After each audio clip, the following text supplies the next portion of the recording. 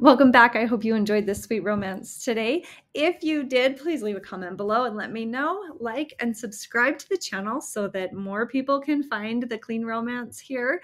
And I hope you have a fantastic day. Remember that you're wonderful and that you're loved. The Devout Groom. A Texas Titans football romance novel. Written by Lucy McConnell. Read by Christina Dimmick. Prologue. The roaring of the student section took on a new level as the Bengals offense left the field. They were ahead by three with two minutes left to go in the seventh game of the season. There was nothing like college football. The defensive coach grabbed Brad DeGrand's face mask and yanked him down so they were eye level. Do not let them score DeGrand. They've been aiming for that receiver all day. He's all yours. Yes, coach. Brad barked before jogging onto the field. The receiver in question was Dylan Silverling. A senior out of Dallas who was days away from signing with an NFL team back east. Brad narrowed his eyes, taking the guy's measure. He was fast, had a wicked spin, but he didn't have hops. Brad could outjump him eight days a week. He shook out his arms before getting set. Adrenaline pumped through his system and his heart thundered as loud as the feet stomping in the student section. The quarterback yelled out a string of numbers and colors. Brad's lineman shifted slightly. He was going to dive right. Hike! Brad dogged left, avoiding the collision altogether and sprinted after Silverling. Silverling looked over his shoulder, not at Brad but up in the air. The ball was coming. Brad was four steps away. He wouldn't be able to intercept the ball but he could stop Silverling. With a grunt, he dug his cleats into the turf and pushed off, wrapping his arms around Silverling's chest and taking him down. They landed hard, with Silverling taking the brunt of Brad's 236 pounds. Despite the screaming and cheering, the sound of pads crunching, and his own heavy breathing, Brad heard a crack. It was a nasty sound, the kind that makes your inside curdle. Silverling shrieked a panicked involuntary reaction to the pain, a noise that could have come from a 10-year-old kid, not the man beneath him. Brad hopped off and offered Silverling a hand. The ball had bounced out of bounds, ending the play. Silverling didn't see Brad, his eyes were squeezed so tight. He gasped for air. Ben's gaze raced over the guy. He stumbled back when he saw the bone poking through Silverling's skin at the elbow. His stomach roiled. He fell to his hands and knees, wrenching, he'd never been good with blood. Medics from both sides of the field surrounded the two. Brad waved them off. I'm fine. Help him. Help him, he insisted to Dr. Burns. The thin man with the bald spot shook his head. He's got loads of help. You're mine. He slipped his hand under Brad's arm and tugged him to standing. How a little guy like that managed to get him up when his knees were so weak, Brad would never know. Let's get you in the locker room. Brad's cleats seemed to grab onto the grass. He couldn't move one foot in front of the other as he watched a team of paramedics load Silverling onto a stretcher and roll him off the field. He's done, said someone. There goes his NFL dream. You don't come back from an elbow messed up like that. Brad wasn't sure who was around him. All he could see was how Silverling's uniform stood out against the white sheet. There was blood. Spots that swam in Brad's vision. The medical team disappeared inside the tunnel. Movement in the stands caught Brad's eye. The crowd parted to allow a beautiful blonde woman through. She wore Silverling's number and clutched her small ball of a belly. A huge diamond ring blinked in the sunlight. Brad cursed. Just before she descended the stairs, the wife glanced across the field. Even from where he stood, Brad could see the fear in her eyes. He'd put that fear there. He'd ruined their future, the baby's future. In a split second, he could see all the hope this small family had, and he knew he'd broken it just as surely as he'd broken Silverling's elbow, and maybe more. The weight of ruining that beautiful creature's life crashed down on him, and he fell to his knees. It's going to be okay, said Dr. Burns, tugging on Brad once again. Brad struggled to his feet. It wasn't okay. And it wasn't going to be okay. Ever. Chapter 1 And as I count up to three, you come to a full state of consciousness. One. Two. Three. Brad's eyes fluttered open. He took in a deep, cleansing breath. Going into deep meditation with the team counselor always left him feeling tingly and renewed. Except today. Even as he pictured himself in a quiet garden full of blooming flowers and lush grass, the same nagging thought followed him like a large black balloon.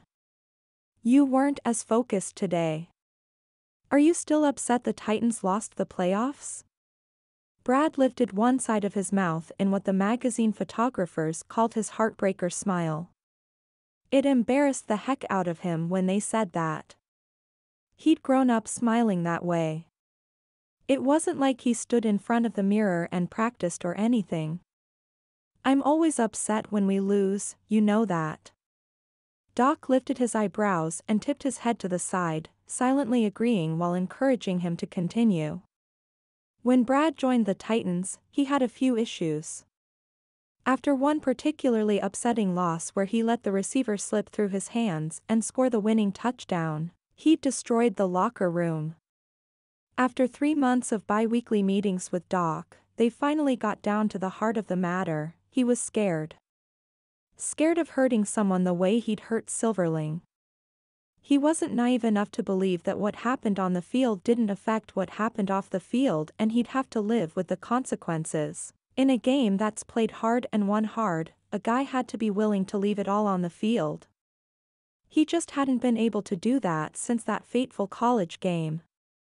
Silverling's life had slowly unraveled. He'd lost his pro contract, gotten a divorce, and taken a job in the bakery at a box store just to get by. Brad knew because he followed the guy like a stalker. Every time Brad signed for more money or won an award, the same feeling of sickness that had overtaken him that day on the field welled up in his stomach. Silverlings got a new job. Doc's thin black eyebrows rose in an uncharacteristic show of emotion. Brad, this obsession. It isn't healthy. I know. This is good, though. He's selling cars. Dressing better. Taking care of himself. Brad scrubbed the back of his head. I'm excited for him. Doc pressed his fingertips together. He studied Brad. How many anonymous letters have you sent him over the years? Brad lifted a shoulder. He regretted telling Doc about the envelopes full of cash. The Silverlings' first Christmas out of college had been tight. They were in a small apartment and their baby was just born. Silverling was still in a cast and had another surgery scheduled. They needed the money way more than he did. I don't know. One at Christmas. And one in the spring, too, right? He ducked his chin. Yeah. Did you send one this Christmas? Yeah. So you still feel guilty. Brad sucked in. I can't forget her face, the panic, the fear, the love. Doc tapped his fingertips together. Whose face, the wife? Ex-wife, Brad muttered. He hadn't told anyone about seeing her, about feeling a connection to her, a responsibility for her because they'd all think he was nuts. It was bad enough that he had to spend this much time with the team psychiatrist. He didn't need to prove how fascinated he really was with the Silverling family and Petra in particular. The woman was tough as nails. She'd carried the family for a couple years before the divorce, even going back to finish training as a dental technician. She'd faced the fear he'd seen in her eyes and come off conquering. He just felt bad that she had to face it at all. Doc leaned back in his seat. Ah. His eyes gleamed. This is what we in the shrink business call a breakthrough. He was in for a lecture and he deserved it. Lay it on me. You feel a kinship to this woman because you know what your mom went through to raise you and your sisters on her own. You feel responsible for her well-being just like you do for your mother's. Brad pressed his lips together and scanned the many pictures that lined the wall of Doc and his black lab out hunting ducks. There were more pictures of mallards than Doc's wife and kids. Brad often wondered what that meant but didn't bring it up. Feel responsible for him mom? That was a stretch. Sure, Brad had paid off her house and helped with his sister's expenses but not out of a sense of obligation. His financial support kept his mom at arm's length. She wasn't the easiest person to love. But, he didn't argue with the doctor. There may be some truth in there, he'd need time to think it over. Doc let the silence sit for a minute before asking, if you knew that Mrs. Silverling was okay, would you feel better? Ex Mrs. Silverling. He corrected. I ruined her marriage. How could anyone be okay, after that? From what he'd seen in life, divorce left lasting scars. People leave marriages every day and are better off emotionally. Some physically, depending on the situation. Have you followed her the way you followed Silverling? No, Brad leaned forward. As long as they were married, he didn't feel right about tracking Petra, I didn't friend her on social media after the divorce because I didn't think I could handle hearing if things were bad. I just hoped that by helping Silverling, I was helping her. I think you should look her up. It will help you find some closure. Who knows, maybe she's remarried and happy. Brad dropped his chin in disbelief. You want me to cyberstalk her? Doc copied his movement, mocking him and bringing lightness to the conversation. That was one thing Brad appreciated about the psychiatrist, though he talked about deep topics. He never made Brad feel like he was under a microscope. They could have had this same conversation in Brad's living room while a game was on. You obviously know how. Brad took the dig as easily as he took a hit on the field. And if things aren't good in her life? Then we'll talk. Doc got to his feet. Consider putting all this behind you as your off-season assignment. I'm going out of town for a month to visit the grandkids in Montana. We'll meet up again when I get back. If you need me, you have my number. They said Goodbye. And Brad left the office, his head spinning. His feelings for the ex-Mrs. Silverling were as tangled as the Christmas lights everyone was busy storing away for the year. Closure would be good. He'd carried this weight, these worries for five years. They affected his game. He'd done his job this year, but he didn't help the Titans the way he should have. He owed it to his teammates to get his head out of the sand and do his best. Once he settled in the privacy of his Ferrari Spider, he pulled out his phone and started sleuthing. Chapter 2 Come on back, I've got Magnum PI all ready for you, Petra Silverling waved at her patient, a man in his early 60s with silver hair and a wicked sense of humor. Dan had been coming into Dr. Payne's dental since she'd been hired and he always asked for her. Dan eased into the seat and waited for her to hit the recline button. Thanks, but I'd rather hear about your other job. That's real-life crime fighting. Petra giggled. Hardly. All I do is give a few scammers a hard time. She placed a plastic bib over his chest. How's that New Year's resolution to floss more coming along? She'd see for herself in a minute but asking was always a good reminder. Just fine. How about you? You dating yet? Why would you ask that? I overheard you talking to Maddie last time I was here. Dan spoke matter of factly, as if the whole office had heard Maddie prodding her to get back into the dating scene. Maddie claimed that since she'd been happily divorced for two years, it was probably time. Petra's face burned and she slipped her mask up to cover the blush. They'd have to be more careful about their private conversations when patients were in the chairs. Good heavens, what else had they talked about? And not just on that day, but every day. The other dental techs were her best friends, they supported one another and joined forces against Dr. Payne when he wanted to cut their vacation days. I'm still considering my options. My daughter comes first, always, she replied. As she should. But. Uh. My son, he came in a couple of weeks ago. He thought you were pretty cute. Ew. Dan's son hadn't brushed his teeth in a week, saying he wanted to get his money's worth out of his semi-annual cleaning. Nasty. When or if she started dating, it would not be with that guy. Thanks, that's sweet, but I don't think I'm ready yet. She picked up a scaler and a mirror. Open up and let me have a look. We'll have you clean in no time. Alright, but a story really would keep my mind off things. She smiled under her mask. You got it. So this prince from Africa says he wants to send me a cart full of colored gemstones. All he needs is my bank account number for collateral. Dan scoffed. I'm sure, he said as she cleaned his teeth. It came out garbled but she'd gotten good at interpreting people.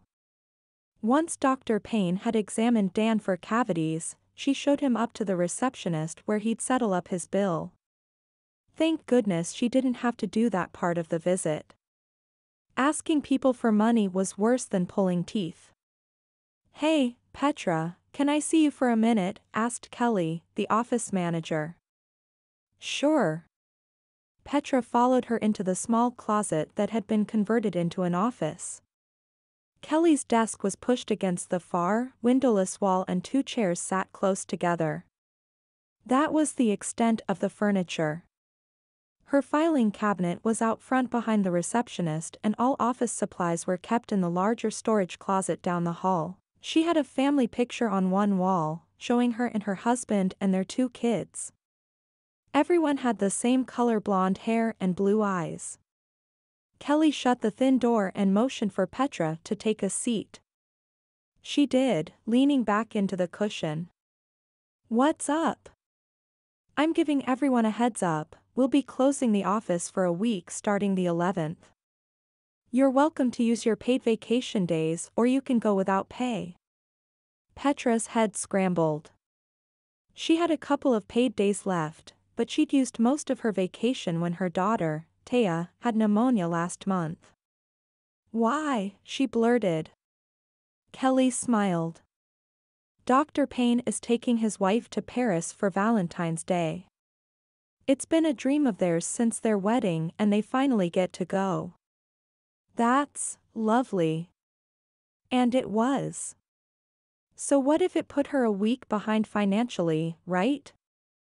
At least Dr. Payne and his wife would get to live out some romantic fantasy. What was a mortgage payment on her tiny condo when love was on the line? Not to mention, she needed a new battery for her car. Starting it was a crapshoot. Okay, sarcasm was not helping. She smoothed her hands over her hair and then tugged at her ponytail. I'm not going to lie, this is a bad time for this to happen for me. Kelly's round face filled with concern. I'm sorry. What about cataloging extra hours at your other job? Petra pressed her lips together. She made a small sum from an online company for distracting scammers.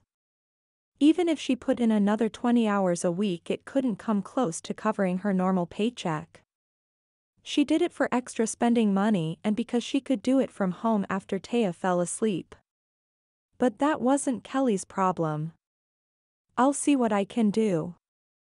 You're not the first one I've heard that from. She glanced at a list on her desk. Petra couldn't make out what it said but guessed that she was working her way through the staff, giving them the bad news. I'll see if there's another office in the area that needs some subs that week. Petra kept her face even. Subbing in another office was always tricky.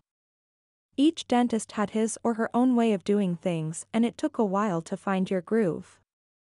It was better than nothing though. Thanks. Petra showed herself out. Just as she reached the reception area, she heard, Mom. Turning quickly at the sound of her daughter's voice, Petra was able to catch Taya as she jumped into her arms. What are you doing here? she asked with a smile she didn't feel. Taya clung to her and she clung back, knowing there were limited days when she'd be able to hold her child in her arms. They grew so fast. Behind Taya came Dylan. Her ex was a handsome guy, broad shoulders, tall, dark hair and fair skin. He could charm most of the women in her office, except Maddie.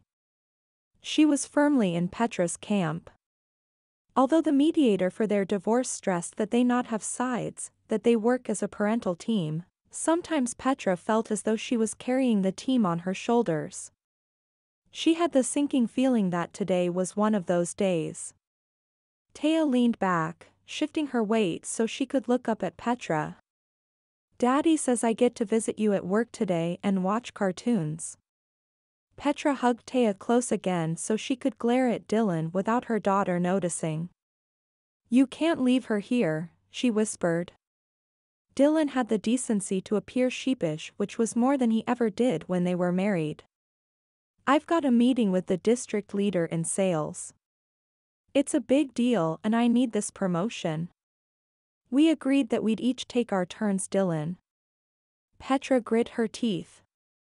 How was she supposed to chew out Dylan in front of her waiting patients and her daughter? He knew she couldn't. That's why he'd come into the office instead of called. Ugh. I know. And I'll take an extra weekend when you need it. I promise. He stepped back, closer to the door, closer to leaving her in a bind, again.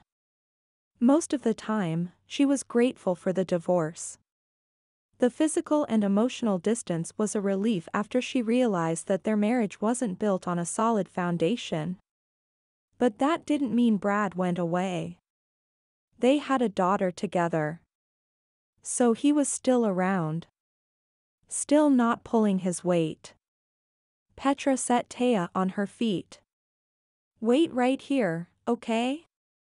She followed after Dylan, grabbing his arm to stop his retreat. Dylan, we aren't allowed to bring our kids to work. Office policy. I could lose my job. He dropped his head back in irritation. You guys close in an hour. It'll be okay. You'll see. With that empty promise, he spun on his heel and left. Petra blinked after him. I'm going to kill our divorce mediator. Her hands fisted and she shook. The man seemed so sure the two of them could work as a team to raise Taya and had talked Petra into giving this a try. They had three more months before they went back to him for a progress update. She had half a mind to call him up and tell him to shove it. She'd rather have a judge who could lay down some rules Dylan had to follow. She'd probably get what she wanted too, considering he'd put her job at risk. A small, warm hand pushed open her fist and slipped inside. Instantly, Petra's anger disappeared. Oh, she was still upset at the world, but her daughter was innocent. As if she needed confirmation, Taya's big blue eyes stared up at her, trusting and yet worried. Petra lifted the five-year-old onto her hip. I'm so glad you're here dumpling. Taya giggled. You're silly. I sure am. Silly to marry your dad. She thought silly to believe he'd keep his word. Just silly. It was too late in the day to call her mom and have her get here in time to take Taya. Her sister was at work. There was no one to help and she had patients to take care of. Petra. Wendy, the receptionist, waved her over. I'll take her. She held out her tattoo-covered arms. I've got a puppy coloring book and a giant crayon box back here. We'll tuck her under the desk and no one will even know she's there. Taya stared at the ink on Wendy's arms, her eyes getting big. Did you color your arms? she asked. Wendy laughed. Yep. But you have to be 18 before you can try. Taya nodded and leaned over so Wendy could take her. Petra sighed. Stashing her daughter under a desk wasn't an ideal solution but it was the only one she had at the moment. Thanks Wendy. If you need anything, I've totally got this. Wendy opened her purse and pulled out a package of chocolate candies. If she gets bored, I'll set her up in the kids' room with a movie. They had an exam room decorated for children and stocked with the latest video games and DVDs. They didn't use it for adults because everything, including the chair, was smaller sized. If they didn't have little ones coming in, it would be the perfect spot to hide her daughter. Taya would love to lay back in a chair with her own headphones and a private movie showing. Anything with a princess and she'll be hooked. Wendy winked in response. Your next patient is in room 3. Thanks. Petra hurried back, grateful for Wendy's help. She opened the cupboard and retrieved a new mask. Somehow she'd managed to crumple hers in her hand. Gee, wonder how that happened? As she secured the bands behind her ears, she glanced down at the man in the chair. He wore a Texas Titans jersey and ball hat. She sat down and smiled. How are you doing today, Troy? I'd be doing better if the Titans weren't talking about trading Felts. She stuffed down her groan. Sorry, I don't follow the team. She pressed the pedal to lower and recline the chair at the same time she reached for a probe. Let's take a good look at that tooth that's been bothering you. I. She didn't wait for him to go on, but stuck the probe in his mouth, forcing him to open wide or get stabbed. His gums were swollen. That doesn't look good. Like my day today she thought. She didn't like a downward spiral and hoped Dylan's little trick didn't start one. Maintaining the status quo was the key to a happy life. After clocking out, retrieving her adorable daughter who had colored quietly for almost an hour, and making a box of mac and cheese for dinner, Petra pulled out her laptop. Are you going to message? asked Taya twirling her brown hair around her finger. She had on a long nightgown with a picture of a princess on the front and a ruffle around the bottom. Her hair was still damp from her bath and she smelled like watermelon. Petra tucked a piece of hair behind Taya's ear. Do you want me to come read to you before bed? Although she could really use the extra time and therefore pay, Taya came first. I want my CD story, she said, referring to the latest book on tape they'd picked up at the library. Taya adored her CD player, dance parties and audiobooks were a thrill. She threw her arms around Petra's neck. Love you. Love you too.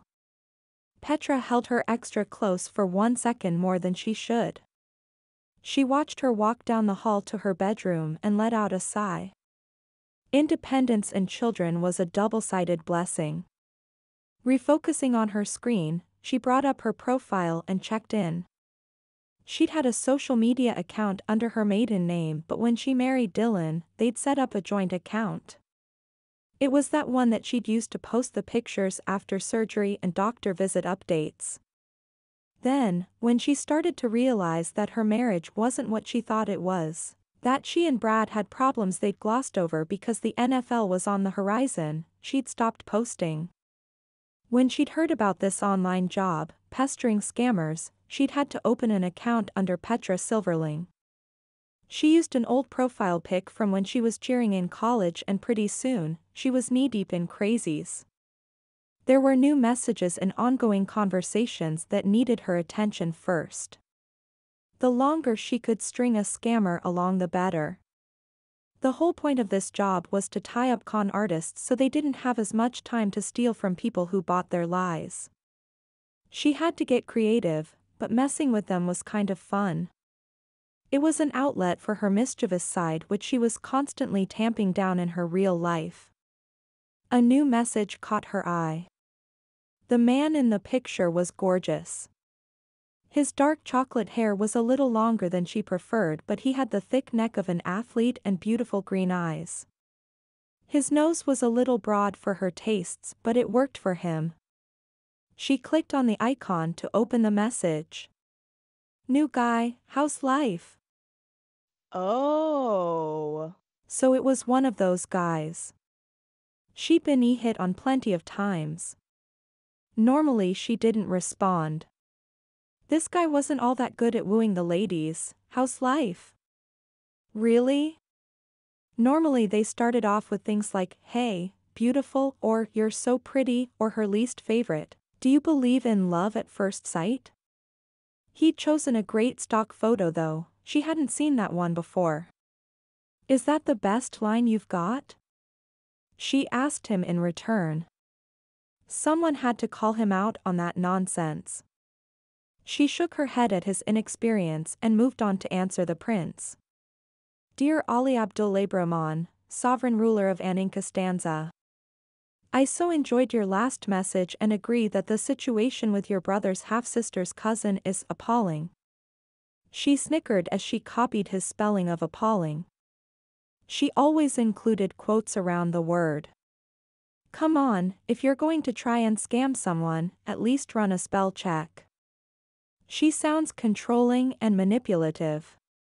I would love to help you regain the throne, have you thought about offering her cake? When a person's blood sugar drops, they can become irritable. Let me know what you think of Operation Sugar Shock. Sincerely. Petra. P.S. I have an excellent recipe that I'm sure your entire family would enjoy. Let me know if you need it. Grinning to herself, she hit send and switched over to the new guy while she waited to see what the prince would say. New guy, I'm not sure what to say. I just wanted to know how you were doing. She squinted and leaned closer to the screen to make out his name. Brad. No last name. She checked his account. It looked like he'd set it up that day. No personal information, the bare necessities filled out. What an amateur. Well, if you really want to know. I'm a single mom with an ex who thinks his life is more important than mine. I'm about to be stranded without pay for a week, and my car needs a new battery. She glanced down at her scrub top and saw a smear of orange. And, as if that wasn't bad enough, I ate mac and cheese for dinner. It wasn't delicious. Brad, oh. Yeah. Oh. She scoffed. Run away. Run far, far away. You're out of your league here, big guy.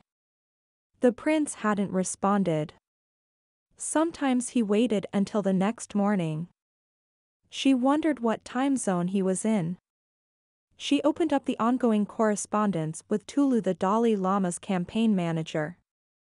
She'd yet to learn what he was campaigning for but according to Tulu, that wasn't as important as getting the funds together for said campaign. Well, of course, she snarked. She scanned his note and then hit reply. Yes, free will and thinking is an important stance for any candidate, but has Dalai Lama given any thought to free chocolate? Everyone loves it and it can be served as a liquid or a solid making transportation and distribution a breeze. I hope he loves the idea. Let me know how much chocolate I should order for the rally. Yours, Petra. Oh my gosh they probably thought she was the biggest idiot.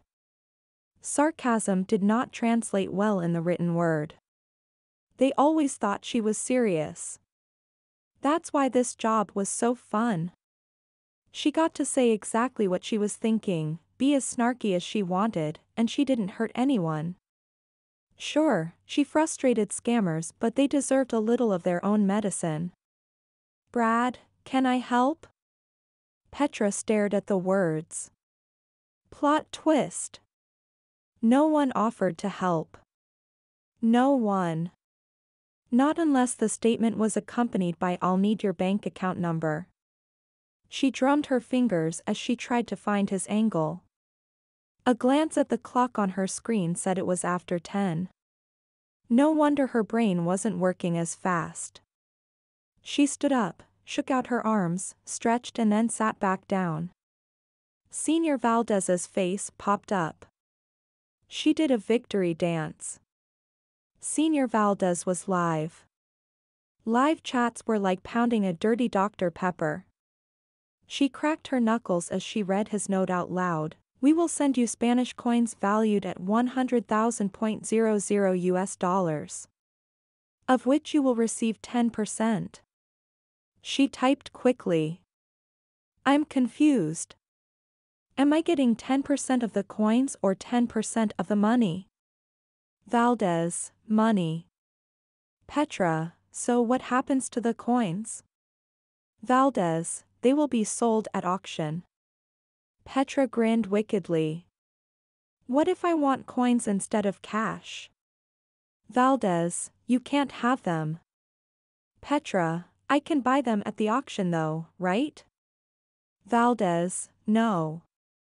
Petra, okay, I don't need the Spanish coins but what if you gave me the 10% in quarters? Valdez, we will put the 10% in your bank. Petra, I'm going to need a bigger piggy bank. Valdez, please send me your bank account number. Props to him for staying focused on his goal. That kind of dedication should be rewarded. Sure. But I'm worried about privacy. There are some bad people in the world and I'm pretty sure they're reading this message right now. So, I'm sending my account number in code. A201B102C012D. She grinned. He'll be chewing on that one for a while. He's probably putting it into a search bar right now. Her eyes went back to that beautiful profile picture of Brad's. Feeling sassy, she decided to call his bluff. You could buy a new battery for my car. Brad, done. Who's your mechanic? What? Her fingers hovered over the keyboard. Fine. If that's the way he wanted to play it. She did a quick search for the most expensive mechanic in Dallas, made sure the business wasn't located near her home and sent him the link. All was quiet for a moment and she found herself yawning, the thrill of the live chat fading quickly. Maybe it was time to call it a day. She closed out of the Prince, Tulu, and Señor Valdez. Just as she was about to click the X on Brad's window, a new message popped up. Brad, you can pick it up anytime tomorrow. Yeah. Right. She thought. It was after 10. There was no way he set that up. Thanks. Brad, hope it helps. She closed out without saying anything. Strangely, she couldn't come up with anything to say. She must be worn out. It had been a stressful day. With one more wistful look at the model Brad used for his profile pic, she shut the screen. If only men like that really existed in the world. Chapter 3 Brad called Luxury Auto first thing in the morning and gave them Petra's name and his credit card information. He told them to hook her up with anything she needed. She could max out the card on repairs, new seats, or buy a new car for all he cared. Of course, he didn't tell the guy that, the business would max out his card in the blink of an eye. He just didn't want Petra to have to worry about something like a dead battery. He couldn't believe the way she'd opened up to him last night, telling him about her ex and her boss like that. She was under a lot of pressure as a single mom and probably needed a lesson on internet safety. He made his way to the gym in his basement where his personal trainer was already waiting. They worked his lower body and then he hit the pool for a swim. The water felt great after sweating so much. When he was done, he ate, showered and dressed quickly. A look at the clock told him it was around 11. Petra should have gotten her battery by now. He decided to head to Luxury Auto and see how things went. He could have called, but he wanted to talk to the guys and find out if they treated her right. The GPS on his phone said the shop was in his area of town, which surprised him. He didn't think the Silverlings made that kind of money. Maybe Petra's family was well off. He strode into the building and was assaulted by the smell of leather. It was a rich smell, and not at all authentic as there was nothing leather in the lobby. The chairs were modern, heavy-duty plastic and glass. The coffee table had thick iron legs and a glass top and the reception desk was the same. Photos of vintage Camaros, Ferraris, and hot rods adorned the gray walls. They acted like beaded jewelry around a woman's neck, giving a splash of color. He nodded to the older gentleman waiting on one of the funky chairs and headed for the man in a polo shirt behind the glass desk. He stood quickly and held out his hand. Welcome to Luxury Automotive. I'm Scott. What can we do for you today? His handshake was firm and confident, all salesman. His skin had a leathery look to go along with the leather air fresheners.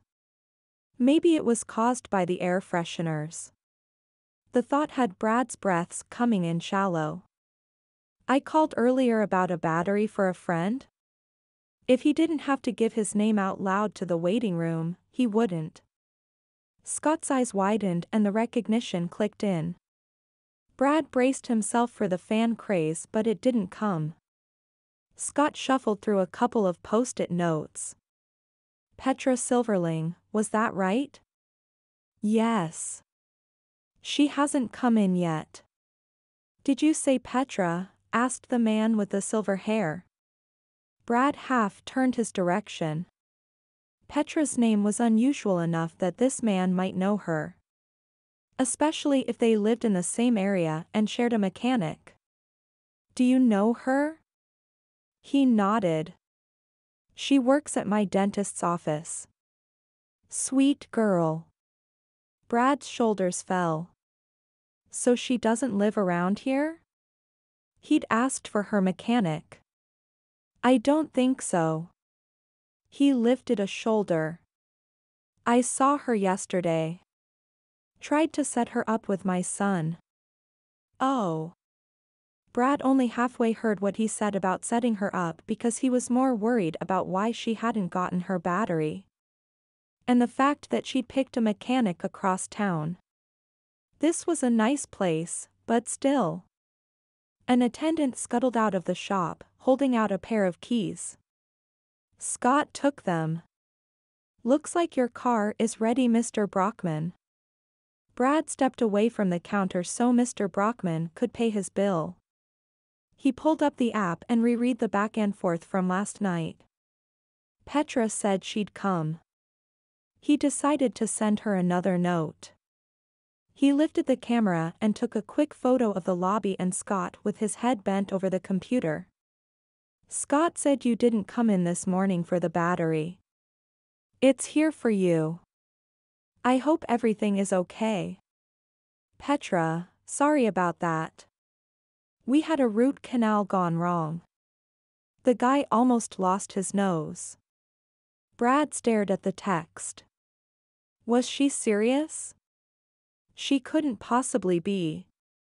The older man stopped beside him.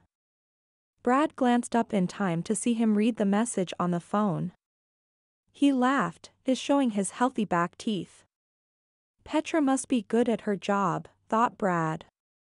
That Petra, said Mr. Brockman. She's such a kidder. He eyed Brad. Maybe you can get her to go out on a date. I've been trying for a while now. You asked her out? Me? No. For my son. Like I said earlier. He sighed heavily. A woman like that could give a man ambition and heaven knows my Trey needs it. He patted Brad's shoulder. Good luck. Brad stared after him for a minute. So, she was kidding him. That was kind of cute. The soft whoosh of the automatic doors reminded him of where he was and he typed a quick reply. I'm so sorry to hear that. It must have been difficult for the patient to face the possibility of life without nose hair. Her response came quickly. A nose is a person's identity. I beg to differ. Petra, explain your differ. Brad's cheeks tugged up into a smile. She was sassy. Brad, the police don't take nose prints. Petra, then what are mug shots? His grin widened and he turned away from the open waiting room. Fingerprints are used to open bank vaults and even my phone. Petra, facial recognition software is the new wave, Grandpa. He chuckled. Hang on, I can't hear you over the sound of my fax machine and rotary dial phone. Texting is horrible on this thing. She sent him a laughing so hard it was crying emoji. He pumped his fist. Scotty cleared his throat making Brad look up from his phone and realize where he was and why he was there. The reality of what he'd just done crashed down on his shoulders. He'd flirted with Petra Silverling. That crossed a line he hadn't even known he'd need to draw. How had he fallen into that? He glanced back over the messages, shaking his head. Sobering, he typed. I'm sorry I bothered you. I gave Scotty my credit card number. You can come in any time this week when it's convenient for you. I won't be here. He tucked his phone into his back pocket. A quick conversation with Scotty explained the situation and assured that she'd have until the end of the week to figure this out. If she didn't, Scott would shred the paperwork and that would be that. Brad walked out, one ear tuned towards his phone, hoping for a beep that said Petra had responded. His head kept telling him to knock it off. He didn't need to get mixed up with the ex-wife of the man he'd flattened. He'd be better off keeping his distance. Whatever made him think understanding her situation was a good idea anyway. Right Doc said he needed closure. He searched himself, looking to see if he felt any closure. He didn't.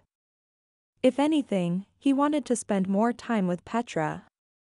That wasn't going to happen. Petra's phone dinged and she hurried to grab it, worried that Dylan was going to back out of picking up Taya after school.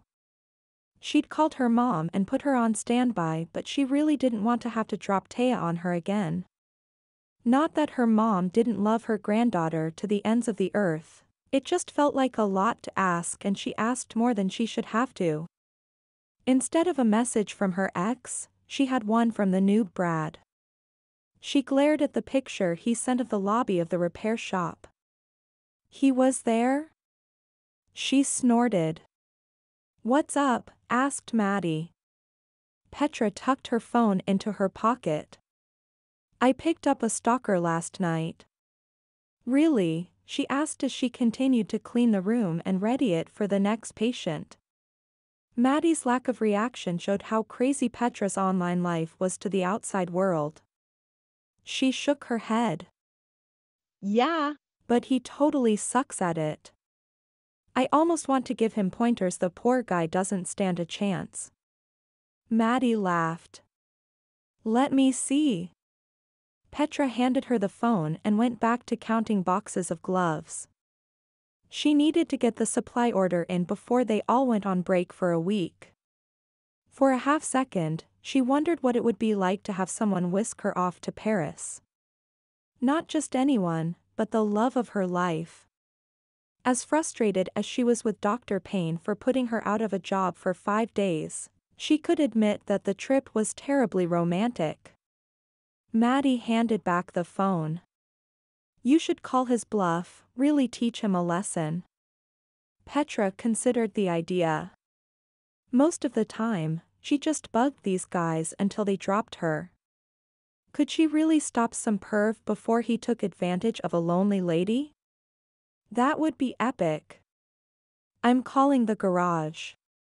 She looked up the number and called. This is Scotty, how can I help you? Uh, She gestured wildly to Maddie asking for help. Ask if he's still there, whispered Maddie. This is Petra Silverling. Is Brad there? I'm sorry. Mr. DeGrand has left the premises. However, we are ready to install a new battery at your convenience. Would you like to make an appointment? Her heart thumped wildly against her chest. She had a last name. DeGrand. It felt familiar but she saw so many names online and in the office that it could be anyone. She never, never, took her online job into the real world. um, We have an opening tomorrow at 8.30 a.m., he prompted. Crap. That would be fine, she agreed to get out of the call. We'll see you then. She pressed the end button and dropped the phone on the shelf like it was a thousand degrees. What the heck? Maddie flapped her hands. I can't believe you did that. What was I supposed to do? He was totally legit. She flapped her hands too. The movement helped calm her down. When her energy was spent, she leaned against the cabinets. You should go. She gave Maddie an are you crazy look. What? You need a battery and he's willing to buy you one. Right. She straightened. And when they ask for my credit card, I'll just hand it right over. If they ask, you walk. You're not locked into this. Petra blew her hair off her forehead. You're the one always telling me that miracles happen and God is watching over us. Maybe this is your miracle. If this is my miracle, I'm going to write a complaint letter. Maddie bumped her hip. Come on. Aren't you at least curious? Petra clamped her teeth together. She was curious. ugh, You know me too well. We should stop being friends. ha, Like you could get rid of me that easily. Want me to come with you? Petra shook her head. You're on at 8 tomorrow. I'll be lucky to get here by 10, if I decide to stop. Wendy stuck her head in the door. She'd added a streak of pink to her black hair the night before making her look like a night pixie. Maddie, you have a patient in room two. Thanks. Maddie put the bag of water picks back on the shelf and headed out. Petra waited until her footsteps receded before pulling out her phone. She took a deep breath. Her courage didn't build like she'd hoped. Her phone dinged and she about dropped it. Holy cavities Batman, she muttered. The ding wasn't from Brad, it was from the prince. Her body sagged with relief. Brad had her all done up. She just couldn't figure out his angle. If he really was a stalker, then why did he hand over his credit card information to Scotty? And why did his last text sound like he was giving up on her? She needed a shot of confidence. Deciding to go after the prince first, because he was the type of guy she could handle, she tapped on his picture. Cake won't work. Must hire a lawyer, need funds, send money to. With a nod, she tapped the reply button. My dear Ali Abdul Lebrahman, sovereign ruler of Anin I'm certain if you used my recipe, your troubles would be over. You can find it below. I'm certain it will sweeten up your brother's half-sister's cousin. Ingredients include. She finished typing and put her phone away. She had a patient in 15 minutes and she needed to get the ordering finished before then. On her way past the receptionist's desk, Wendy called for her to stop. So, she propped her chin on her hand. Are you going to the mechanic? Petra held back her eye roll. Of course everyone in the office knew about her online exploits, she was usually the one sharing the stories. This guy was no different than the others. Except, she couldn't quite get his angle. I'm thinking about it. Well, it sounds like he's a nice guy. That's weird, right? She laid her arms on the high counter. I guess. Wendy dropped her hand. I mean, who offers to pay for a stranger's car repair? Petra drummed her fingers on the countertop. Rich people with too much time on their hands and good hearts. Or psychos who want to draw you into their web so they can lock you up in the basement. Wendy widened her eyes and drew her finger across her throat. Thanks. Thanks so much for that, Petra deadpanned. Wendy laughed. He doesn't know who he's messing with, you have a spidey sense stronger than anyone I know. Petra laughed. I'm just cautious, too cautious sometimes. My mom says I see gloom around every corner. Wendy shook her head, her short hair whipping her cheek. Not true. You checked the garage out though. It's on the up and up? I picked it, not him. If he was trying to scam me then he would have sent me to a place he chose. You should ask them for info on the guy. I don't know, it was one thing to toy with the bad guys online and another to open her life to them. I've got to get this order in. I'll see you later. Even as the worries floated around her head, she knew she was going to go. There was something about Brad's texts, something real that she couldn't put her finger on. If he was a scam artist, he was horrible at his job. She wanted more information and the best way to get an impartial evaluation would be to go to the garage. Ugh. She was going to do it. Her co-workers would kill her. How many times had she admonished them against meeting people in person they'd met online? Technically, she was picking up a battery, not meeting Brad. He wasn't supposed to be there. And dang it! She needed a battery. If things weren't so strapped. Okay, that was it. She was going. She must have talked herself out of the trip across town a half dozen times over the night and then talked herself right back into going. Sitting in her car, her hands gripping the steering wheel, she studied the outside of the building. It looked all right. There weren't any shady characters hovering around the glass doors inside or out. The cars in the parking lot were all empty. No one waited to jump out and tase her. Her gut said everything was fine and since she had one of the world's most sensitive guts when it came to sketchy situations, she headed inside. Scotty greeted her, introducing himself and shaking her hand. Once he realized who she was, the star treatment began. He whisked away her keys, promising to have the job done in enough time for her to get to work. Then, he offered her a drink. She decided on a bottle of water with a designer label that stated the water had never been touched by human hands. Once she was comfortable in the waiting area, Scotty came by with a tray. Would you like a pastry? Petra held back her giggles. They looked like donuts to her but if Scotty wanted to call them pastries, who was she to argue? Besides, his kindness was warming her heart. The customer service was far and above the usual stale popcorn she got at her mechanics. Thank you. She selected a chocolate cake donut with chocolate frosting and a healthy dose of sprinkles. Melting into the back of the chair, she relished the feeling of being taken care of for once. She was always taking care of someone else, on call 24-7 for her daughter and pampering her patients.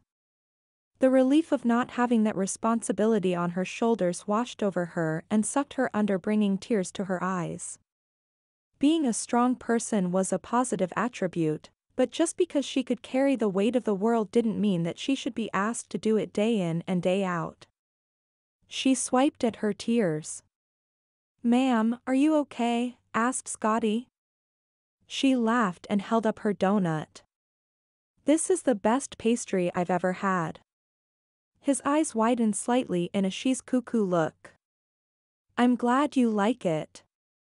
Any other day, she would have taken out her phone and seen what the Dalai Lama's campaign advisor was up to. But she just couldn't bring herself to step into that role. Not now. Now was for filling her reserves. She sipped her breathe on by Angel's water and closed her eyes. Can't help falling in love, crooned through the speakers, low enough not to encroach into her zen but loud enough that she could make out the words. Luxury auto may not be heaven but it sure felt like it and she was having a hard time not falling in love with the place. Too bad she'd never be able to afford it on her own. Ma'am? Petra blinked her eyes open and found Scotty standing in front of her. Your car is ready. That was fast. Scotty grinned. We aim to please. She checked her frown, she wouldn't have minded if they'd taken another 20 minutes or 20 years as long as they kept bringing her sweets and clear water. With a mental push, she managed to gather her purse. Scotty held out her keys. She swallowed. This was the moment of truth. What do I owe you? Scotty smiled, revealing a gap between his bottom front teeth. It's all been taken care of. Really? She hesitantly reached for her keys. Scotty dropped them into her hand. Really? She pressed her lips together. I'm sorry to bug you about this, but the guy that paid for the battery. The desk phone began to ring. Yes?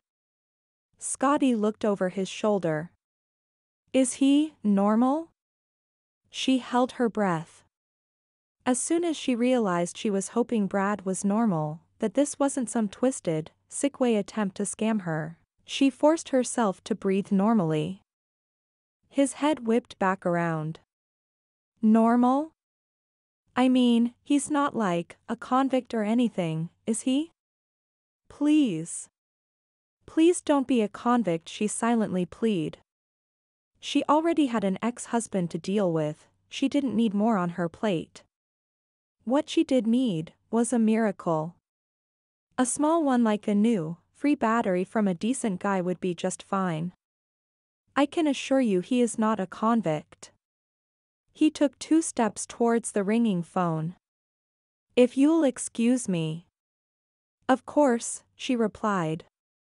Tucking her purse close to her side, she hurried out to where her car waited.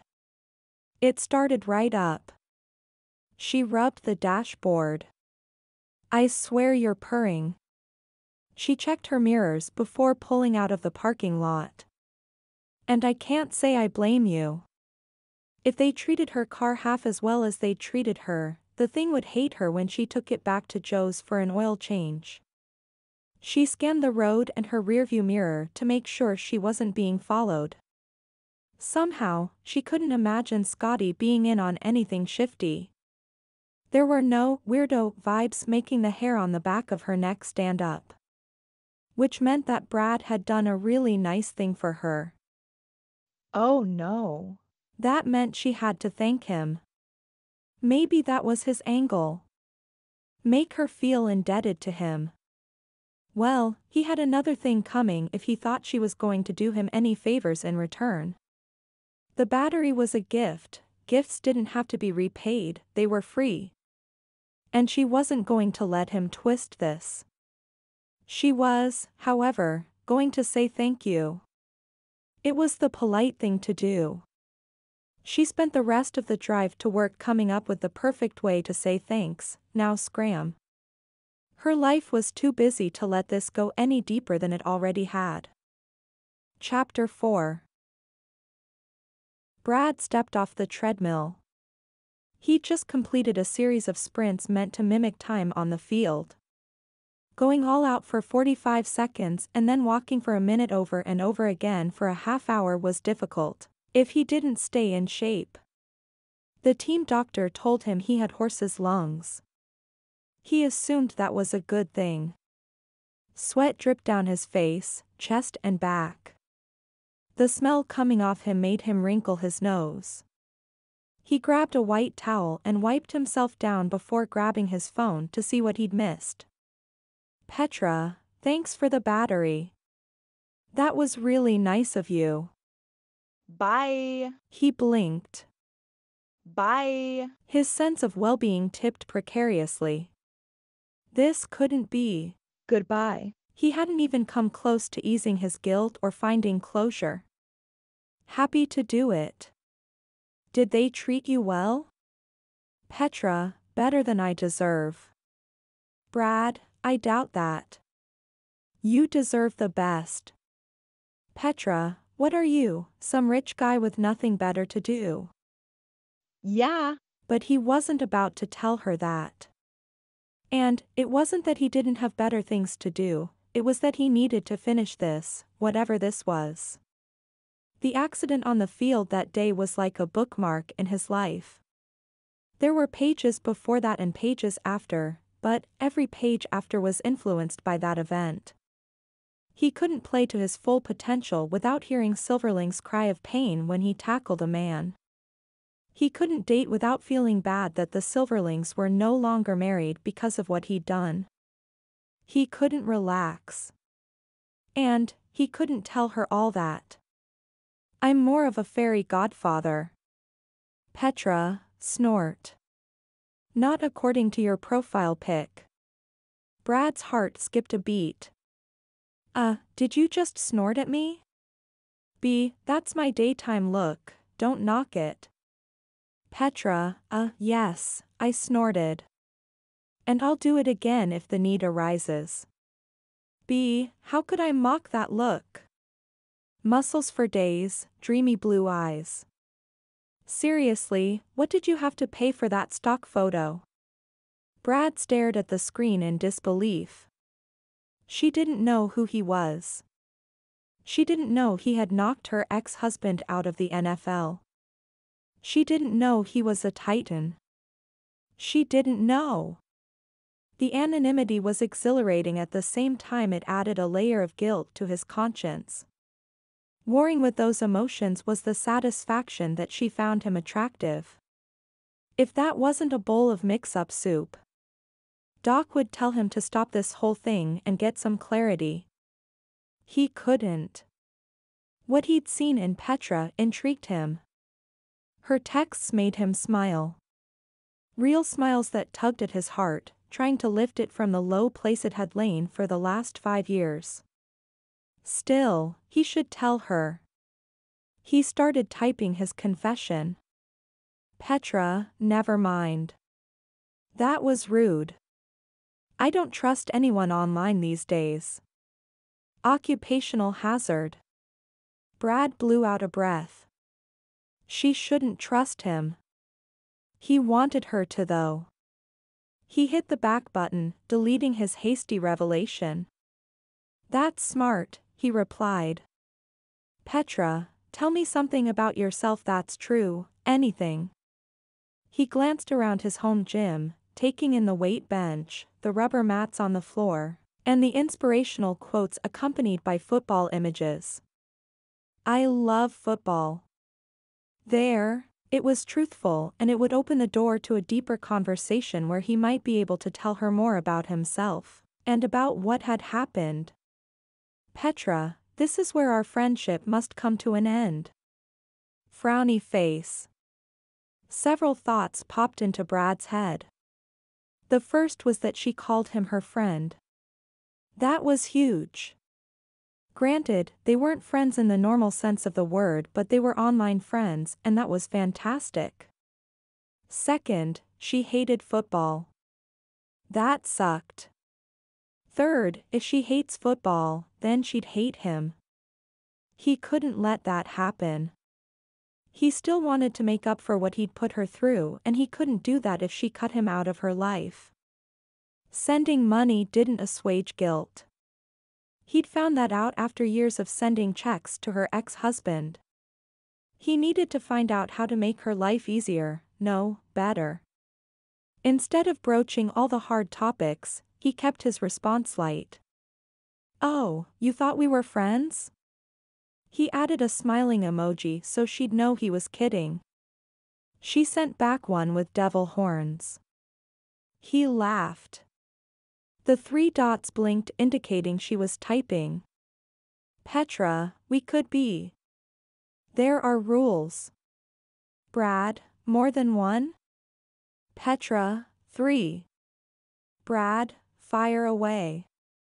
Petra, no football. No talking about it. No sending pictures. No updating scores. Nothing. He didn't hesitate. Fine frowny face. Petra, no kissy faced emojis. Black. Brad, double black. He read over his reply after he hit send. He was such an idiot. Petra, Honesty.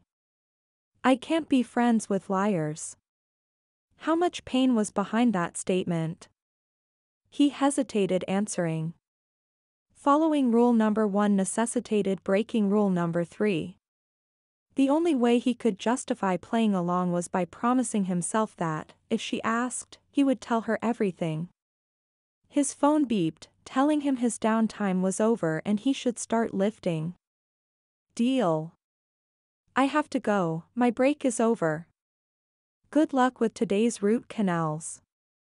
Petra, thanks. Try updating your profile pic, that guy needs a haircut. Brad's hand flew to his hair. He pulled his phone closer to his nose, squinting to make out the picture. His hair was long in it, as long as it was now. He tossed the towel into the dirty basket. With a quick call, he had an appointment for a haircut. He could get there right after he finished lifting and took a shower. His conscience pricked him for not telling Petra the whole truth. He added another 20 pounds to the bar for punishment and began his first set. He'd tell her. One day. In the meantime, he'd just have to do his best to make her happy. That was his new goal. Do whatever it took to make Petra happy. Maybe by the time she got to know him, she could forgive his past and they could really be friends. Because, he could use a good friend. He had some guys on the team he got along with and they hung out, but no one knew what he was really dealing with inside. Maybe, if they could get to that point, then Petra could be that person. Chapter 5 you can't cancel, I have work. Petra shimmied into her black scrub bottoms while keeping the phone tucked between her shoulder and her ear. Dylan was supposed to pick Taya up after school today. She was glad that he was finally showing some drive in his life. She hadn't seen him this determined since his playing days. It was good that he was finding his way again, and bad that he had to slack in other areas to make it happen. She'd struggled with this when they were married but she'd always blamed it on football. Football was all-encompassing, it swallowed their lives. She'd been supportive back then, not realizing that Dylan had no idea how to balance life. She didn't find that out until he'd stopped playing. Put her in the lobby, there's toys. She bit back a long-suffering sigh. Dylan wasn't a bad guy, he was just wrapped up in himself. She thought after he left football the ego would leave too. It had, to a point. But there were still times when he made her want to pull his hair out. Male pattern baldness might take him down another notch. Then again, this was Dylan she was talking about. She can't stay out there unattended. She'll be supervised, you're in the building. Petra shuddered at the amount of neglect her daughter probably suffered when she was at Dylan's. However, Taya had come home unharmed and in good spirits after each visit. She and Dylan had different parenting styles, neither was right nor wrong. Even if his felt wrong. At least Taya was past the stage where she stuck everything she found in her mouth. That had been a heart attack waiting to happen. It's still against policy to bring your kids to work. She grit her teeth. How many times would she have to tell him? Well, it's better than getting run over in the parking lot at the dealership. At least with you she's off the road.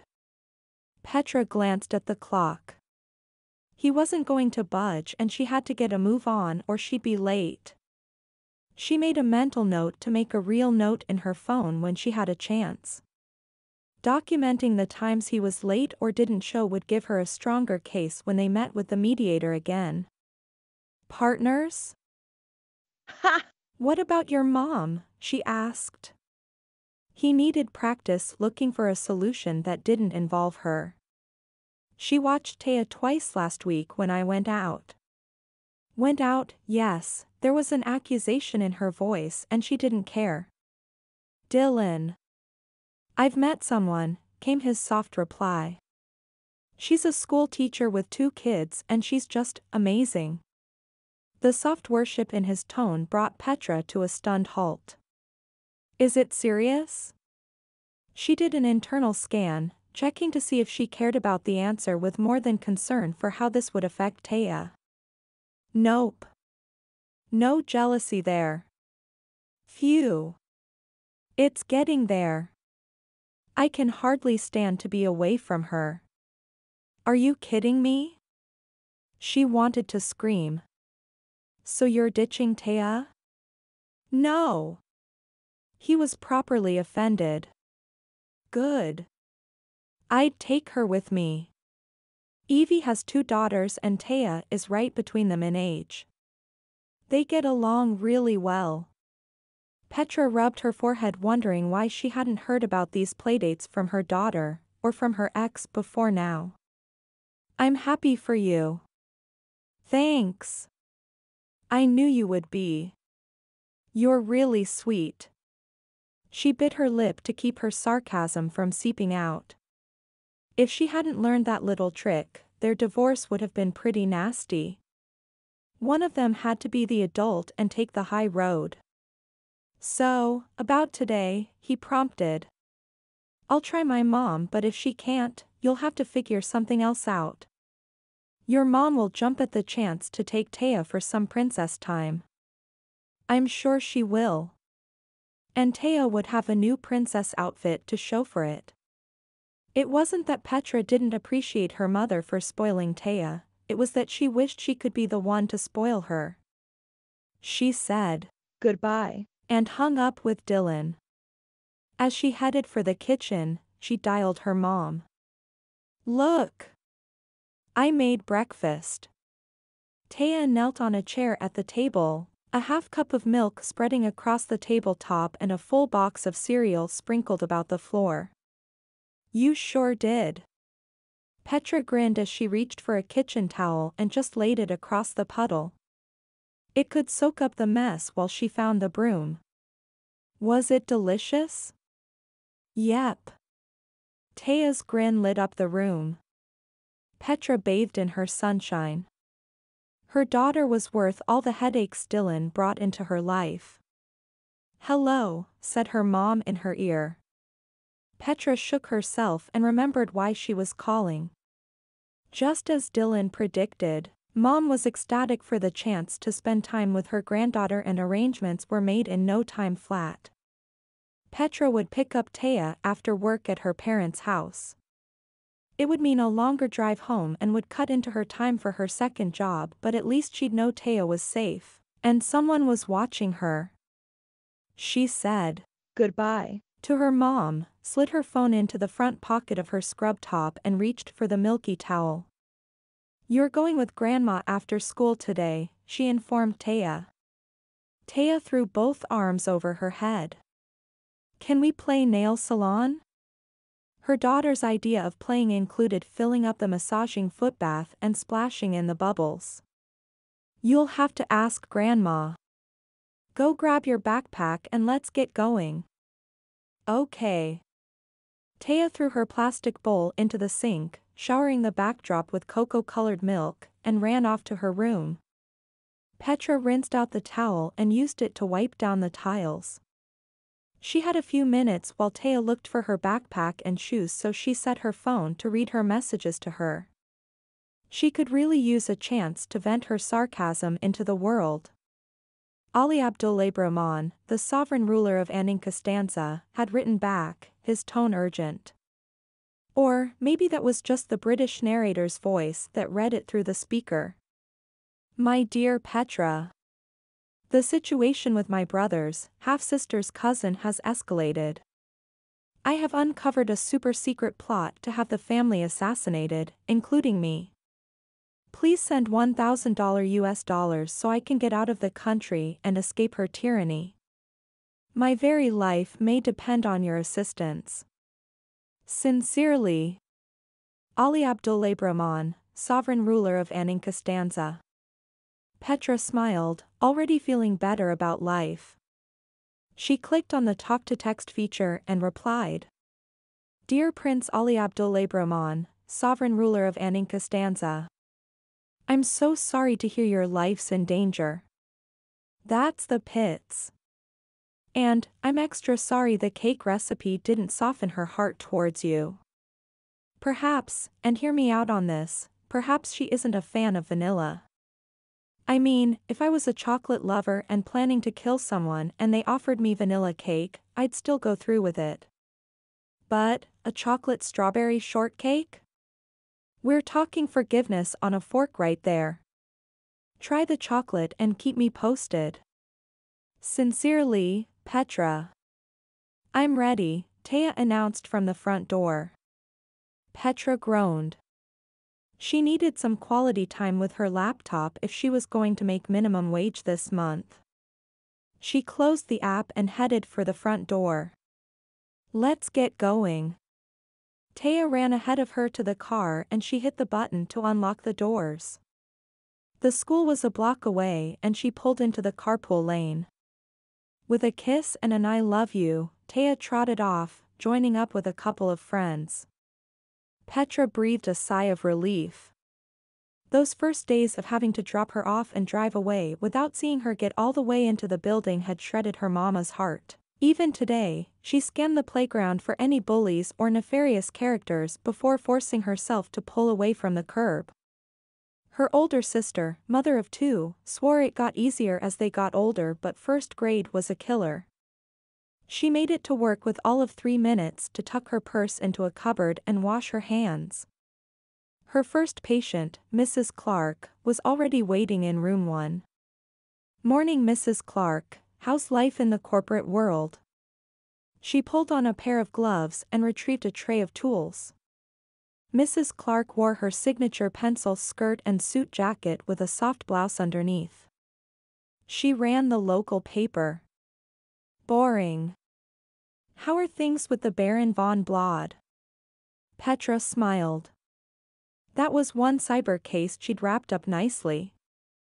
Well, he didn't raise the funds he needed to help the victims of the tsunami that took out half of East Germany. Mrs. Clark scoffed. Where do they come up with these things? Petra pressed the foot pedal and the chair leaned back. She laid a bib over Mrs. Clark's chest. I think they make them outlandish on purpose. The people who actually respond to the crazy offer or charity are the gullible ones. Except for you. Thanks. Petra slipped her mask into place. Do you want the massage feature on? Their new chairs had built-in heat and massage. The patients loved it. Please. Mrs. Clark clasped her hands over her stomach. Who are you irritating these days? She laughed good-naturedly, hopefully, she was annoying these guys. If he hadn't before, then the prince would surely blow a gasket over the chocolate cake response she'd sent this morning. Just once, she'd like to be there when these guys opened her messages. She brought Mrs. Clark up to date as she scraped plaque off her molars. Her thoughts soon turned to Brad and she couldn't help but share a little about him. But then there's this other guy. I keep thinking he's going to ask for my credit card number or something, but he doesn't. Wa oese say? Petra rinsed off a tooth and sucked up the water. He's just nice. And kind of flirty. EE could EE for real. I guess, but how many people are real online? I don't know this guy from Adam. Mrs. Clark said something Petra couldn't make out. She suctioned her mouth and then waited for the woman to repeat herself. My brother met his wife online and my secretary has been dating a guy for six months she met on a dating site. Petra twisted her mouth. Mrs. Clark took in her disbelief and pressed her point. Meeting online is the way to go these days. It fits your schedule, it's only there when you want to deal with it, and you don't ever have to go past chatting unless you're ready. Petra held up her tools, indicating she wanted to get back to work. Mrs. Clark obliged and Petra continued talking. I read an article about online dating. It said that 49 million people have tried it and 17% of marriages have started online. I don't know that I buy it though. Petra's phone buzzed in her pocket. They both paused. Mrs. Clark stared at the outline of Petra's phone in her front pocket. Are you going to answer that? It could be Mr. Right. Petra laughed off her comment. It could be the prince too. I don't answer when I'm at work. Her patient settled deeper into the chair. Fine. But if it were me, I'd be open to more than a few flirty texts. You're young and beautiful, you should be kissing a dozen guys and flirting with a dozen more. Petra's cheeks warmed as Brad's profile pic flashed in her head. She may have studied it a little last night. The model was gorgeous. He had great lips too. If Petra was going to fantasize about kissing someone, it would be someone that looked like him. He was the type of man a woman could swoon over, if she was the swooning type. Her phone was burning a hole in her pocket. The text could have been from anyone. It could have been her mother for the love of Pete, and she was half drowning in curiosity to find out if it was Brad or not. Mrs. Clark checked out, no cavities. Petra's next two cleanings crawled by and it was all she could do not to run to the bathroom and check her phone. Finally, her lunch break came and she ducked into the supply closet clutching her phone to her chest. Her breaths came and went in quick huffs. Brad, what do you think? He'd attached a picture of the same model with a haircut. She squinted, trying to see the Photoshop hack marks. If he'd doctored the picture, he did a good job. The background was different and he had on a red shirt instead of a blue one. His head was even turned a little more to the right. Okay, she'd spent much too long staring at his old picture if she could pick all that out. She typed her reply. Not bad for a stock photo. Wink? He sent back a laughing emoji. How's work? She paused. Continuing this conversation was insane. She should cut ties with him and move on to her next scammer. But there was something so real about Brad that she believed she could hurt his feelings if she brushed him off. Besides, the experience at the car dealership showed her that she needed to take a minute for herself every now and again. Brad was fun. She needed fun in her life. Good. I had an elderly patient who was scared spitless, pun intended, and I was able to help him relax and get a good cleaning. Brad, sounds like you made a difference for him. Petra, call me Super Scraper. Brad, isn't oral health tied to heart disease? You're a lifesaver. Petra, flattery will get you everywhere. She was used to men pandering to her, telling her she was beautiful and loved and special, anything to get into her wallet. She didn't want that from Brad. What did you do today? Study up on gum disease? Brad, that, and I got a haircut too. Petra, that's all you did? Brad, I worked out, answered emails, did a jigsaw puzzle and helped my buddy pick out a pool. Petra, how many pools did he have to choose from? Brad, 14. Petra, no wonder he needed help. Brad, he went with egg-shaped, in case you were wondering. Petra, I wasn't. I mean, is there really any other option? A laughing emoji popped up. You're funny. I know. She grinned, biting her bottom lip. The door flew open and she hit her phone like a 13-year-old. Maddie. What do you need? Heat rose up her neck and made its way to her hairline. Maddie lifted one eyebrow. I'm out of gloves. Petra reached to the side and plucked a package off the shelf. Here. Maddie took the package, her eyebrows still up. You going to stay in here all day? Petra smiled, tipping her head. I'll just be a minute. Okay. The door clicked shut behind her. Petra whipped out her phone. Lunch break is over. He sent back a waving hand. She held her phone to her chest for a minute before putting it in her pocket and rearranging her face. Somehow, it had gotten into a dopey, star-eyed girl shape. Which was silly because she couldn't crush on a guy she'd never met before, Johnny Depp and Zac Efron excluded. That night, before she fell asleep, she reread their texts. If they did meet, and she wasn't saying she was open to that in any way. But if they did, and they had this much chemistry, she'd have a hard time walking away. Which is why they couldn't meet. She had responsibilities. With Dylan bringing a new woman into Taya's life, she needed to be all the more stable. It didn't matter that her heart fluttered like butterfly wings at the thought of Brad's hand on the small of her back or cheek, or in her hair. She was the responsible one. With that, she flopped over on her side and squeezed her eyes shut. Chapter 6 How was your vacation? Brad stretched his long legs in front of him, the heels of his Nikes hitting the gold line in Doc's carpet. Good.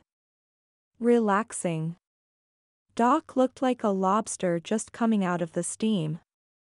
His face was bright red, all the way up to his hairline. There was this aura of heat radiating from him that kept Brad on the other side of the room.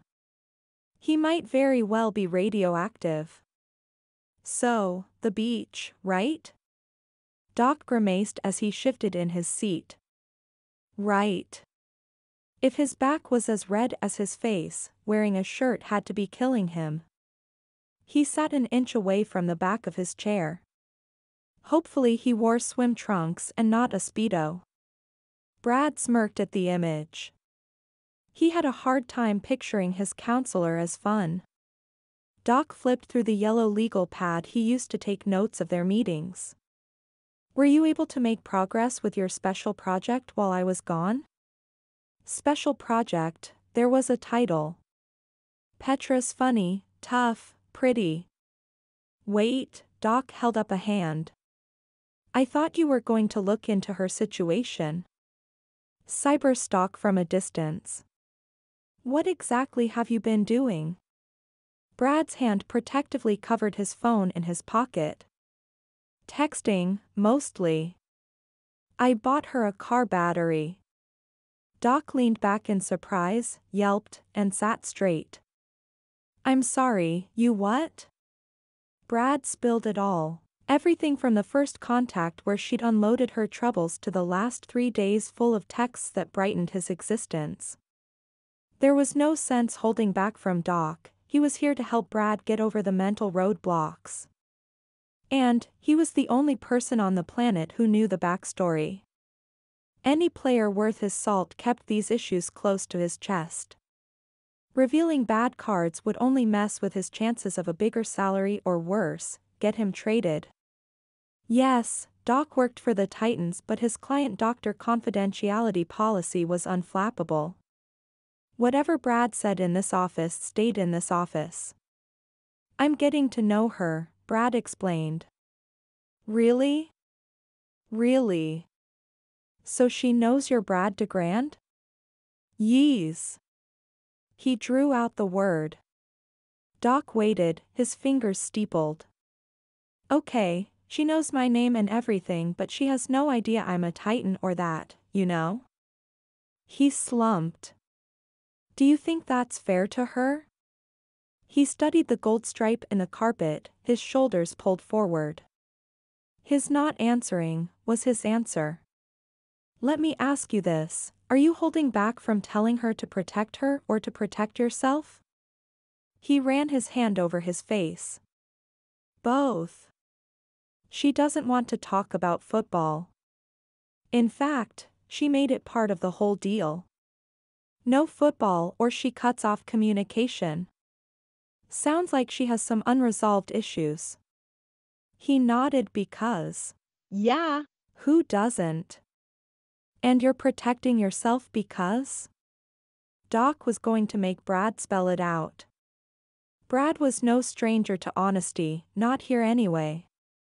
He drew in a breath, lifting his chest. Her texts are the best part of my day. She makes me laugh and smile and lifts my spirits with just a few words. I see. Brad brought his chin up. What do you see? You're becoming attached, or you may already be attached. Brad scoffed. I don't do attachment. Not with women you date. But, this one is different. Have you met her in person? No. Doc tapped his fingertips together. Do you plan to? It was Brad's turn to shift around in his seat. Ah, Doc's eyes brightened. You want to but something's holding you back. Could it be that you're afraid of losing her if she knew the real you? Brad lurched to his feet, propelled there by the dart of truth that hit his conscience. I like her, okay? She's interesting and she makes me think of more than the past. Doc got up much slower. So what are you going to do about it? He could always count on Doc calling him out on his crap. I don't know. He deflated. Nothing. Does that make me a coward? Doc capped his pen. It's common for someone in the early stages of a relationship to falter, there's a lot of feeling your way along in the dark. This isn't a relationship? Isn't it? How often are you in contact during the day? Brad ducked. Six or eight times.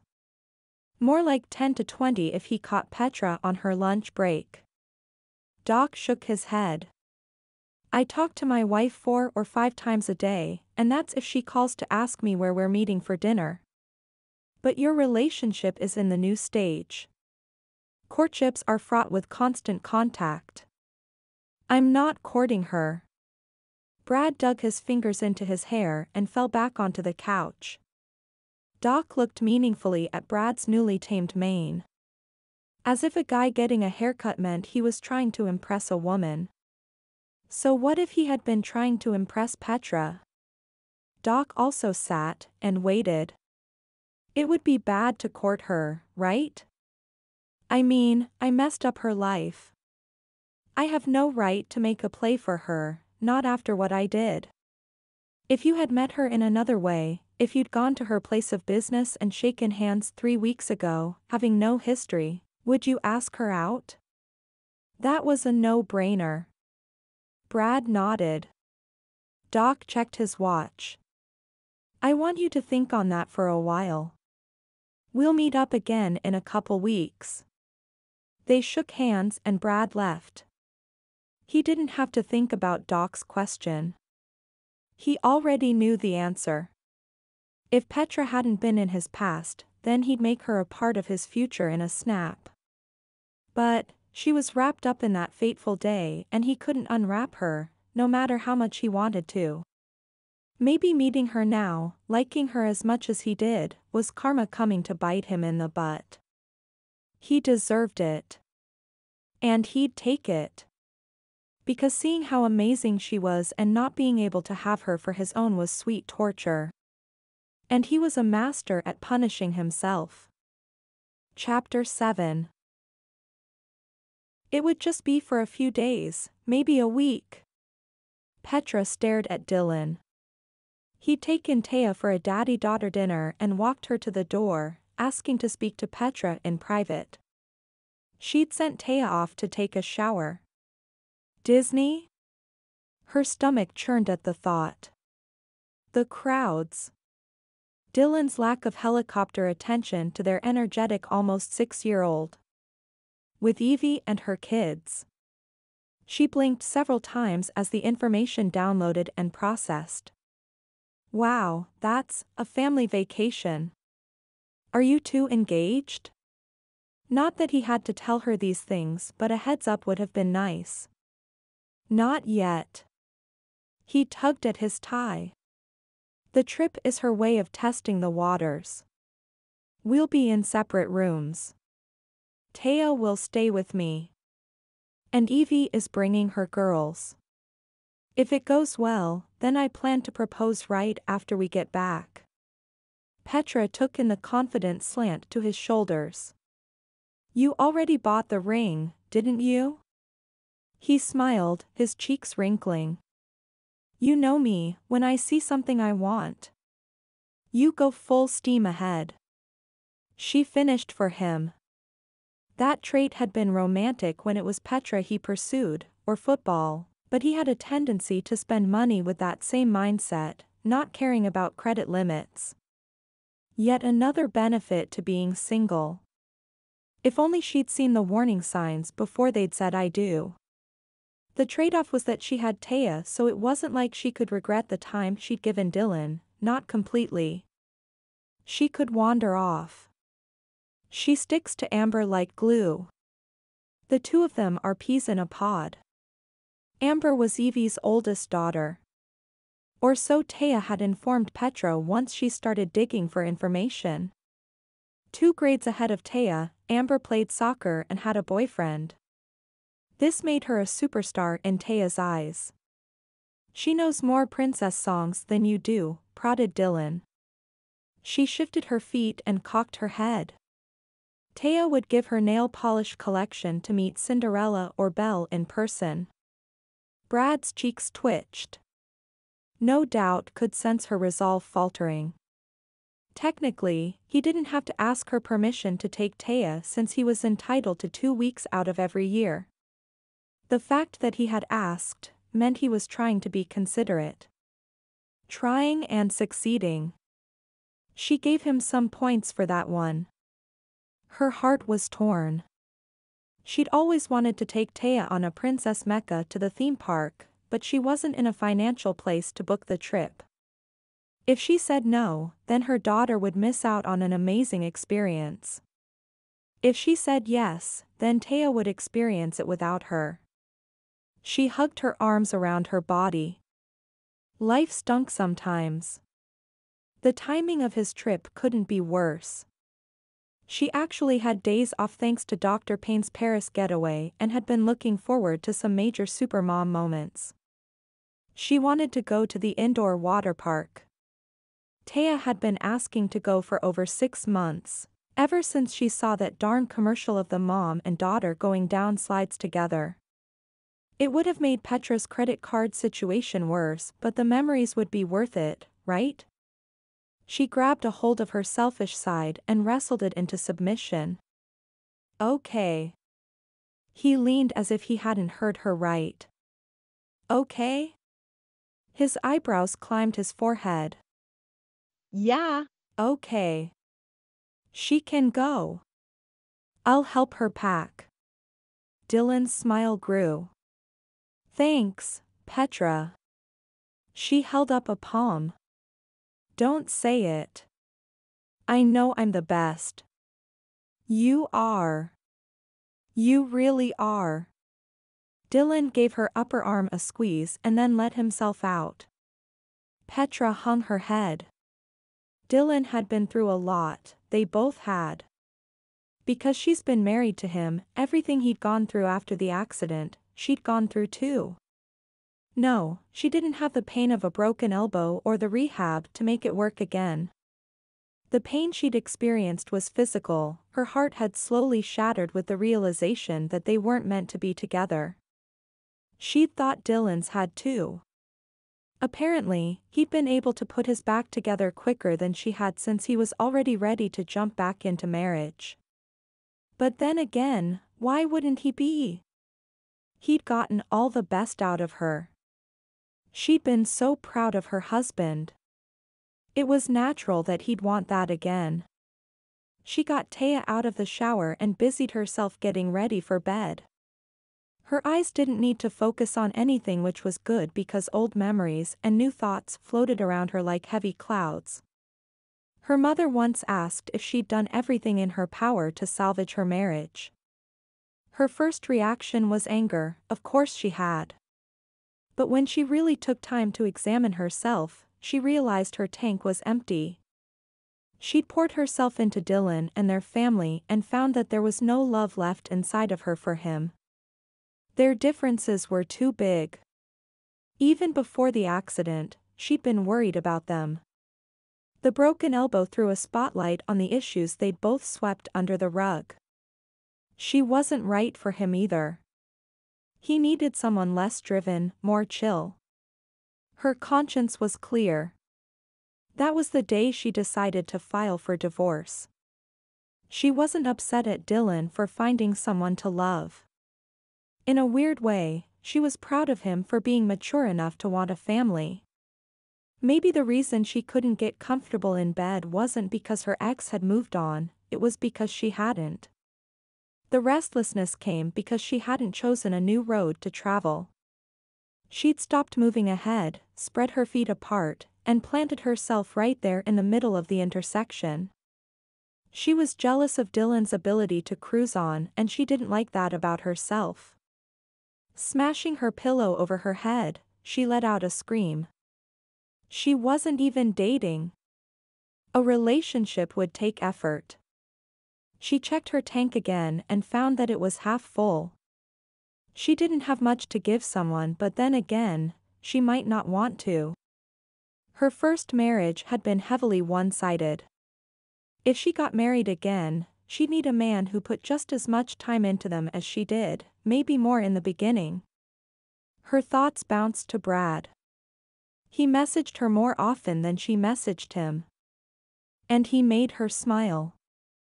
She sat up and threw the covers off. She couldn't date Brad.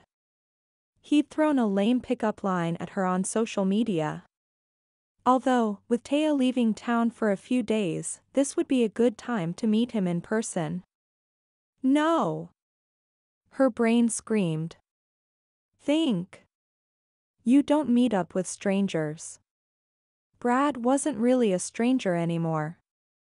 They spent so much time chatting that they practically spent their days together. She started counting backwards from a thousand hoping that she'd fall asleep before she reached one. This whole thing would make more sense in the morning. Petra? I have great news. Petra paused in the hallway at work, her gloved hands out in front of her. What's that? she asked Kelly, the office manager. Her chest swelled with hope. Maybe the doctor had cancelled his Paris vacation and she wouldn't have to eat freeze-dried noodles for dinner this week. Kelly held up a finger. First of all, I want you to know that I heard your concerns about not working for a week, and I appreciate you feeling like you can talk to me about those types of things. Petra smiled. If Kelly didn't hurry, her patient's teeth would glow in the dark. She was only supposed to leave the whitening agent on for 20 minutes and they were pushing 19. So, I called a temp agency and they have a gig that will last a few days. After that, you can earn some hour here by deep cleaning the office, Kelly bounced on the balls of her feet. Petra swallowed. Deep cleaning the office was fine, but temp work? What's the gig? Oh. Kelly laughed like she couldn't believe she forgot to tell her. It's for a catering business. Apparently they're doing an auction for the Texas Titans. Day 1 is setting up tables and chairs and training, day 2 is serving the meal, which will be in the evening. Day 3 is a breakfast. I can't remember what she said but that one is outdoors. I need to know if you're in. She clicked the top of her pen. Petra glanced at the timer hooked to her pocket. She was out of time and frankly out of options. Her credit card bill would come any day now. I'm in. Great. Wendy's going too, if you want to carpool. Kelly wrote down Petra's name in the S column on her pad of paper. I have a few more girls to talk to so there might be more of you. Sounds like fun. It didn't. She'd waited tables in high school. It was hard work that left your feet aching and your triceps sore. But, she wasn't above digging her hands in and working hard for a paycheck. If she needed to wait tables then she'd wait tables. She hurried into the room and rinsed the whitening agent off her patient's teeth. They were several shades lighter but still darkened with age. I think we could try another round, if you're interested, Bev. Bev smiled into the handheld mirror, turning her face from side to side. The mouthguard that held her lips out and away gave her a clear view of every nook and cranny. I can't believe it. Petra smiled. She loved seeing patients happy with her work. I look 10 years younger. Well, her teeth did. Maybe once they took the whitening tryout for a second time she'd be able to see the years melt away. Bev nodded. Let's go again and see if we can get another five years. Petra giggled. You got it. As she painted on the paste, her phone vibrated in her pocket. She couldn't pull it out while working on Bev. Her leg bounced and she had to force herself to focus on teeth and not wonder what Brad's message said. Because it was Brad. She knew it all the way down to her padded running shoes. Finally, she had everything just right. She touched Bev on the shoulder to get her attention. She was watching a rerun of the middle on the screen that hung from the ceiling. I'm going to duck out while that sets. Enjoy your show. Bev nodded in response. Petra slapped off the plastic gloves and dug out her phone. Her heart jumped at the sight of his profile picture on her screen. She stared at him for an extra second, her breathing shallow. She was stupid to think she wasn't falling for this guy, a guy she'd never met which meant she was doing exactly what she'd cautioned every girl in the office against doing. She was falling for an online scammer. Well, Brad wasn't the suave, silver-tongued scammer she would tell her friends to run away from. He was sometimes awkward and mostly funny. Brad, how many teaspoons are in a tablespoon? That was random. And, he could have googled the question but she kind of loved that he asked her. 3. I think. Why? Brad, I'm making salad dressing. Can't find my tablespoon. Petra's lips tugged up. This was his third attempt at salad dressing this week. He'd sent a picture of the ranch and she wouldn't have left it out for wild dogs. Give it up and buy some hidden valley. Brad, never. This is my Everest. I will conquer the salad dressing and then I'm moving on to barbecue sauce. Petra, snort. You're determined. Brad, ignoring snort. Yes, I'm determined. Determined to take you to lunch. How about it? Petra's heart stopped beating. There was the creepy invitation from the stalker, except it wasn't sinister or frightening. It was sweet and a little on the smooth side and not unexpected. They'd been messaging for three weeks now and had fantastic chemistry, an invitation wasn't a surprise. She closed her eyes and the image of her in the middle of a four-way intersection popped into her head. She had to make an effort to move forward. Had to. If she stayed where she was, she'd start to wither. The holding pattern had been enough to re-establish herself, to feel safe. But, it wasn't enough to build a life on. Squeaky footsteps on the tile floor had her eyes flying open. Kelly grinned as she came down the hall. Here's the contact info for your temp job and the schedule. She handed her a half sheet of paper. Petra looked down at it. She'd been blocked out for afternoons and evenings, the opposite of her schedule at the dental office. It would have been a problem if Taya was in town but since she was going off to a magical land where princesses truly exist, Petra could stay here and be Cinderella. Looks great. Good. I'm glad we're all set.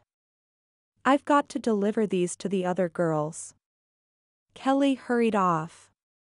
Wait. Petra called after her, a little too loudly for their tight-quartered office. Kelly turned, her eyebrows pinched. Yeah. Thanks for putting this together. You went above and beyond the call. The pinch disappeared and Kelly's face lit up. My pleasure. She squeaked her way into room 4. Petra blew out a breath and her attention turned back to her phone. Looks like I'm booked for the next little bit. Brad, boyfriend? What if I said yes? She'd wondered about this situation. A lot of people cheated online with someone, emotional affairs were common on social media. Maybe Brad was the type of guy that preyed on lonely divorcees who were vulnerable because their ex-husbands were getting engaged. Not that she was one of those women. Brad, then I'd bow out gracefully. Was there any better answer? Brad was quickly becoming the man of her dreams. The idea was scary and yet, it made moving on seem doable.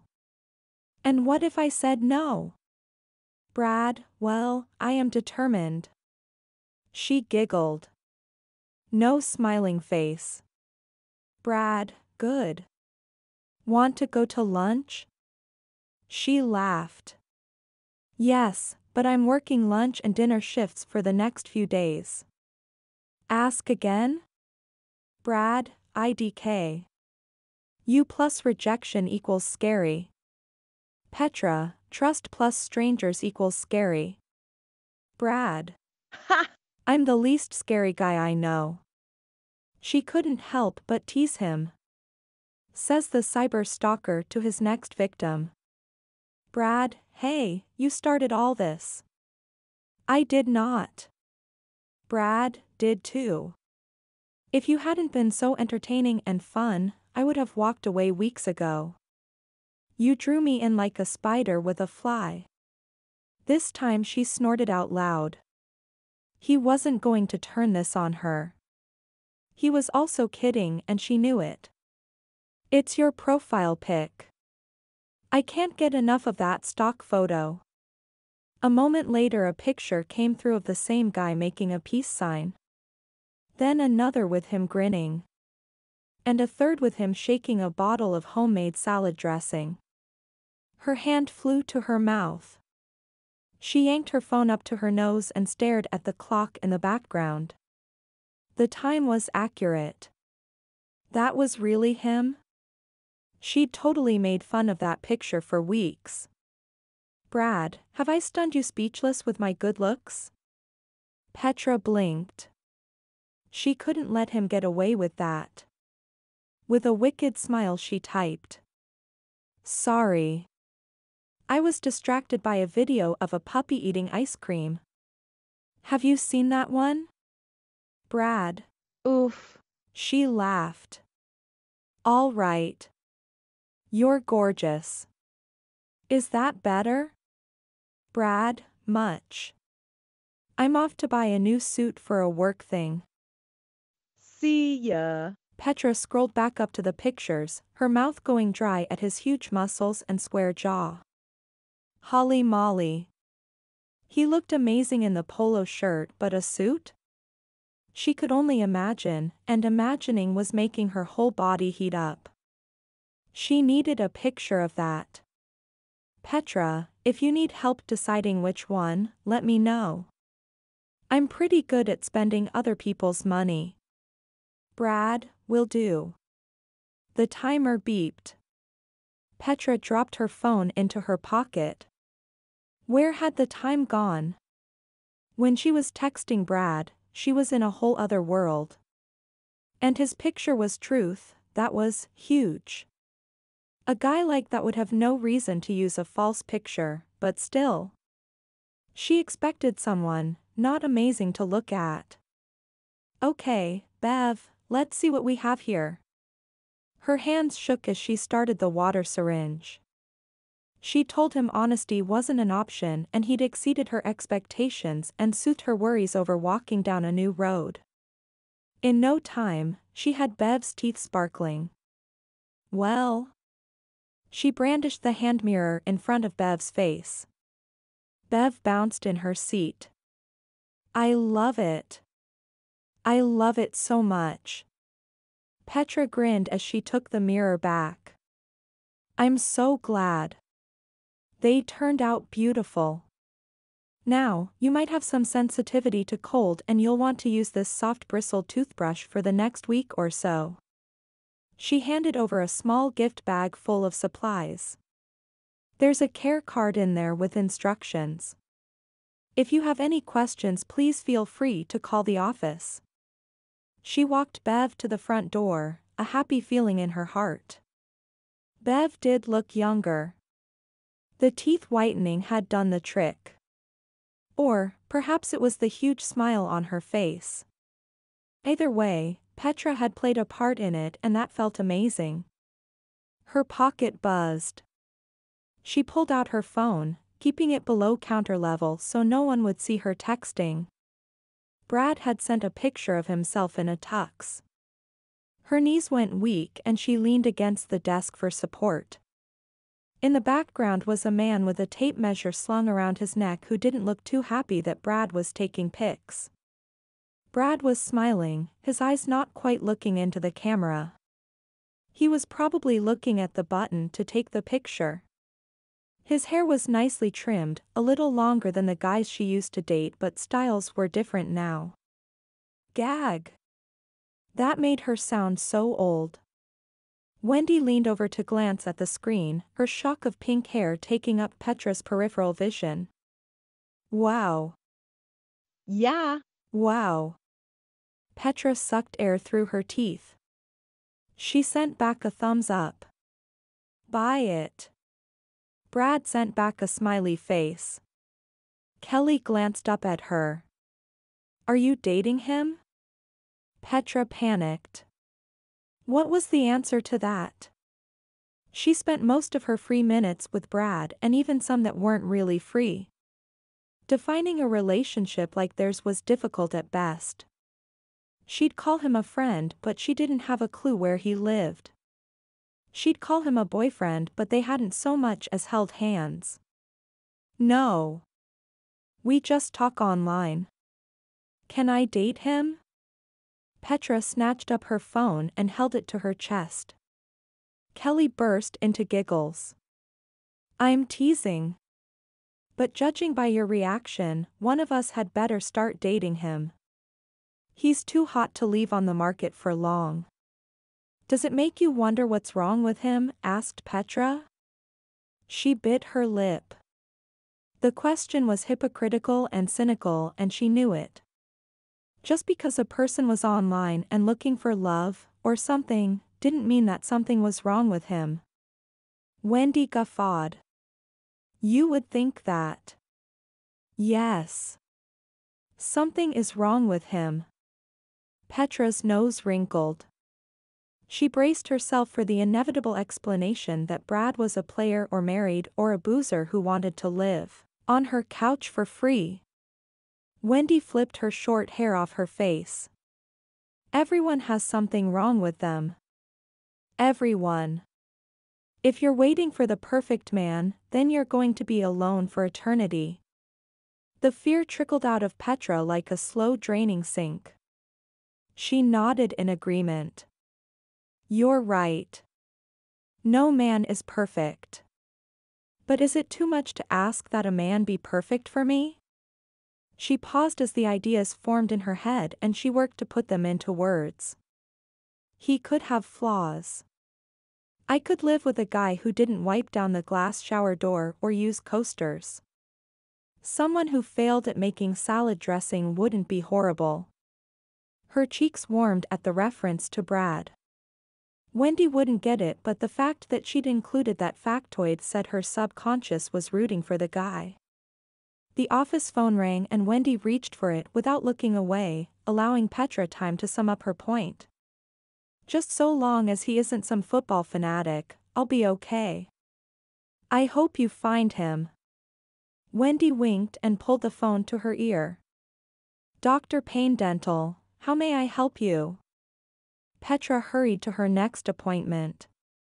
As much as she'd love to stand around discussing Brad and the possibilities of Brad all day long, she had work to do. And if she had a spare minute? She was going to order a poster-sized picture of him in that tux. Chapter 8 I'll take it. Brad pulled the jacket off and handed it to the attendant behind him. The measuring tape around his neck swung from side as he hung that jacket and began dusting off invisible lint. But it's the first one you tried on, protested Lion Henry. He was a second-string receiver for the Titans and would be the call-in if any of the guys couldn't make the big bachelor auction. Every year the team joined forces with a local charity to raise money for a good cause. This year the money was going to help foster kids. Part of Brad's contract with the team was that he'd do appearances at different events with the kids and sometimes with the execs, every three months so it made sense to include him in the lineup. Although, he wasn't keen on the idea of auctioning off a date as he had been before. But then, when they'd first asked, he didn't have Petra. The other bachelors, Dax, Ryder, Chaz, and Max were on the offensive line. He didn't know them as well as he knew the defensive players. Chaz was chill. He hoped he'd get to hang with him. It would be nice if London was going to be there but he'd gotten married as was officially off the market. Come to think of it, London's wife was the MC for the Titans auction last year. The two of them had been high school sweethearts and lost touch. Being together on stage had set things in motion for them to get back together. Maybe the auction would hold some of the same kind of luck for Brad. Yeah. And maybe I'll grow another two inches. If he had his way, he'd send Lion in his place right now and track down Petra. She'd sort of said yes, to lunch and, with a little more work on his part, she might just say yes. Lion's eyebrows came together creating a fierce look. He said when he was a baby, he came out looking like a lion and the name stuck. When he lowered his brow, the resemblance was easy to see. Dude, I can't decide that fast. He glanced down at the blue tux he'd put on that showed too much ankle. He'd asked Brad to show him the ins and outs of tux shopping seeing as how this was the first time he was going to shell out some major cash for a suit. He'd been in the NFL, always second string, for two seasons now. With any luck, he'd get some playing time next year and his career would finally take off. Brad owned three tuxes already. Two of them didn't fit because he'd added another 15 pounds of muscle last season. He could have had them altered, but he'd eventually fit that size again and it was just easier to buy a new one. Lion stepped up on the raised platform so the attendant could let down the hem on one leg. Brad checked his phone to see if Petra had texted again. He did that a lot lately. It was easier to go back and forth when she wasn't at work. He tried, he really tried not to bother her during the day but she was so darn cute, he couldn't help himself. Besides, she gave him a hard time and for some dumb reason, that made him feel special. Who's the chick? Brad's head came up. What? Lion jutted his chin towards the phone. You're grinning like an idiot. Who is she? He pocketed his phone. No one. Come on. Brad rolled his eyes. Still, maybe he was blowing this interest in Petra out of proportion. He had a great life, full of family and friends, and yet, all he could think about was Petra's next joke, or sarcasm, or the way she'd called him gorgeous. He glanced in the mirror as if he could verify her words with a look. He wasn't ugly, he knew that, but women could be as attracted to an ugly man with a lot of money as they could a good-looking guy.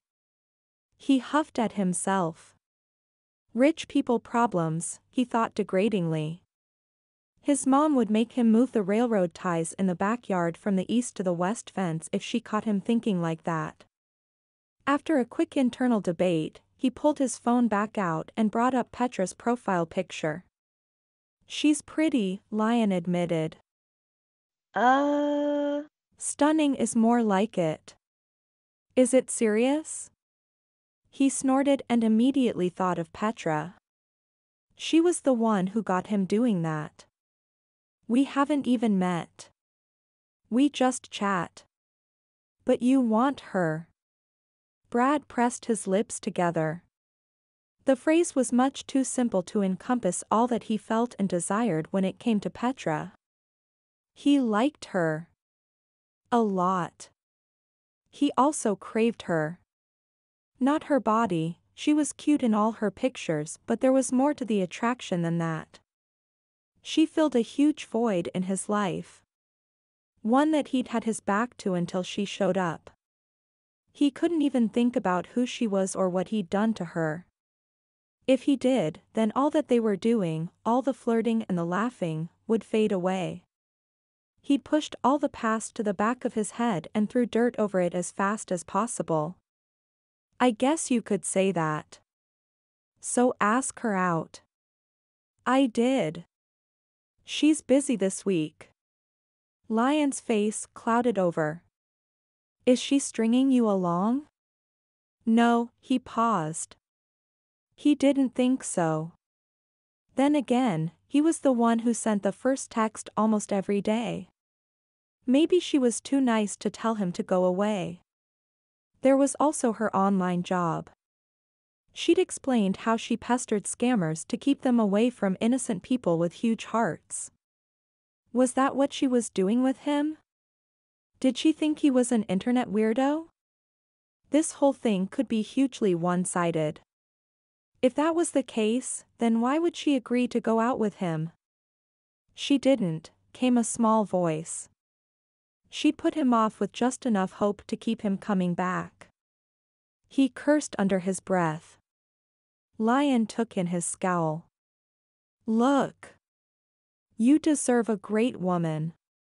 If she's not it, then cut the bait and recast. Lion fingered the sleeve of his jacket. What do you think? Brad forced his mind away from Petra and onto the navy fabric. It's a box suit. You can buy one of those anywhere. He bit off the rest of his response when he heard his tone. Lion had been defending him and ticked him off at the same time. They spent another 45 minutes looking at five more suits. The attendant was the epitome of patience with Lion. Much more so than Brad. Every suit Lion dissed meant the longer Brad had to wait to text Petra. Finally. Finally. Lion made a decision on a tux and they parted ways with a fist bump. Brad landed behind the steering wheel. A soft puff of leather scent greeted him. He breathed it in, trying to calm his racing heart.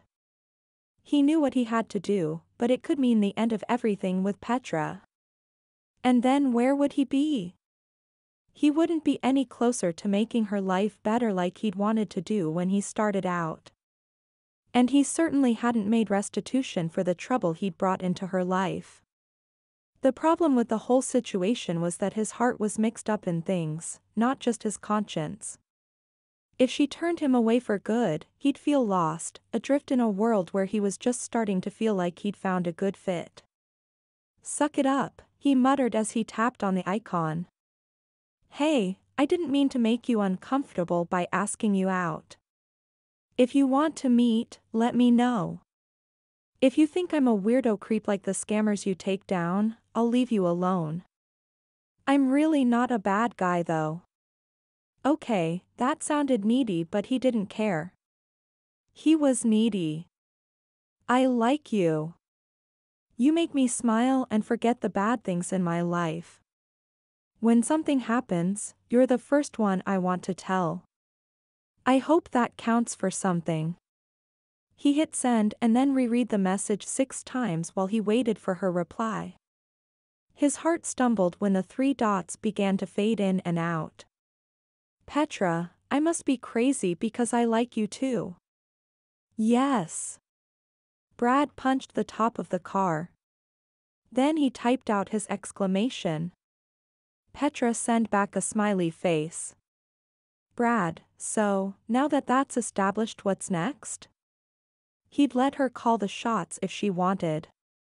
He wasn't going to push her any faster than she was comfortable going. He would be happy to jump right to exclusively dating status, but he had a feeling she'd be a little hesitant. And since it was kind of his fault, because he'd messed with her first husband's dream, he pulled back his assertiveness. Petra, I guess lunch, in a public place so you don't have to worry about me taking advantage of you. He laughed. If only she knew. Sounds great. Tomorrow? Petra, I'm working. I think I have time on Friday. He scrambled to find a place where they could meet. Los Tios was the first restaurant to come to mind. The Mexican food was dang good. However, it was a popular hangout for Titans and he wasn't ready to blow his cover quite yet. If she asks, he promised himself. He picked a chain restaurant, nothing too special but Italian so it was likely she'd enjoy it. She agreed and he texted, Goodbye. Driving home with a huge grin on his face. He just had to get through the bachelor auction and then he'd see Petra, in person, for the first time. His blood tingled at the thought. Chapter 9 Are you insane? asked Maddie. Petra held up both her hands, each one carrying several silverware and napkin bundles. I totally deserve that. Especially since last year she'd followed Maddie to a bar to meet the man she'd been dating online. Turned out the guy was an accountant and more boring than broccoli. Petra beat him in an arm wrestle at the table. It wasn't her finest moment but still, you can never be too careful. Maddie shook her head, her ponytail flipping back and forth.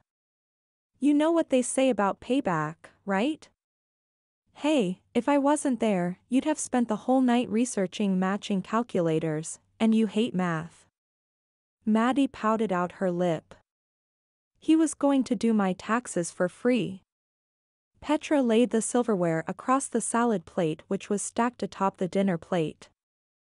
They'd switch out the smaller plates for ones containing actual salad once the guests were seated.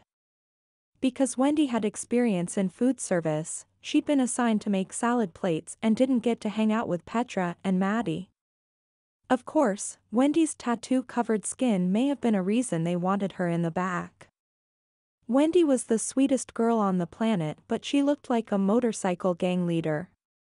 A few of the other girls from the office had other jobs throughout the kitchen and dining room. Petra and Maddie had lucked out getting an assignment together. At the front of the room, a blonde woman with more grace than an angel was setting up the head table where the bachelors were going to eat. Petra felt for them, on display like that.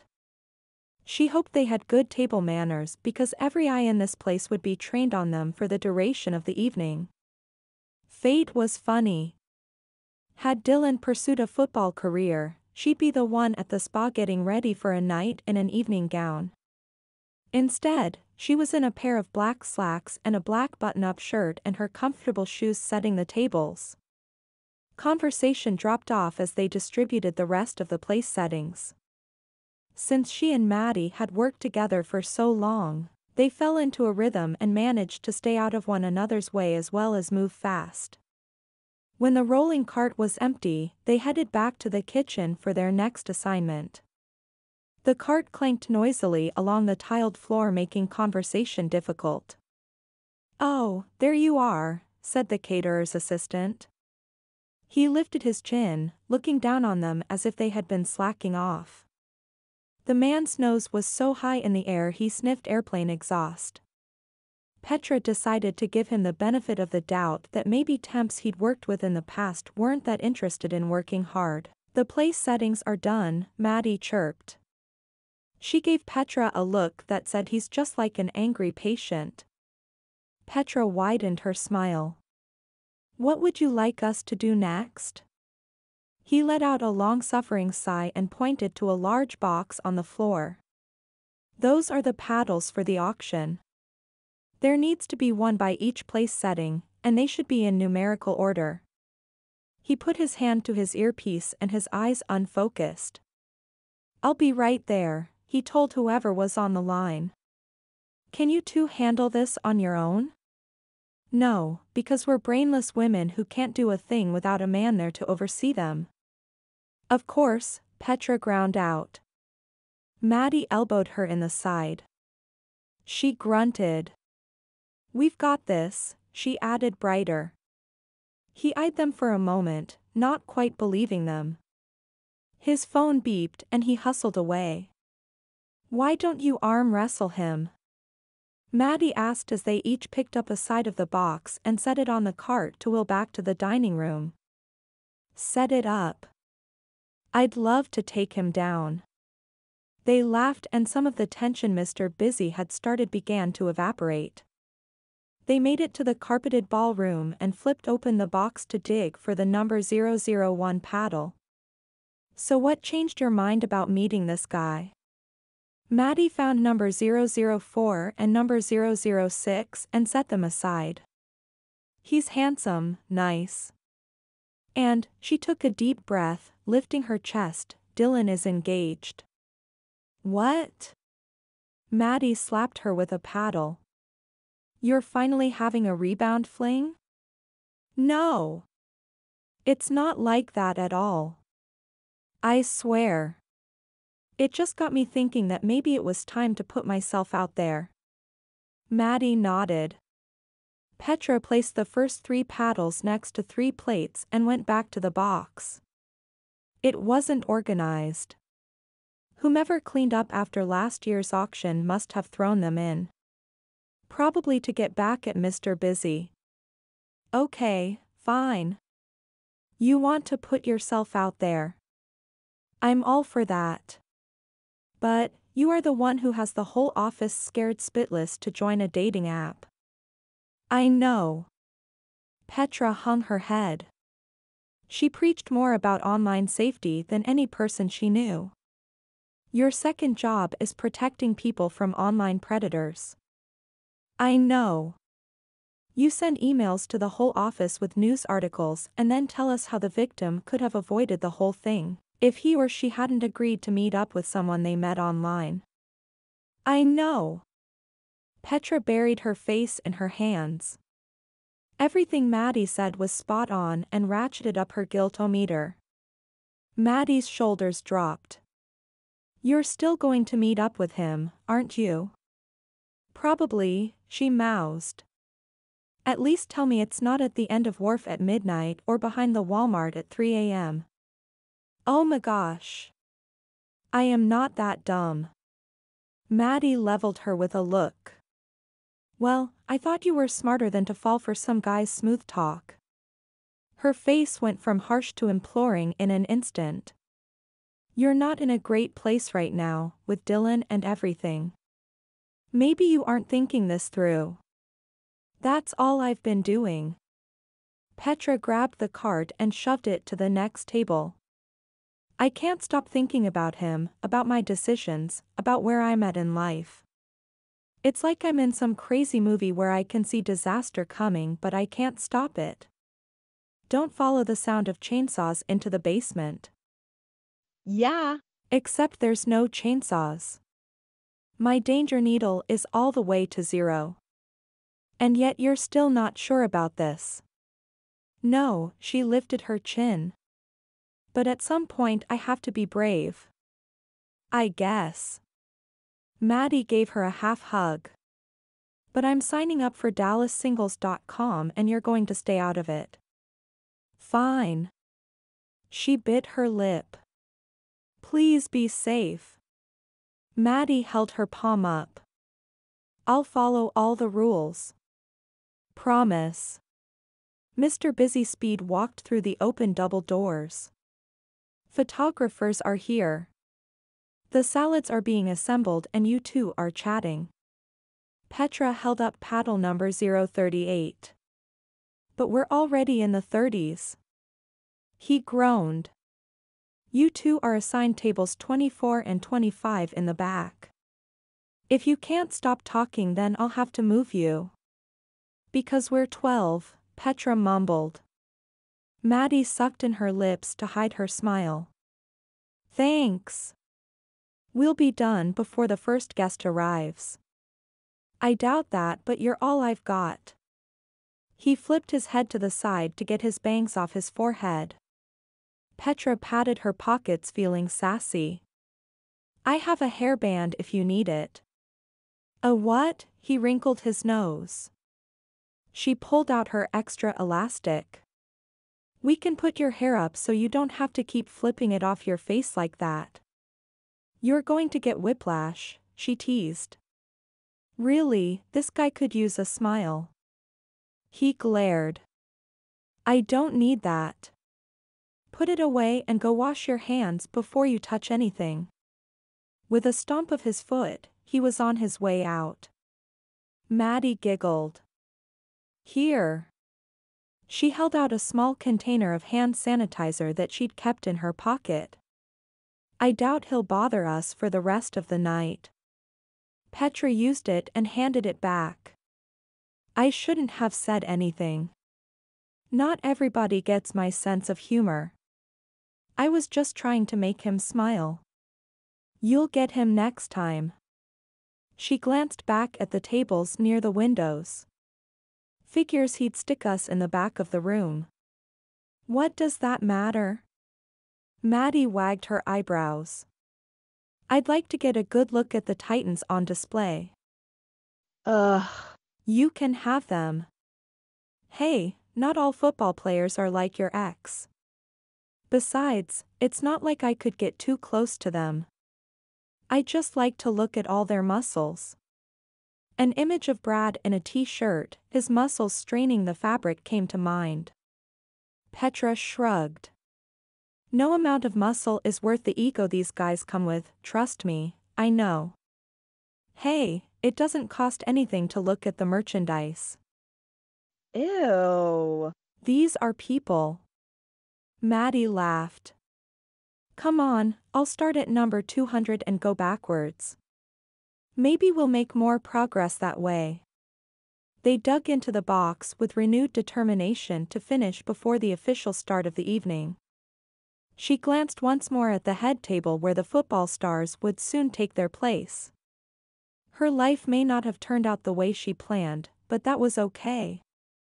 She had made her life into something to be proud of, she had a beautiful daughter, and she wasn't at the mercy of a football schedule. The tables would soon fill with hopeful ladies and Petra would cheer them on in their bidding without one ounce of jealousy. Chapter 10 Brad ended up being the first player to arrive. Which was ironic considering he didn't want to be there in the first place. He waded through the photographers, feeling out of place without a date on his arm. Usually, for appearances like this, his agent would set him up with a career-minded woman. And by career-minded he meant she was an actress interested in furthering her career by being on his arm. He'd long ago come to understand that what they wanted from him had nothing to do with him, and everything to do with his position on the field and the jersey on his back. That was okay. He had to take it as part of the job or he'd go nuts thinking about it. He was met at the doors by a woman in a silver dress. She smiled easily, as if escorting football players was all in a day's work. Thank goodness she wasn't one of those giggling types. He never knew quite what to do with those women. Hopefully the woman who won his date tonight wouldn't be a giggler. He settled into his seat and was quickly joined by Chaz Chaz description dollar. They shook hands. Good to see you, man. You too. What have you been up to? They spent a few minutes catching up on the off-season. The team scattered after the final game. Some to be with their families in other states. Some to Europe giving their wives or girlfriends much needed attention. Others, mostly the single guys, stayed in Dallas. While they talked, the room began to fill. Women in all colored gowns walked in front of the stage, waving, smiling, winking. Brad's neck grew warm under the attention. Kind of makes you wish you had on a helmet, doesn't it? he joked with Chaz. Are they this brazen at games? Chaz blinked and looked quickly away as one woman bent over to pick up her dropped auction paddle, revealing more of her private life than either man cared to know about. If they are, we don't see it. All I see is football. Chaz nodded. Max and Dax were next to arrive. Just before the lady in the silver dress announced the MC, Ryder came in. His eyes were locked on someone in the back of the room. Brad squinted, a flash of familiar hair being flipped catching his eye. He half rose out of his seat. It couldn't be. Petra, he breathed her name like a prayer from a starving man's lips. That was her. He'd stared at her profile picture for, well, cumulatively, hours. Chaz looked at him out of the corner of his eye. Did you say something? Just then, Ryder jumped up from the table and took off. The room went silent as he had a quick word with the silver dress lady and then bolted. Brad exchanged looks with his fellow titans. What was that? asked Max. Ryder shrugged. Out of the corner of his eye, Brad saw Petra headed for the door the servers used to bring out trays of food. She had an oval tray tucked under her arm and a determined step. He got up and moved to intercept her, the need to talk to her overwhelming his senses and his good sense. He'd march right into the kitchen if needed, just to see her smile in person. He'd had this voice in his head for that was rich and soulful. The desire to hear his name on her lips grew with each beat of his racing heart. Somewhere in the euphoric haze of seeing her, came the thought that he was at an auction for football players. He'd need to explain that, soon. Silver dress lady stepped in front of him. She held up a palm. Can you please retake your seat? We're about to start the bidding. I'll only be a minute. I just need to talk to someone. Please. I'm already short a bachelor. She rubbed her forehead. This hasn't happened before. I could lose my contract with the Titans. It's my business. And this is for the children. Her blue eyes pleaded with him to understand. Aw. Crap. She had to bring the kids into it. Guilt, his old nemesis. This woman could rival his mom in sending him on a guilt trip. He assured her he would wait out the bidding and play nice for the rest of the night. She needn't worry about him running off. He sat down and drummed his fingers on the table, the steak dinner churning in his gut. What would Petra do when she heard his name announced? There was a problem with being half honest, the other half could get him into some real trouble. Chapter 11 Mr. Busy had stayed out of Petra's hair for the salad and main courses but he was all instructions when it came to the dessert. The chocolate dollop should be at 9 o'clock. Got it? Yep. She lifted the full tray over her shoulder and above her head. Half the servers carried them on their hips but Petra had perfected the proper form long ago, and enjoyed showing it off in front of the know-it-all. Her arm was going to scream at her in the morning but his blank look of surprise was so worth it. She watched her steps on the way out. Karma would love to trip her up and send the food crashing around her right about now. Scarlet something or other was at the microphone, welcoming the guests. She was a big Hollywood actress full of grace and a sexy voice. Bodies shifted in anticipation of the bidding wars that were sure to come. The chocolate mousse in a white chocolate egg filled the whole room with the scent of chocolate. No doubt, this only added to the women's desire for a romantic Valentine's with one of the beefy guys up front. Petra had done well keeping her eyes off of them. She had no interest in them or their preening. And now, you lucky ladies, we have a real gentleman for you to bid on. Will you welcome to the stage, the Titans cornerback? Excuse me, Petra leaned over the shoulder of a woman in a white sequined gown to set down the plate. And, ladies, I have it on good authority that Brad likes to make his own salad dressing. That factoid managed to break through Petra's concentration. Her feet didn't move with the same rhythm, her mind having caught the announced name and tripped right over it. She managed to salvage her tray before losing a hundred dollars worth of chocolate art and turned to stare up at the stage. The lights were so bright she had to squint. It was him. It was her Brad. Their eyes met for a brief moment across the long room and her whole body went numb and froze in place. Brad's attention was taken when Scarlett placed her hand on his arm and asked him his specialty. He leaned into the mic and said, I make a mean ranch. Better than Hidden Valley. Petra dropped plates in front of guests in record time and ran back into the kitchen just as the first bid, $10,000, came up. She had no desire to know what Brad sold for, there were so many other questions running through her mind.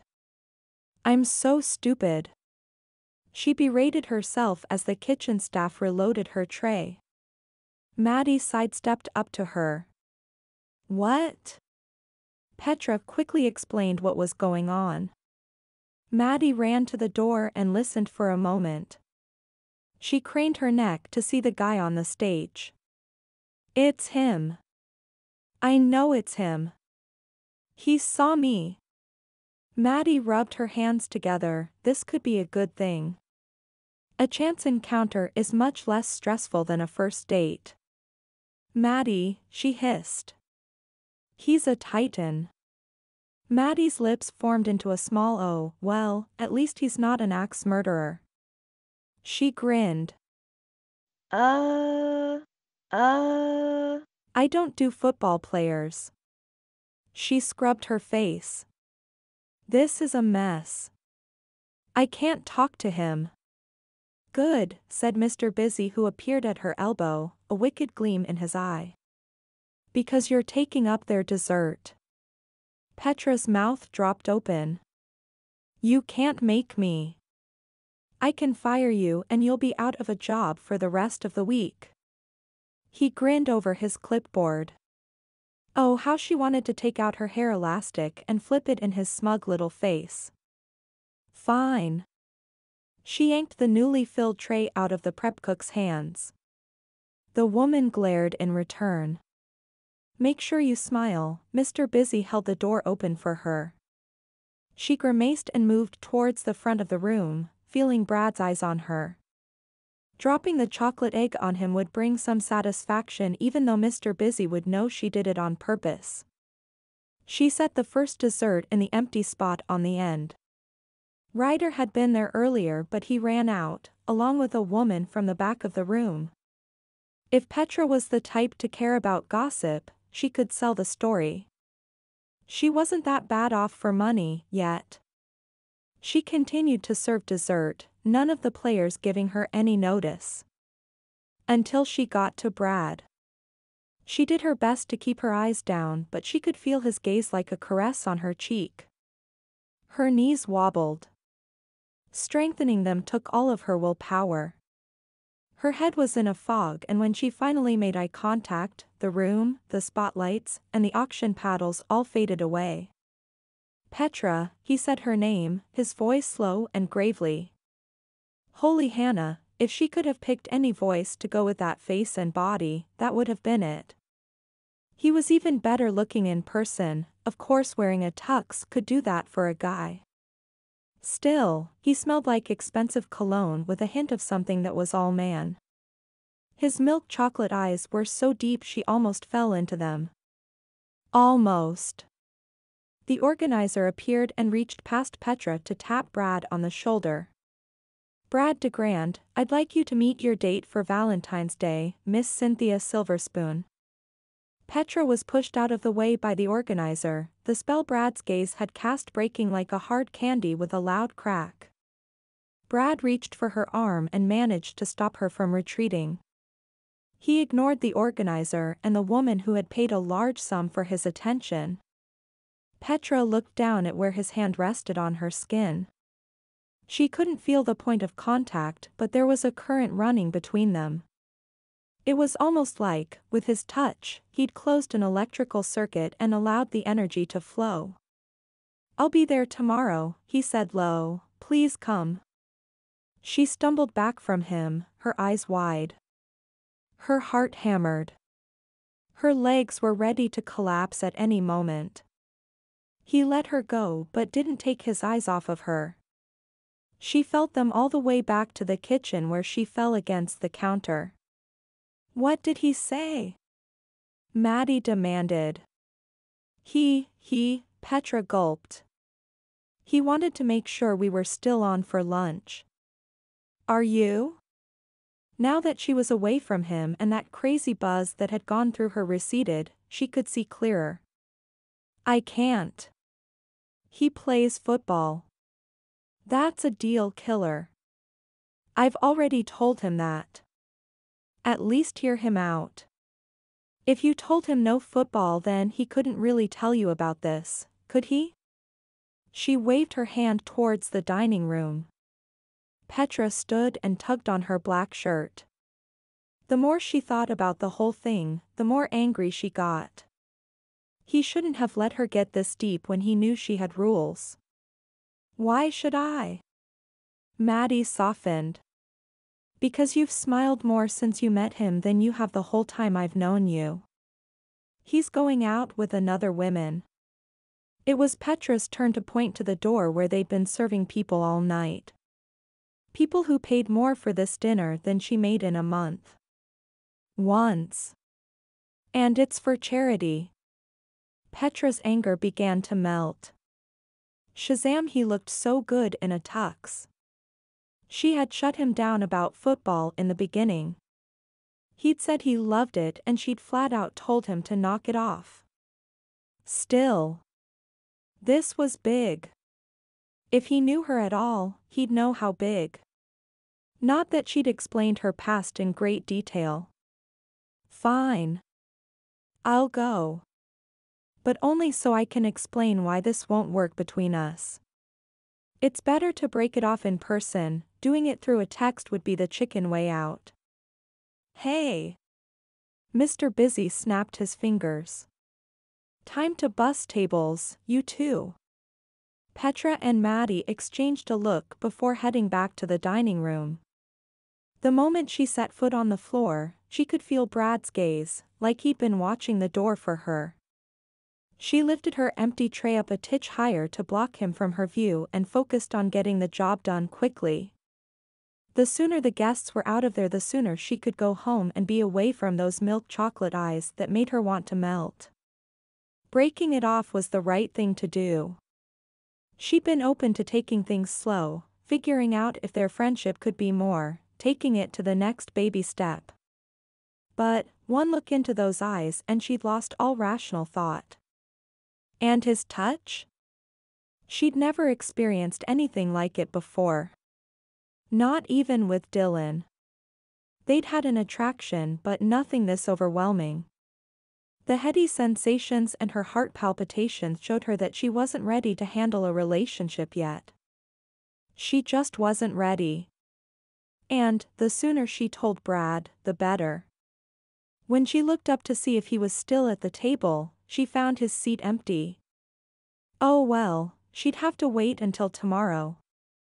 Maybe that was for the best. She could use the next 12 hours to shore up her nerve. Chapter 12 The Italian restaurant was empty for a Friday afternoon, a fact that Brad was grateful for even as he wondered if the food was bad. He was nervous enough meeting Petra without having a gaggle of fans watching. Or worse, filming him with their phones. He ran his hand down his face and checked the door for Petra. He was several minutes early. He had sat at home for as long as he could before bursting from the house. He had to know where he stood with this woman once and for all. Had to know if she knew the role he'd played in her life. Maybe she'd googled him last night. He ran his sweaty hands down his thighs to clean them off. The door opened, bringing in a burst of sunlight and Petra. He jumped to his feet, holding up an arm like a kid in grade school. Realizing that he looked ridiculous, he dropped his hand to his side and cleared his throat. She lifted her chin to let him know she'd seen him and made her way over. He pushed the salt and sugar shakers to the side of the table. She sat stiffly. You look beautiful, he said before he thought better of saying anything at all. She had her hair down in waves with a few curls around her face. Her eyes were outlined in black which made the blue in them pop.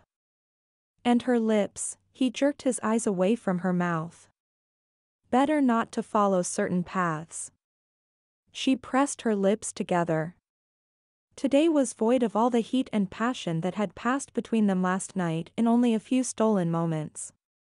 She put up walls, thick ones. He smiled and held out his hand. Hi, I'm Brad. It's nice to officially meet you. She eyed his hand as if it could bite her before slipping her palm against his. Petra. Her lashes brushed her cheeks and a swirl of chemistry breezed around and between them. She dropped his hand. Listen, I, he began at the same time she said, how come? They both stopped and motioned for the other to go first. She huffed. You first. He threaded his fingers together and leaned over the table, wanting to be closer to her and wanting to keep their conversation between the two of them. I play defense for the Texas Titans. Football is my life. That may be a sore point for her, but he had to lay it all out there. Well, most of it anyway.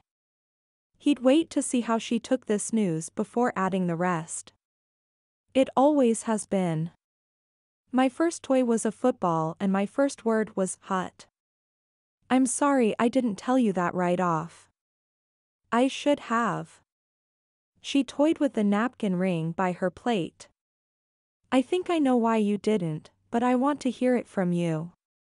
Rule number one. She nodded. And, I was being selfish. He added. Her head came up. I enjoy our time together. It's nice to be with someone who didn't see the jersey. She tipped her head to the side, pondering his answer. Their server came giving them a break in conversation and they placed their drink and meal orders all at once. He took it as a good sign that she ordered food. That meant she was planning to stick around for a while. At least one meal. He'd take it. When they were alone again, he worked up his courage to ask the question that scared him most. Why do you hate football? She laughed uncomfortably. That's a long and twisted story. He splayed his hands out. I have all lunch. She took a breath, drawing her shoulders up around her ears and then dropping them quickly. I. Uh. You know I was married. Yeah. Crap. Here it comes. He leaned back, folding his arms and bracing for her to validify every guilty thought he'd ever had. My ex was a running back, on his way to the next level. I was a cheerleader when we met, if you can believe that. He nodded, he knew all this. But also, she had a pretty great body. I can believe it. Anyway, I quit the squad when we found out we were expecting a baby. Which meant that I lost my scholarship too. It wasn't supposed to be a big deal because he was going to make tons of money and I could go back to school, when our baby was in school full time. She unwrapped her napkin and laid it across her lap as if she was laying a burden there. Life doesn't always go as planned.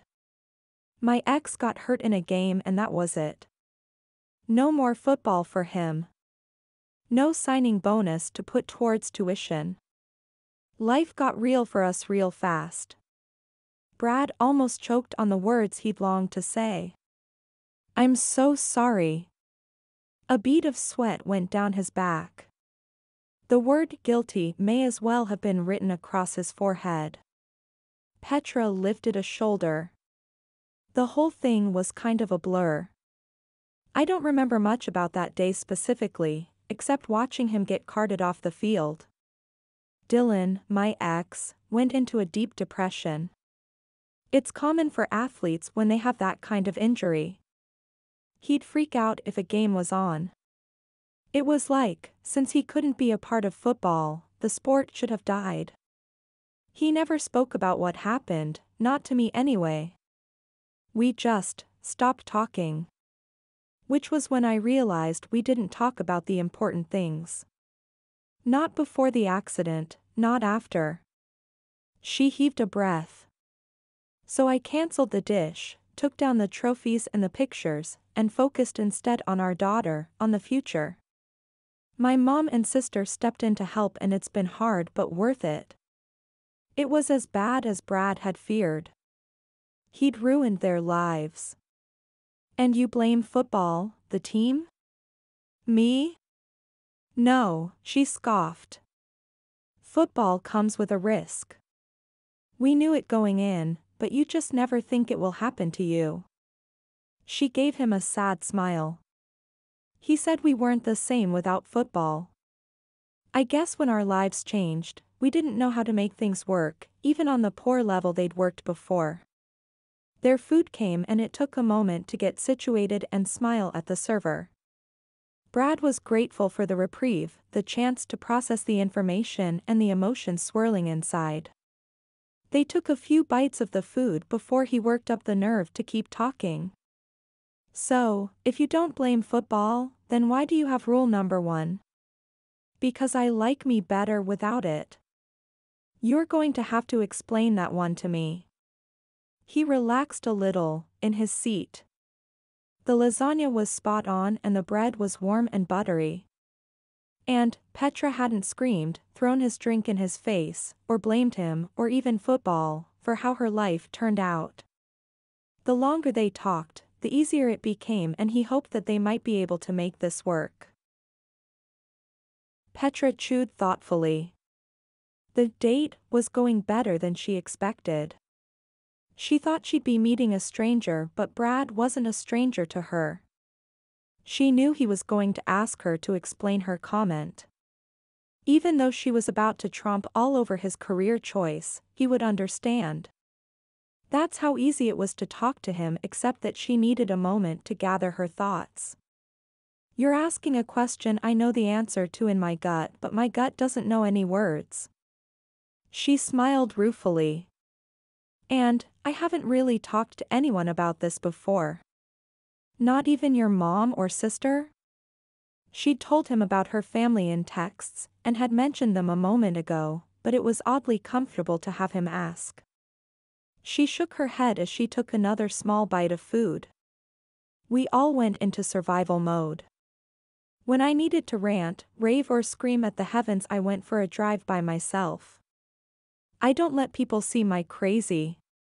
He smirked. You should talk to a shrink. They love seeing crazy. She laughed. I'm sure they would. She eyed him thoughtfully as she took a sip of water. His eyes darted away and she knew, she just knew that he saw a shrink. Although what deep feelings he needed to get out she had no idea.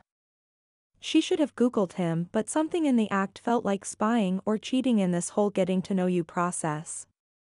What was out there on the web about her was mostly from the accident and she'd avoided reading those articles then and wouldn't go back and read them now.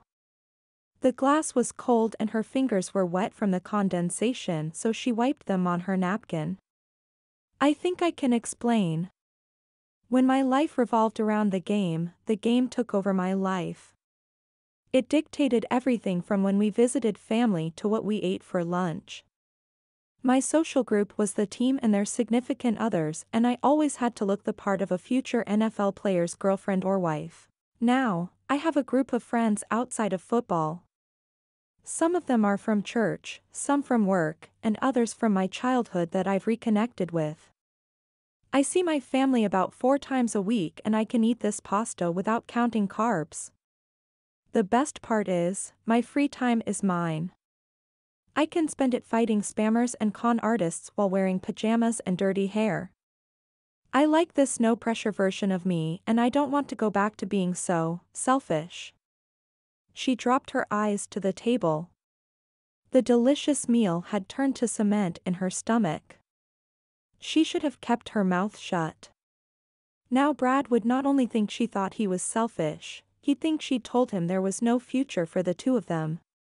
She wasn't sure how that would all work out but she wanted there to be a chance, no matter how slim of a chance it was for them to work through this bump in the road.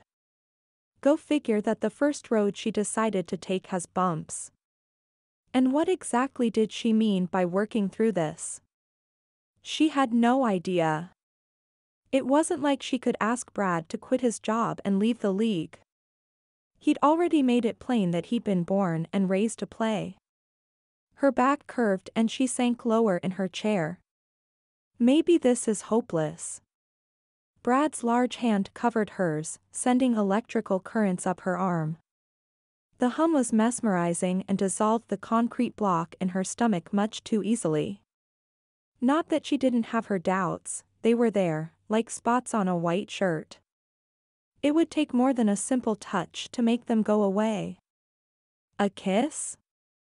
Well, that was all too much to contemplate right now. Too much happiness, too much anticipation, too much chemistry. She was barely dipping her toe into the world of dating again, was she ready to throw her lips in there as well? I'm sorry. She went to pull her hand away. Leading him on was a crap move and she didn't want anything to do with being the kind of woman who toyed with men's emotions. And men had them all right. She'd seen enough of them in her ex to know that they were just as real as women's hormones. Brad gently tightened his hold, keeping her hand in his. Maybe it doesn't have to be like that. Not with us. She stared down at his hands. So big. So capable. As she let the word us open above her head like an umbrella, protective, inclusive, beautiful. As much as her heart said jump. Her head cried proceed with caution. You can make big promises now because it's the off season. Once the season begins, you belong to the Titans. No matter how much you want to be with me, they take first priority. And I get it. I do. It's the nature of the beast. Brad hooked a finger under her chin and lifted her face until their eyes met. I say we go for it anyway. He grinned wide, his white teeth so beautiful, his mouth the perfect size for kissing. She rolled her eyes. You would. Her words were sarcastic but she leaned closer, relishing the fact that he was fighting for her and not letting her push him away. He'd have to be strong because she was still learning and would probably pull back more than she pushed forward, at least at the beginning. She blinked realizing that she already thought of this as a beginning. He rubbed his thumb over her knuckles and she shivered pleasantly in response. Heaven help her, she was a goner.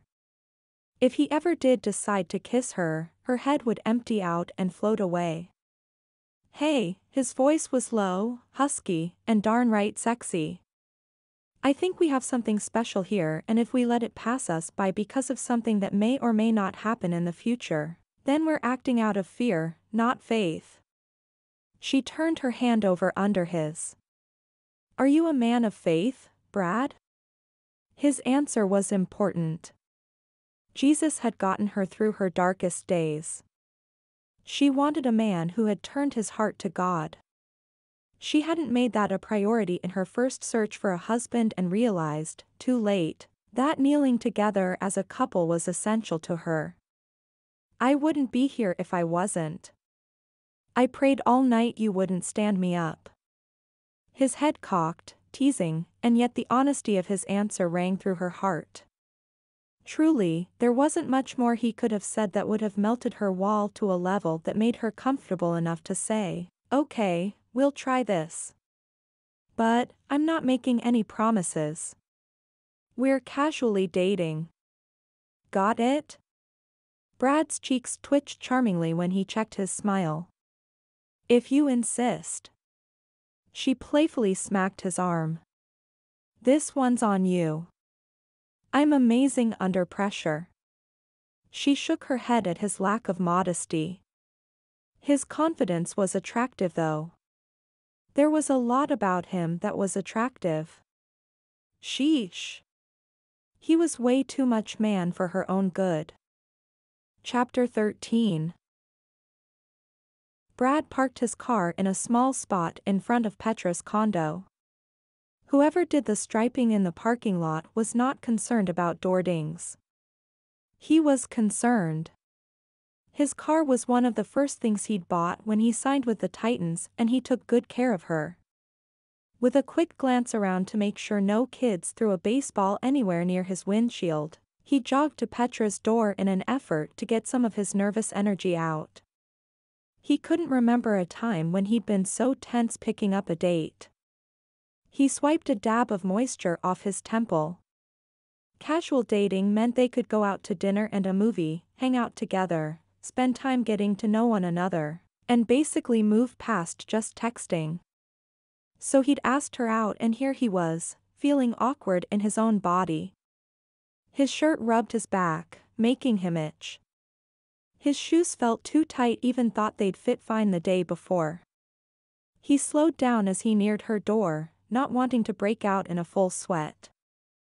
That wasn't the impression he wanted to give.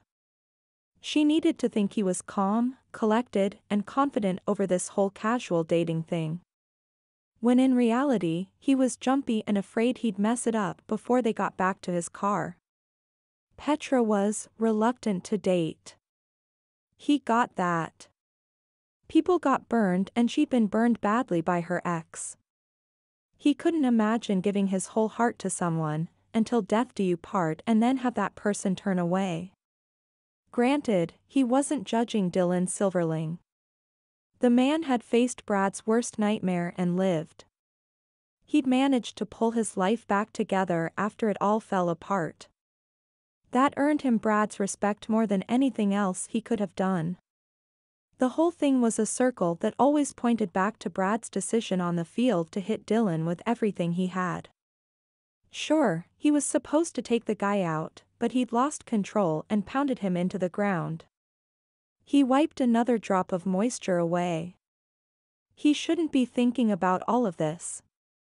When he and Petra were at lunch, he'd managed to push the memories, all the guilt, to the back of his head. It was almost as if the story belonged to two other people, perhaps the couple sitting three tables away. Not him and Petra. They didn't have a past. They were brand new. He knocked on the door and stood back, waiting for her to answer. He didn't have to wait long before she was standing there, grinning up at him. Hey! Her tone was relaxed, her face void of the stress that had accompanied her to the restaurant yesterday. His shoulders went down in response. Hey, yourself. She motioned for him to come inside. I didn't know what shoes to wear. What do you have planned? Something extreme. He pumped his eyebrows, teasing her. So no heels? He glanced over her skinny jeans and black loose-fitting top with lace around the hem. The black was sophisticated, and the lace lovely. He mentally gave himself a shake. He wasn't the type of guy to think in terms of lovely. No heels. Okay, then. She headed down the short hallway. I'll be right back. He turned and found a wall full of pictures. Several different sized frames were hung in a nice pattern with inspirational sayings interspersed between them. Most of them had pictures of Petra and her daughter. Taya had Petra's brown hair and olive skin, but her eyes were a completely different shade of blue. Petra reappeared. Brad's eyes went right to her feet to see what she'd picked. She wore a black pair of suede zipper boots that came just above her ankle and had a half-inch heel perfect for what he had in mind. Instead of letting his eyes drift back up her delicious curves, he turned back to the picture wall. Taya got your good looks. Thank goodness, she joked. My ex's nose is worse than Ryan Seacrest's before his surgery. Brad widened his eyes. Ryan had plastic surgery? Inquiring minds want to know. She shoved him towards the door. Stop. I work in a dental office, we get all the trashy magazines. I'm in the know. She flipped her hair over her shoulder and shut the door behind them, checking to see if it locked. Tell me more. About Ryan? No, he scoffed. About your job. He opened her door and they paused the conversation while she settled in and he went around to the driver's seat. Well, I fight plaque. She lifted an arm, showing off her muscles. Sounds dangerous.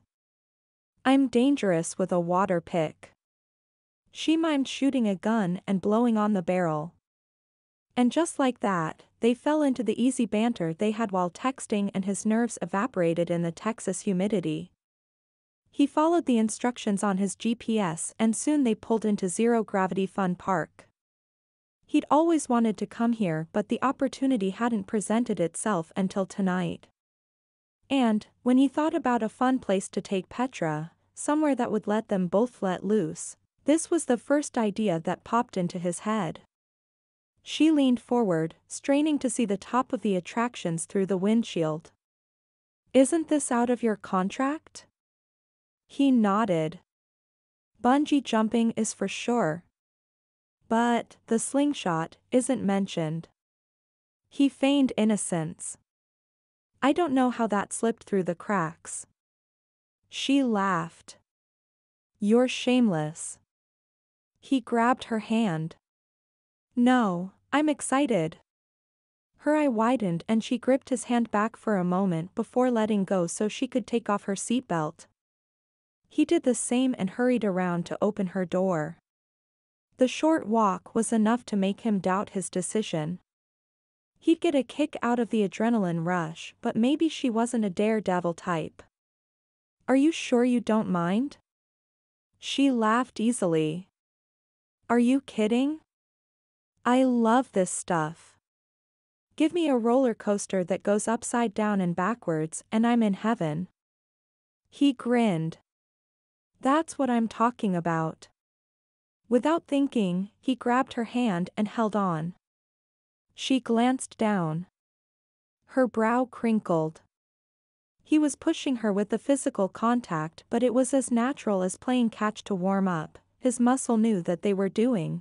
If he thought too hard about it, his head would get in the way. We're casually holding hands. No pressure. She nodded, her lips clamped together. He swung their hands between them like little kids do and she relaxed a fraction. He forced back the grain of doubt that rubbed at his thoughts. Just because she was somewhat reluctant didn't mean that she was ready to run home and lock herself in a tower. She was here and she was trying. He'd have to be patient with her. He knew all of that coming into the date, he just didn't realize how hard it was to be patient. Especially since they could talk so easily. He wished it all came that easy. An hour later they were seated at Los Tios, enjoying the in-house chips and salsa and great conversation. Since the cat was out of the bag about his football career, he didn't see any harm in going where the Titans were king. Petra rubbed her ear. You okay, he asked, concerned that something was wrong. Yeah. I just, this little girl screamed in my ear tonight and it's still ringing. He tickled her side, easy enough to do around the small table for two that barely had enough room to hold their chips and drinks. She giggled and scooted away.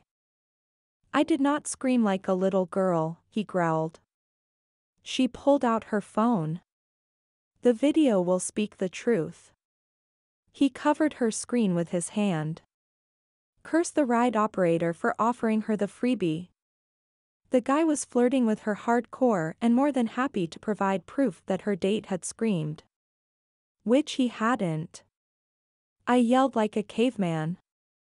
A manly caveman. She snorted, which he was extremely happy to find she did in person just as much as she did in text. But, she put her phone back in her purse. Fine. I'll watch it later. Because you'll miss me so much, he quipped. Bika, she started. Excuse me. A man with a mop of curly red hair interrupted. I'm sorry to interrupt but my son is a huge fan. Do you mind? The kid held out a napkin and a pen. Brad glanced at Petra. She forced a smile, her eyes tight. Hadn't he thought that being recognized was a good idea, a way to work her into the football lifestyle? Casually, of course. One look at the boy's bright brown puppy dog eyes and Brad couldn't turn back. He put on his public face. No problem, what's your name?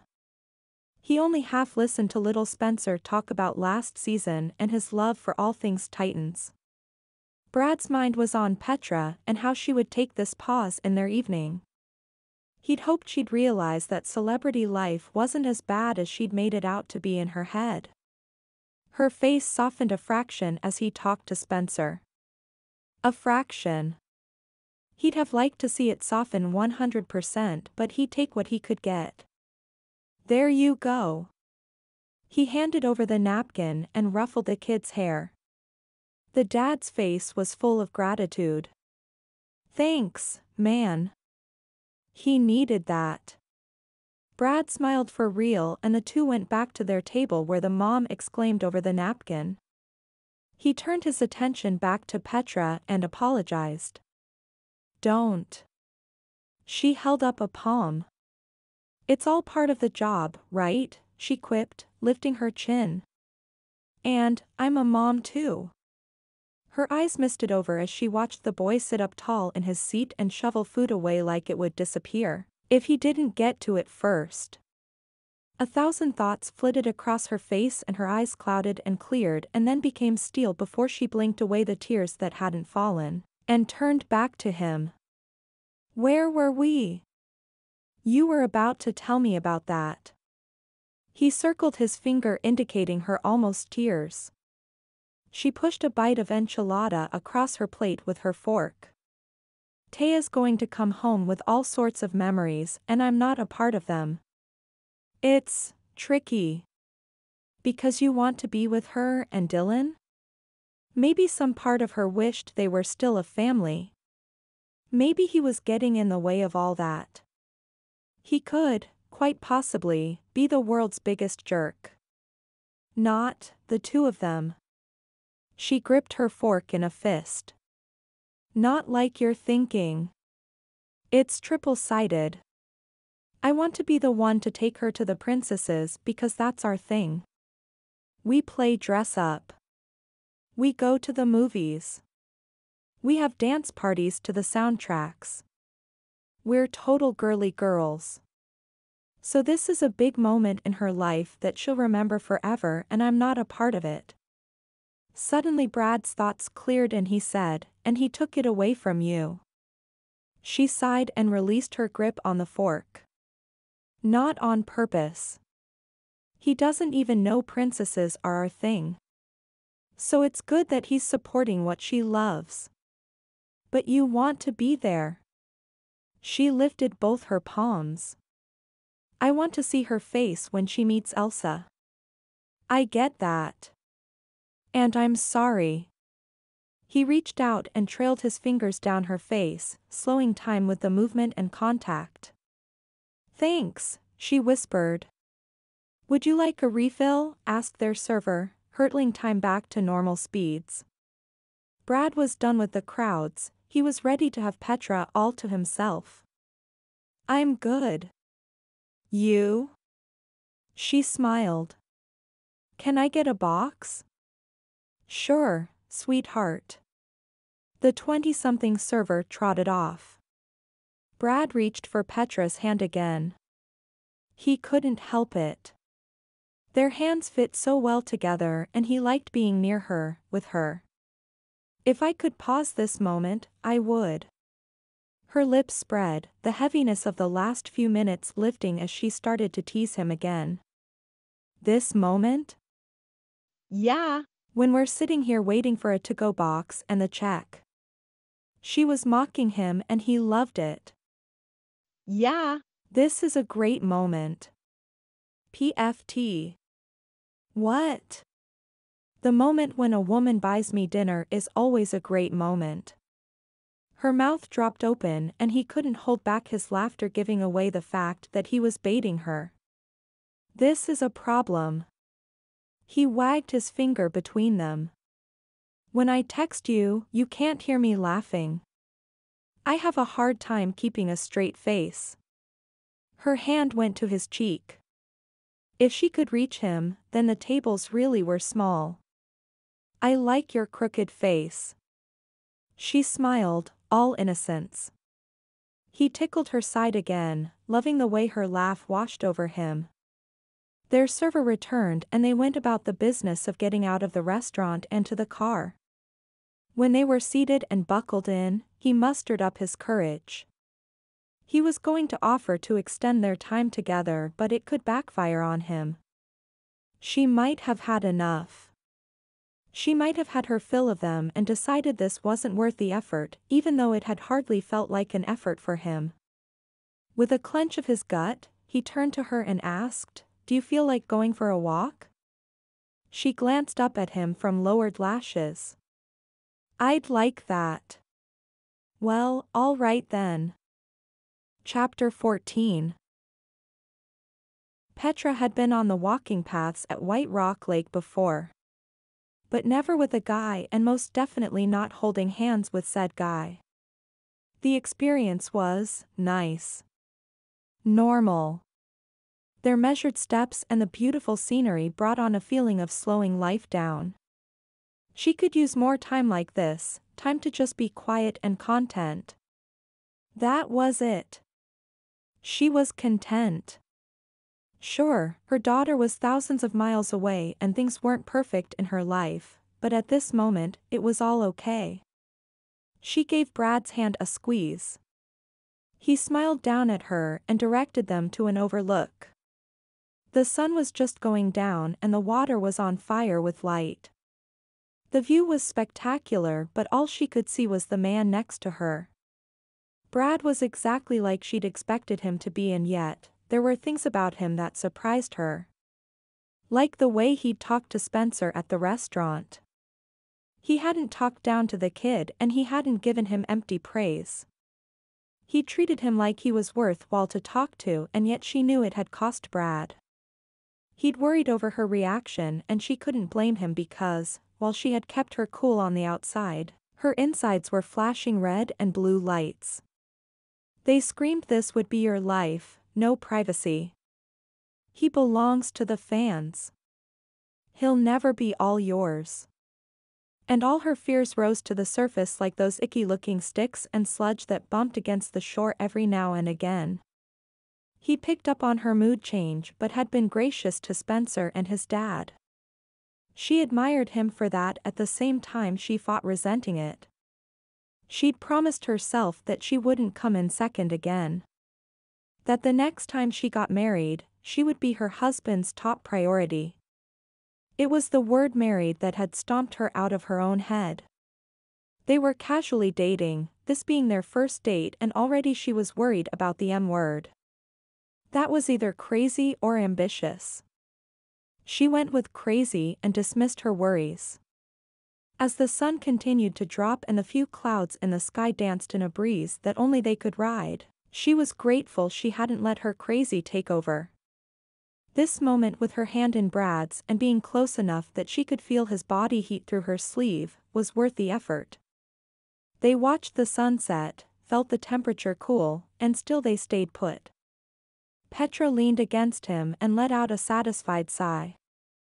She didn't know him, not as well as she should to behave as if they were familiar, and yet, she knew him better than she knew most of the people in her life. She'd shared thoughts and feelings with him that she hadn't told her family. Do you come here a lot? she asked. He chuckled. And you thought my pickup line was bad. She giggled. It was so bad. I'm afraid the girls at the office think you don't have game. And yet, you're here. He released her hand and turned so he could place his hands on her hips. Who's got game now? His eyes dropped to her mouth and her heart skittered before picking up speed. He was going to kiss her. The air was thick with expectation and temptation. Her body became hyper-aware of his hands on her hips, like the point of contact was more sensitive than the rest of her. Or maybe it was more alive because of his touch. Heat built just below her belly button and her back arched without a conscious thought from her, lifting her face to him in invitation. With a jolt, she realized she wanted his kiss. She wanted to feel the intensity in his gaze course through her. Brad leaned down, his hand sliding to her lower back to bring her body flush with his. For a brief second, she thought about running away, about breaking contact with him and ripping open a hole in their bubble for the attraction to spill out so she could breathe normally. As it was, she couldn't get enough oxygen making her knees weak. He caressed her lips with his in one brief, gentlemanly entanglement. Petra gasped in pleasure as every nerve in her body tingled. Like a firework that bursts to life and then fades, she was left with this feeling of, Ooh. But she wanted to. Ah. Too.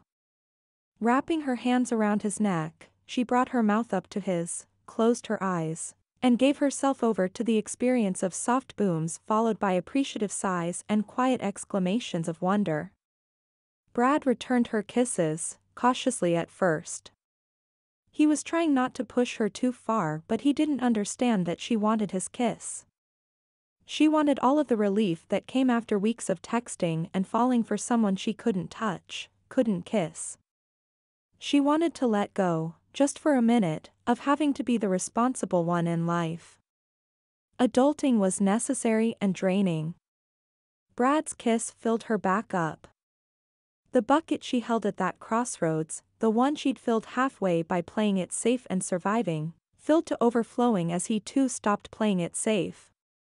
When she finally pulled back, gasping for air and yet feeling like she was made of the stuff, he kept her close. She ran her hands down his chest and leaned into him, taking a deep breath of his musky cologne. Her lips had a heartbeat and she was sure they were swollen but didn't care that evidence of their wild abandon was visible on her face. That was, Brad swallowed. Intense. She giggled. Come on. We should move on and let someone else use make out point for a while. Petra's cheeks flamed. This is not called makeout point. He nodded seriously. Itis. All the kids who grew up in my old neighborhood knew about it. She hid behind her free hand. Do you bring all your dates here? He threw his head back and laughed. Just you, babe. She smacked his arm, his big, beefy arm. Her face warmed for a whole different reason. Are you making that up? Nope. He didn't crack a smile. Either he was getting better at keeping a poker face or it was true. She threw a look over her shoulder and saw another couple headed to the alcove. With a toss of her hair, she decided not to stress about being seen making out with Brad in a public park at dusk. Anyone who knew her wouldn't believe it. Speaking of casual dating, Brad hedged. Petra tensed. One great kissing session did not mean they had to jump to the next level.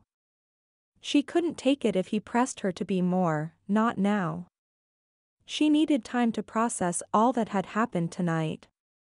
Yes?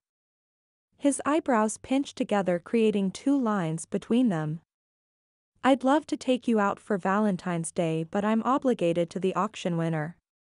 She tripped over a lip in the grass and he helped steady her. Sorry.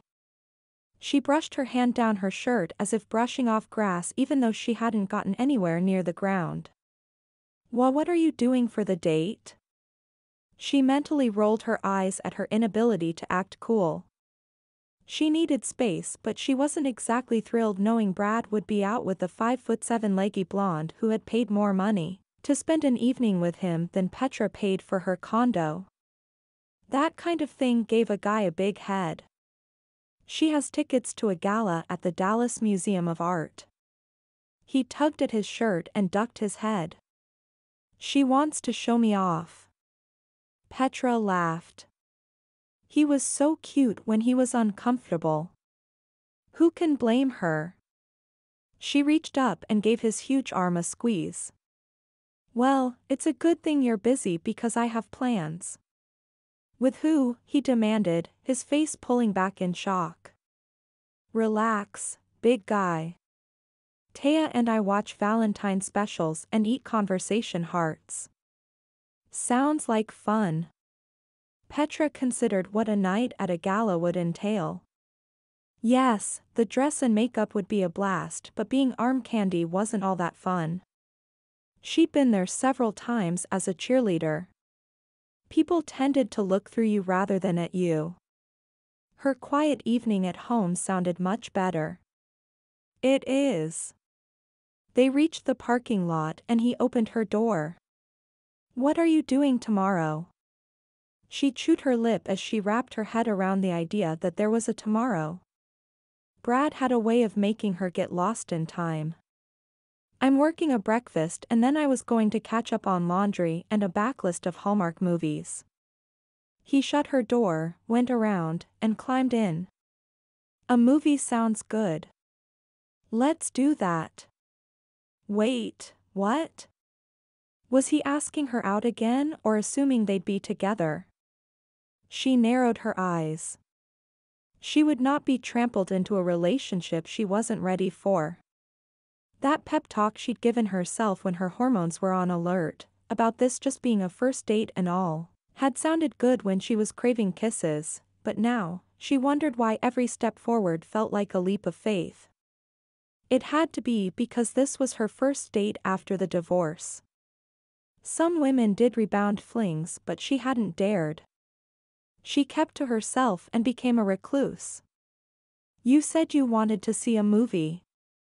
He lifted a shoulder. I said I was going to watch Hallmark at home. Do you have movie theater popcorn at home? Well, no. Because who needs that temptation in the pantry? It's not a movie without a half cup of butter, so, we gotta go. She shook her head at his logic but really, the idea of spending a night at home alone became less appealing the more time she spent with him.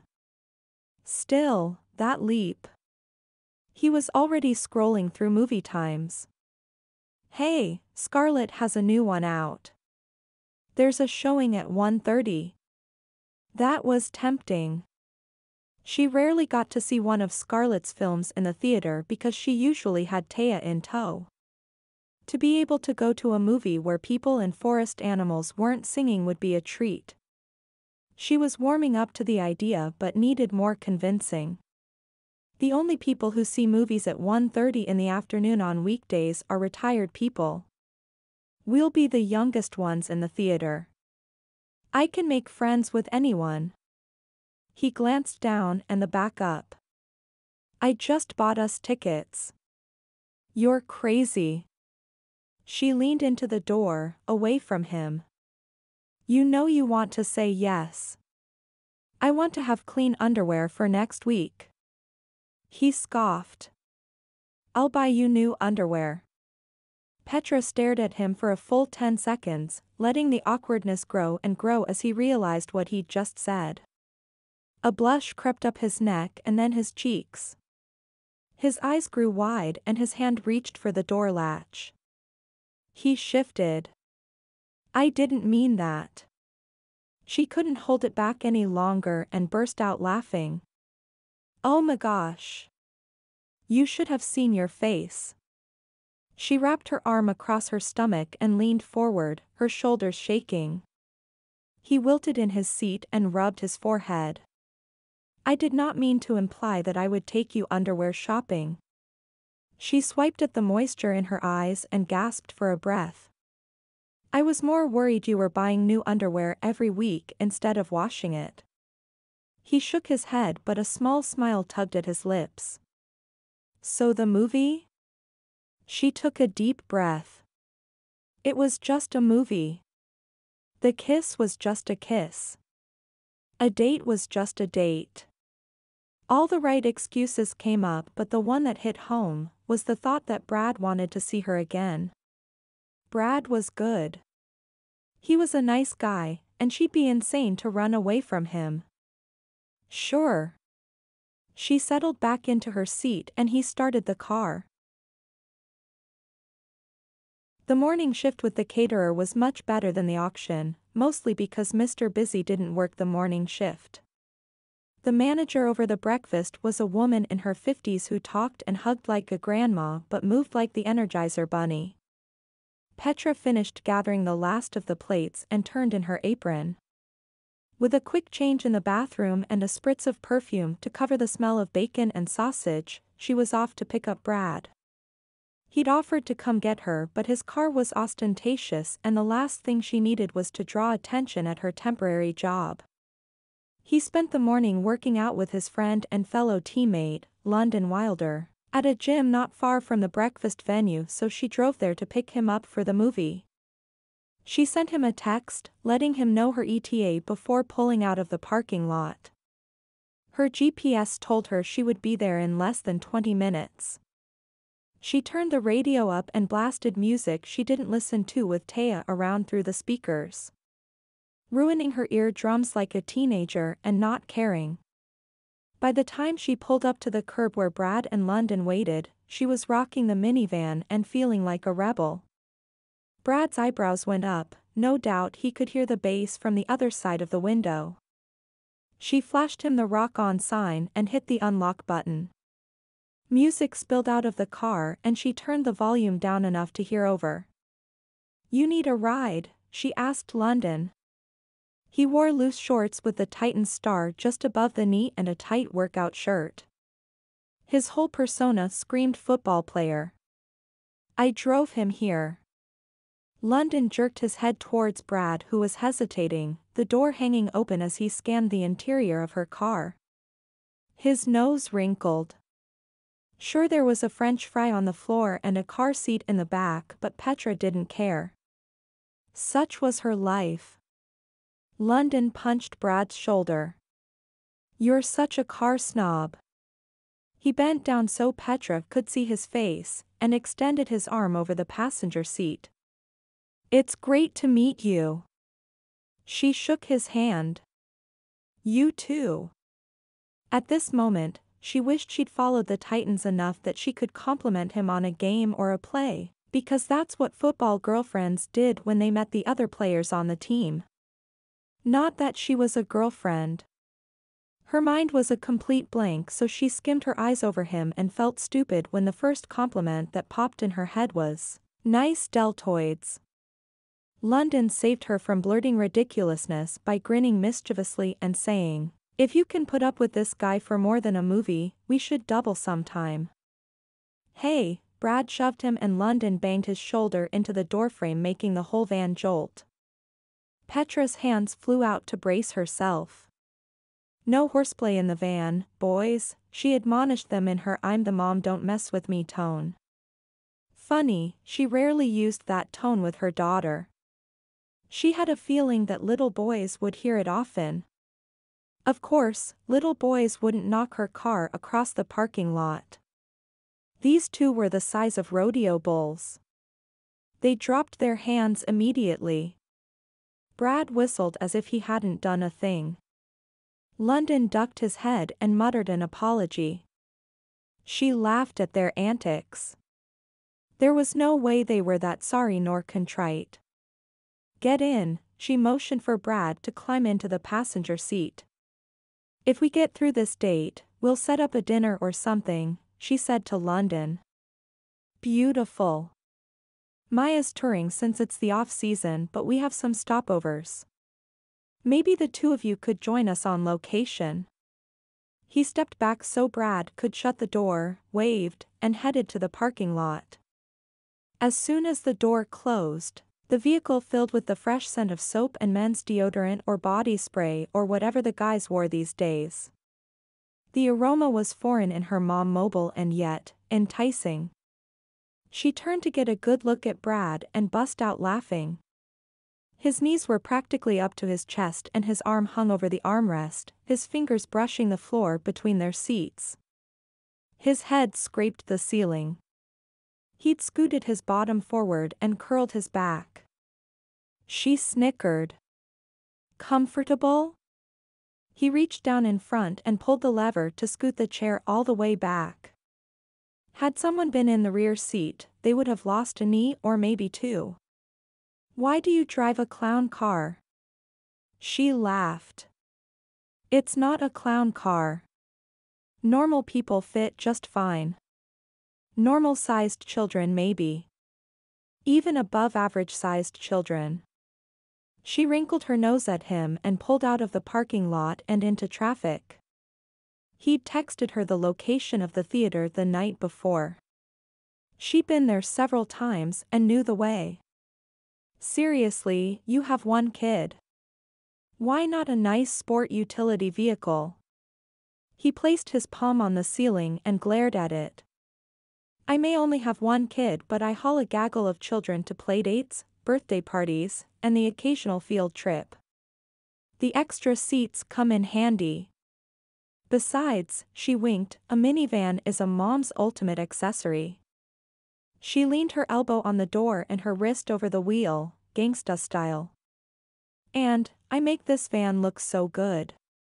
She flashed him the peace sign earning a loud guffaw. I like this bad and bold side of you. He copied her posture. Is this a play date? She giggled. Do you want to play dress up and let me do your makeup? Um. No. Then it's probably just a date. She swung into the theater parking lot and hopped out. He frowned when she didn't wait for him to get her door. Sorry, I'm not used to someone getting my door when I drive. You probably have to unlatch a car seat, he speculated. Taya's past that stage. She can get herself out. But getting out of the car is still a process. She paused for just a moment. Getting in the car is a process. Going into the store is a process. Buying gas is a process. Going to the bath. She cut off, feeling as though she'd shared too much already. There was no reason to explain that she rarely sat down without Taya in her face, bathroom or not. It's not that I'm not grateful to have her. She tucked her hair behind her ear. Brad opened the door to the theater and the smell of fresh popcorn grabbed her by the nose and pulled her inside. I get it, he said.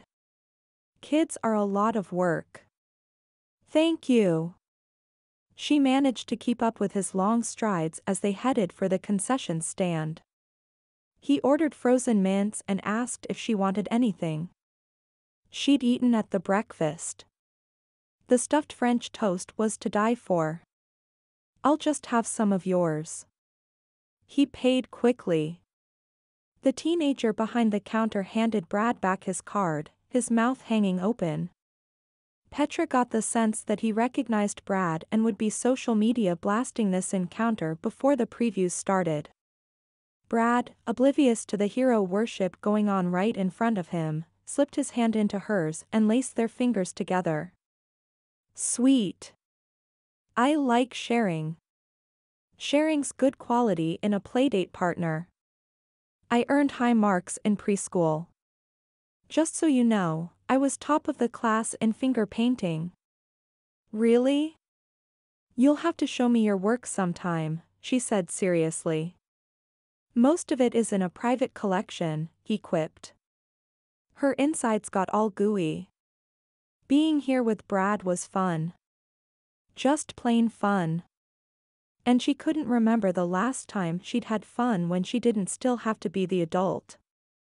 They entered the theater and took a moment for their eyes to adjust to the lower lighting.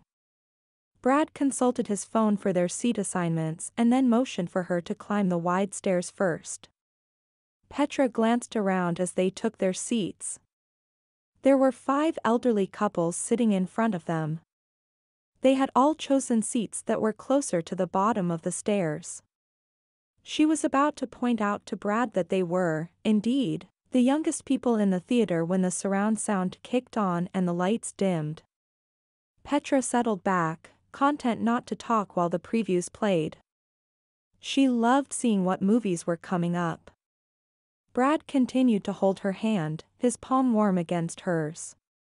His arm was also warm. Which was nice considering the chill in the theater when the central air kicked on. She made it through the first third of the movie before goosebumps broke out on her arms and she shivered. Are you cold? whispered Brad. A little, she confessed. He lifted their hands and pushed up the armrest.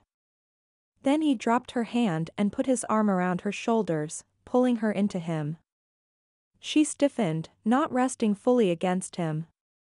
Relax. I have more than enough body heat to spare. She poked his side.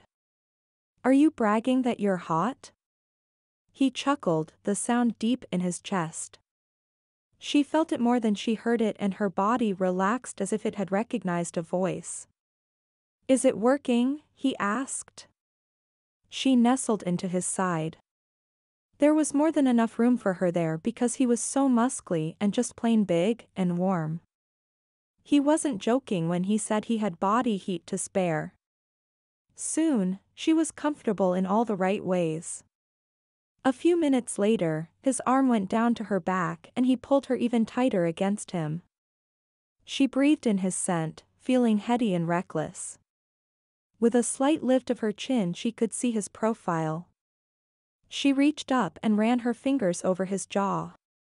As if she'd flipped a switch, the room got warmer, the light coming from the screen might as well have been laced with electricity with the way her skin buzzed. Brad's breathing sped up and his chest lifted and fell under her hand. He turned and caught her gaze with his, his eyes full of heat and fire. She slid her hand into the hair at the back of his neck and pulled him down for a kiss. As his warm lips took control of hers, she was transported, no longer the mom with the minivan, she was an attractive woman who stirred passion in a man so hot he could have his own calendar. Bits of her old self had surfaced all week but this part of her, the part that had wanted to be a loving wife, had been buried for so long she'd thought her lost, Brad was able to revive her with a kiss. Just as she was about to turn the moment over to that desire, she yanked back and buried her face in his chest, shaking with fear. He wrapped her in his arms and held her close. Maybe he was afraid she'd run away. Maybe she would. The show was over five minutes later and they made their way out of the theater.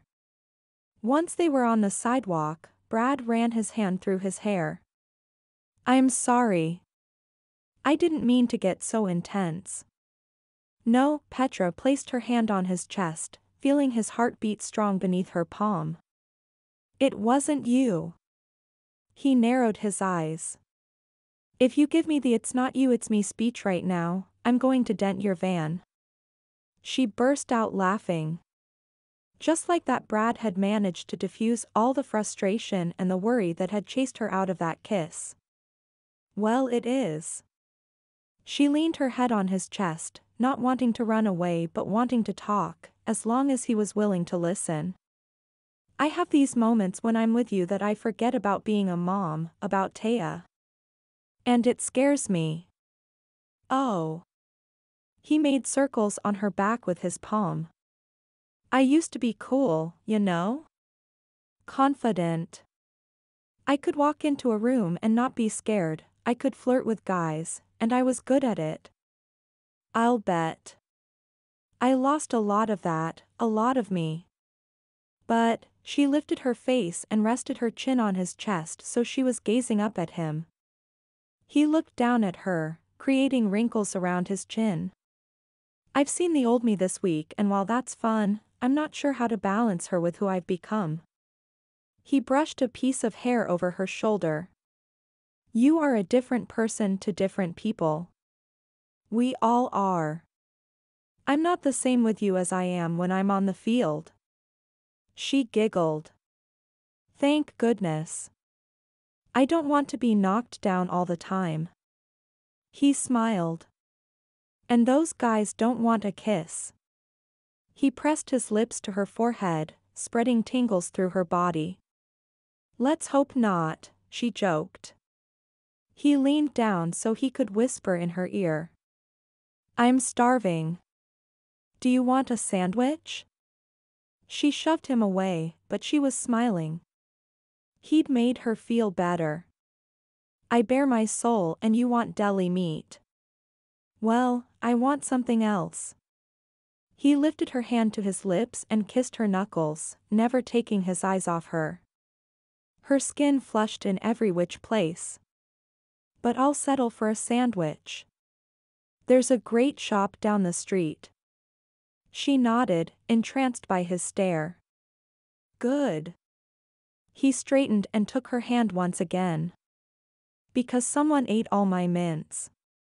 She covered her face with her free hand. She had eaten them all, right at the start of the movie when she was nervous about everything. Sorry. He tugged her along and they made it to the deli, ordering quickly since they were the only ones eating at 3 p.m. The small shop had four tables in the dining area. There were several office buildings close by and they probably thrived on takeout orders. They sat down at one of the tables away from the window. She wouldn't have thought anything of it if their last meal hadn't been interrupted by Spencer and his dad. Brad probably didn't think about it either, keeping to himself must be second nature at this point in his career. So, what do you do for fun? He asked once they had unwrapped their food. Who has time for fun? She picked up a pickle that had fallen on the crinkly paper wrapper and popped it in her mouth. Come on, you must do something on all those dates you go on. She lifted an eyebrow in disbelief. He mirrored her expression, somehow adding sarcasm and a bit of mockery. She rolled her eyes. Okay, confession time. You're the first guy I've dated since the divorce. He dropped his sandwich with more drama than Taya could muster after staying up too late.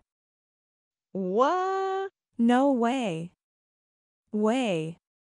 He gulped and his face went pale. You mean to tell me that I'm the first guy you've kissed in over three years? He groaned. And I took you to make out point. I'm such an idiot. She laughed. Who said I hadn't kissed anyone? I only said I hadn't dated. Have you kissed someone? He leaned forward, hopeful. Which was weird because most guys would be jealous. She drew out the pause for maximum effect. No. He slumped in his chair. I've failed at wooing you. You should be wined and dined and I've given you a Mexican dinner, a movie, and a deli sandwich. He shook his head in disgust. You're being weird. I'm fine. She'd had a great time when they were together. Heck, she'd grocery shop with him and laugh her way down the aisles. The image of Brad pushing a shopping cart while she and Taya, Filda was a compelling one and she had to mentally shake herself out of the daydream. He wiped off his fingers with a napkin and sat tall. Petra Silverling, would you do me the honor of accompanying me for a lovely dinner? She pressed her hand to her chest and gasped. Are you asking me out, like for reals? For reals, he echoed. Okay. When? She fished her phone out of her purse and pulled up the calendar. I'm working for the caterer Friday and Saturday so no can do those nights. He pouted. Sunday I teach a class at church for five and six year olds. Get out. She leveled him with a look. Has anyone said that since Back to the Future? Great Scott. I don't think so. He smirked. She laughed, her heart light. Why did he have to make being together so easy? If he could just be a jerk, in some little way, she could make an excuse to lock her heart away and be fine. Well, maybe not fine but she could go back to surviving instead of all this growing he continued to force upon her. With him, it didn't feel forced. Nothing was forced. Not conversation, not silence, not kissing. In fact, kissing was the most natural thing for them to do. They moved as if they'd been kissing their whole lives. Maybe waiting their whole lives to kiss one another would be a better description. Monday, Tuesday, and Wednesday I'm deep cleaning the office and then Thursday you have a date. She didn't like the taste of those words on her tongue and took a sip of her diet soda to wash it away. His phone buzzed and he glanced at it, a frown marring his beautiful face. He turned it off and flipped it over. You're free in the evenings after you clean aren't you? She was free. She also really wanted to ask what made him frown at his phone. Bad news? An ex-girlfriend? She refocused on their conversation. Taya will be home on Wednesday and Monday night I have a spa night with my mom, sister, and nieces. You guys really take this princess thing to heart, don't you? This time, she smirked at him. How else should we take it? Touche. Can I come? He wanted to meet her family. No way. Not yet. Meeting the family was a big deal. Plus, she'd like him to get to know Taya before she unleashed their relationship, whatever it was, on her parents.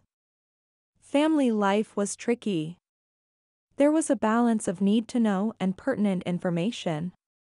She hadn't told anyone she'd been on one date let alone two. They were going to freak out. Only if you enjoy a good charcoal mask, coconut oil hair treatments, and getting your nails painted. His twisted his lips. No thanks. That's what I thought. She patted his hand. She was actually glad he said no. Not just because she wasn't ready for that big step in introducing him to her family, but because she liked being the girl in the relationship. Some of her friends' husbands would highlight their hair and get manicures and her friends loved it.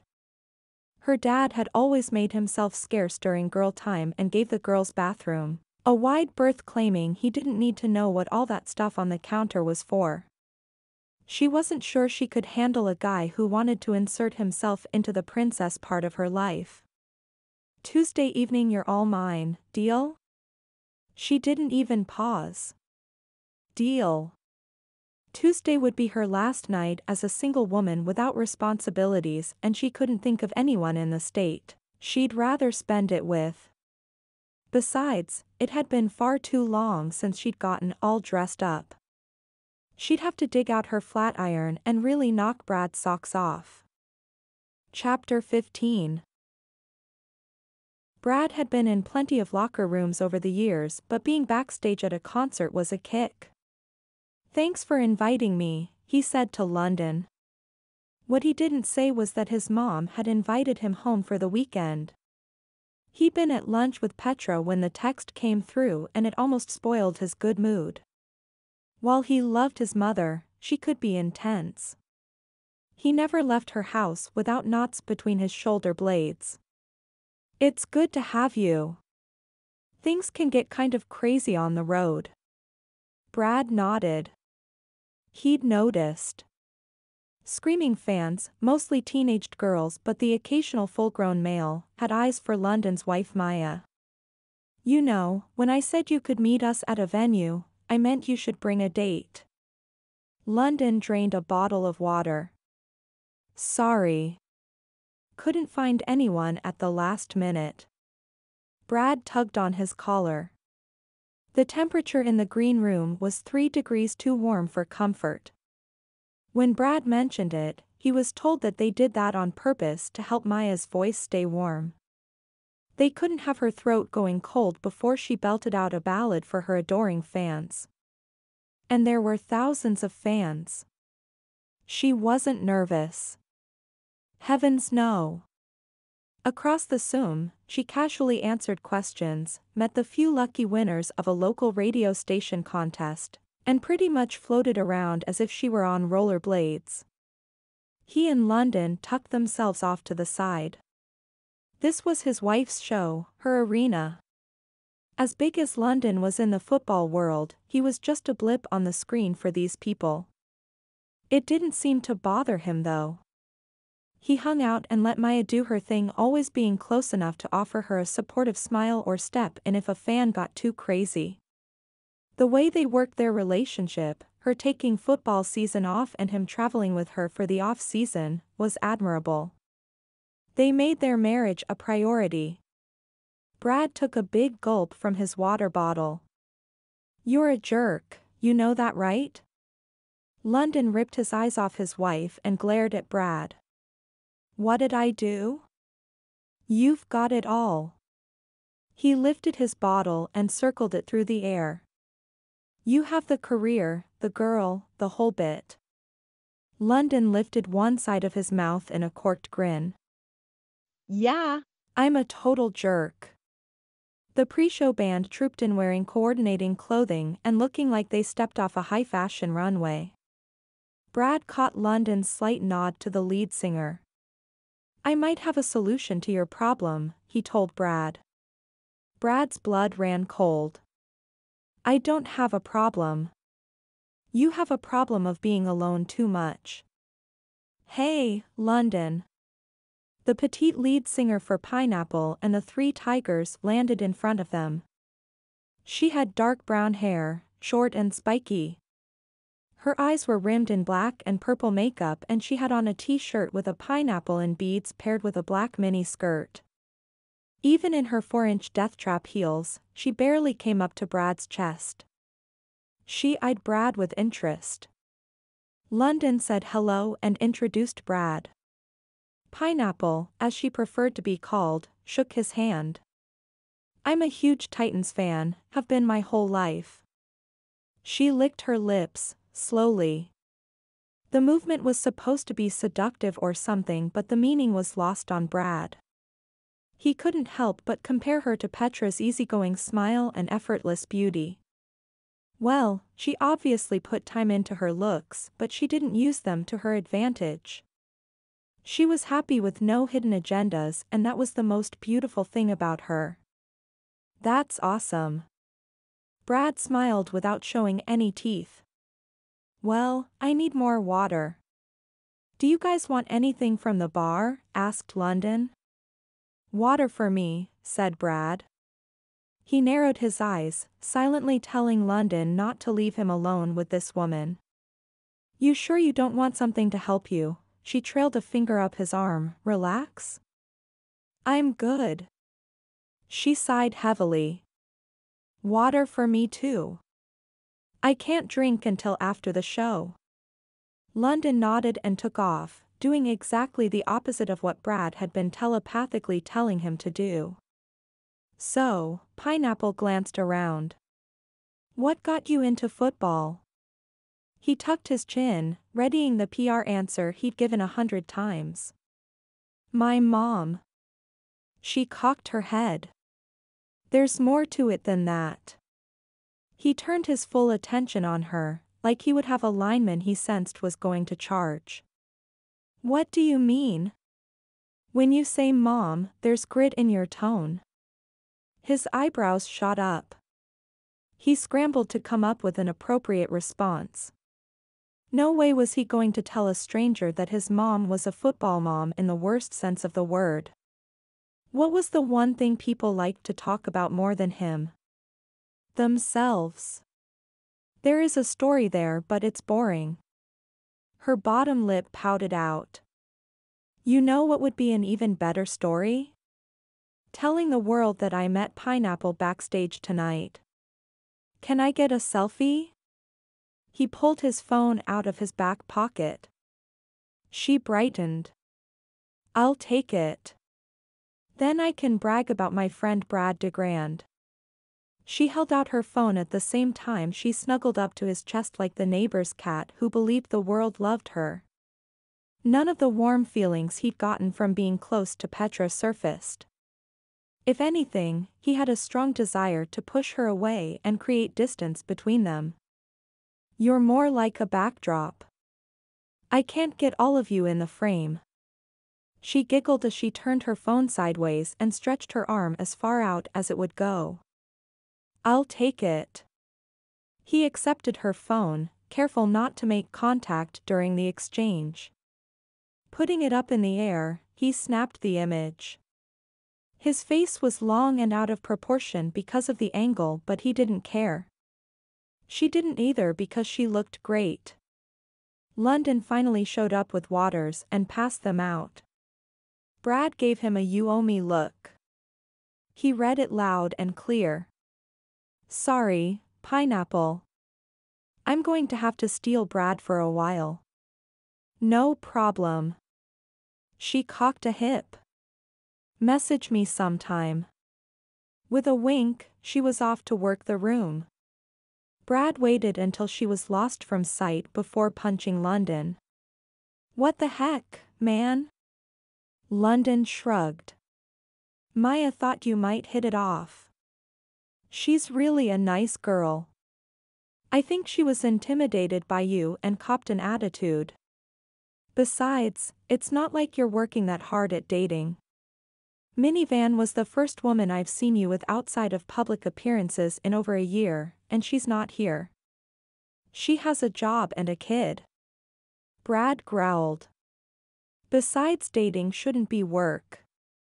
It should be fun. Yeah, well, you need more fun in your life. You're tight man, wound like a spring. I'm not saying I'm worried, because, you know, I'm a guy. But you're going to snap. Yeah. Brad rubbed his head. Is it Petra? Sort of, he hedged. You guys are really dating?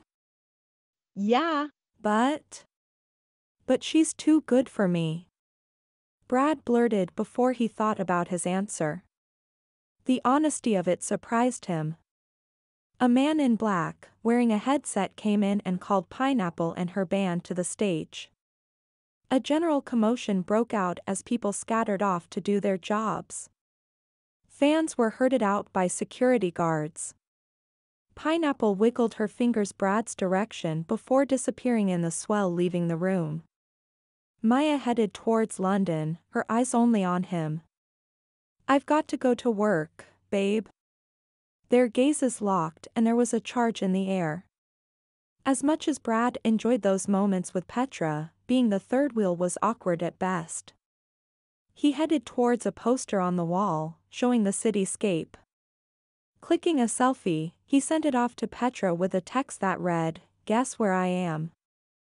He hadn't told her he was leaving town. Hadn't even known it himself until this morning when his mom called to guilt him into coming over to the house. Some would say avoidance was a coward's way out. As a guy who often dodged a hit in order to make a play, he preferred to look at it as a strategic survival move. Thankfully, he dodged London's question about what was bugging him.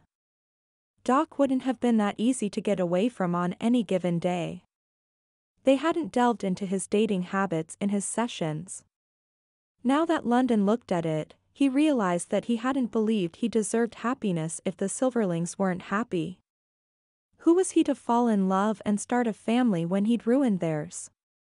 Maybe that was part of his motivation in seeing Petra laugh. He shook his head. No, enjoying her laughter and humor were purely selfish. Petra, L.A.? Brad felt his mood lift. You are good. Petra, it's not even that hard. He chuckled. Maya's manager cleared her throat, interrupting her in London's cuddle fest. Man, it would suck to have that job. Still, if Brad had the chance to hold Petra close, he'd take it. Too bad he had several days to get through until their next date. The plan was to woo her, slowly, and maybe give her a soft goodnight kiss. He wanted to her feel how special she was to him, wanted to show her that he cherished her. Can't wait to see you, he typed. She sent back a winky face. He'd take that. It was more than he deserved. He rubbed the back of his head where the hair was prickly. He enjoyed being with Petra, might even be falling for her. But, in the back of his head, was the fact that he was holding things back, hiding information. And why was he hiding it? because he hoped that if she fell in love with him, she'd be able to look past what had happened, to forgive him, and they could live happily ever after. The last part of his plan was a dead giveaway that he was living in a fantasy. But, how, exactly, was he supposed to break out of it without losing everything? He wasn't quite sure on that one. So he'd taken the if she doesn't ask then I won't tell approach. Always a wonderful way to start off a relationship. London clapped him on the back. You look like you could use a distraction. Brad slipped his phone in his pocket. What do you say we rent jet skis tomorrow? London grinned. That sounds like a good distraction. Let's head out. I've got seats reserved on the right of the stage. In the crowd? Brad didn't like that idea. Crowds were unpredictable when it came to football players. They could be totally cool or there could be one son of a jack who thought he should try to take them down a notch. The last thing he needed was to end up in a brawl. Nah. It's next to the sound mixer. Sweet. Brad followed him through the maze of halls and around the stage crew busy at their jobs. Losing himself in the energy was better than facing his conscience. Chapter 16 Petra. Brent, honey, don't kick Chelsea. Thank you. Petra smiled at the rambunctious five year old. Every week in Sunday school he did his best to bother Chelsea, a child's version of a crush. Hopefully, he'd grow out of his I want to annoy you but don't know why stage soon. Chelsea wasn't impressed. She was adorable in her brown mini pants suit with pink pinstripes and her hair pulled up in two messy buns. They looked like Minnie Mouse ears and made Petra's stomach ache for missing Taya. Her daughter was usually in the class and she'd had to explain to the group of five why they were missing someone. Then she had to explain why she wasn't with Petra in Disneyland. An awkward moment at best. She had finally been able to move on to the actual lesson. Sitting on the floor with the children, she had a felt board leaned up against the wall. A hundred years ago, when her mom was a new mother, she had cut out a whole Bible's worth of scenery and stories. Thankfully, she hadn't thrown them away because the kids loved when Petra brought them to illustrate a prophet's story. She held up a felt David and Goliath. Can you see how big Goliath is compared to David? She placed the two of them on the board, their feet even so their heights could be compared. The image reminded her of how big Brad is compared to her. She tucked right into his side at the theater, like the space was made just for her. But, it's what you can't see when you look at David that helped him overcome Goliath. Do you know what that is? Rocks, shouted Brent. He has rocks in his pocket. She pressed her lips together to keep from laughing.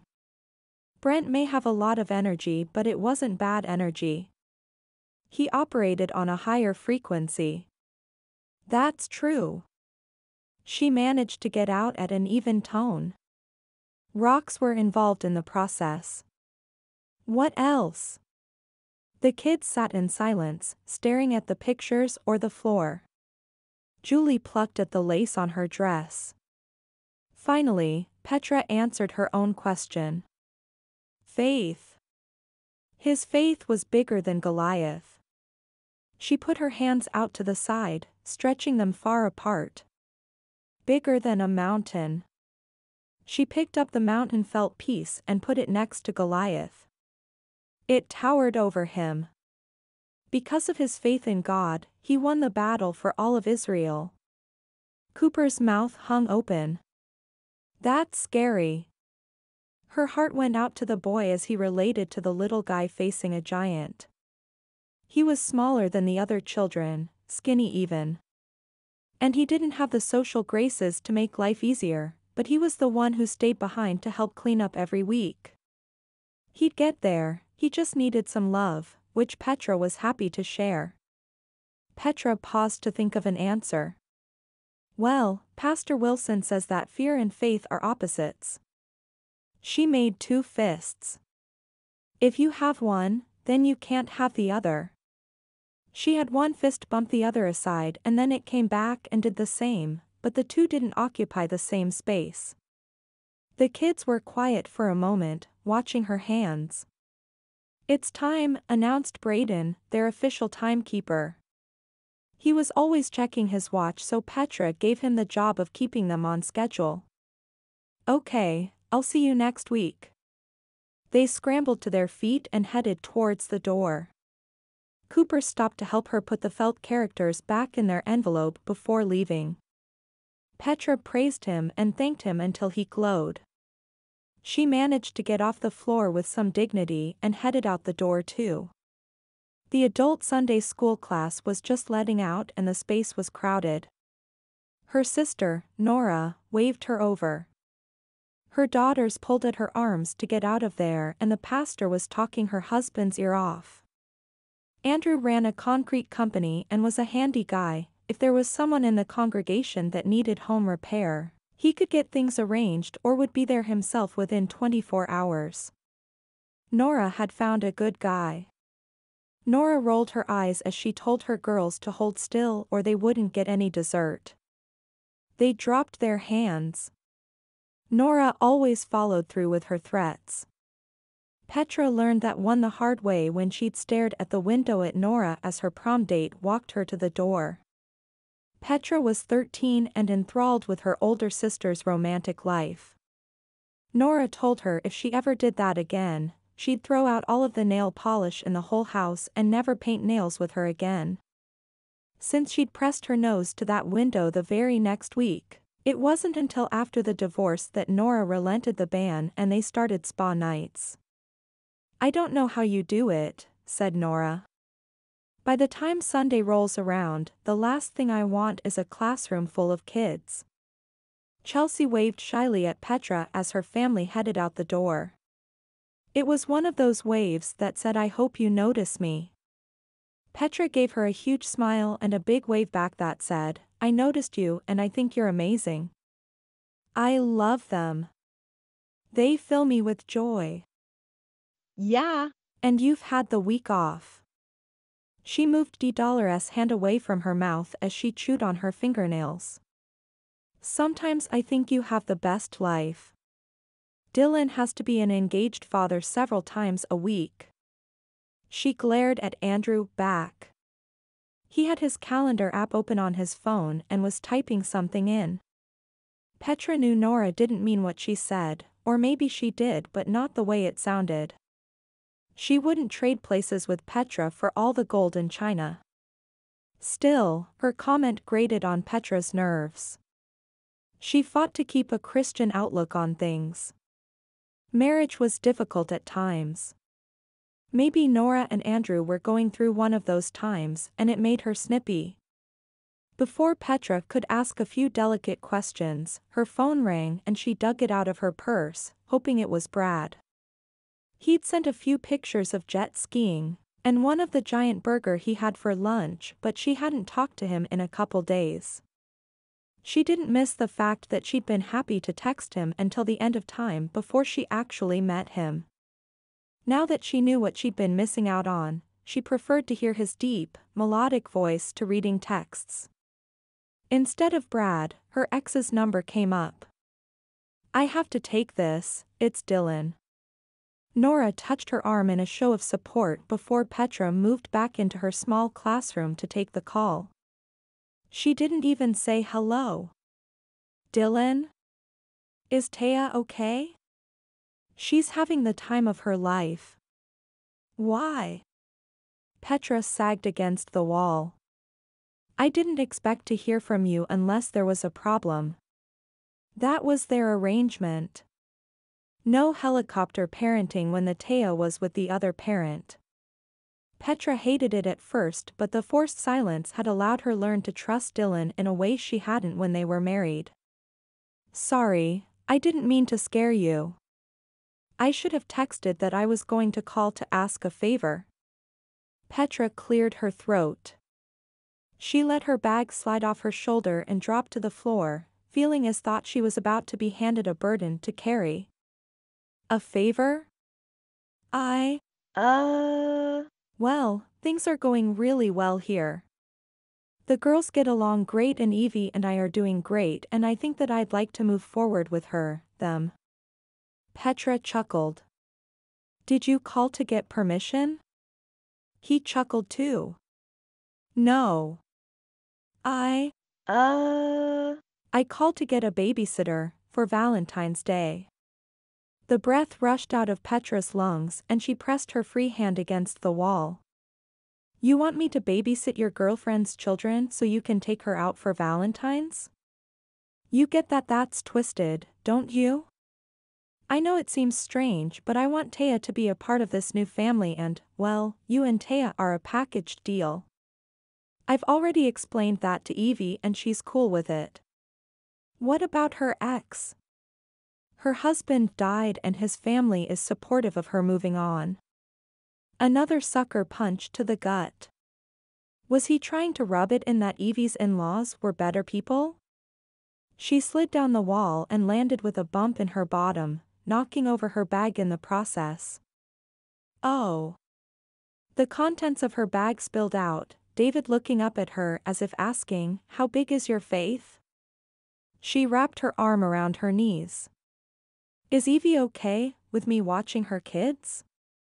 Because she didn't know if she'd be okay with that kind of situation, if she could trust Taya to wait, she already had trusted this woman with her daughter. Even though she didn't realize that's what she was doing at the time. Crap. She should have interviewed Evie before sending Taya along on their family bi-trial vacation. What kind of a mother was she?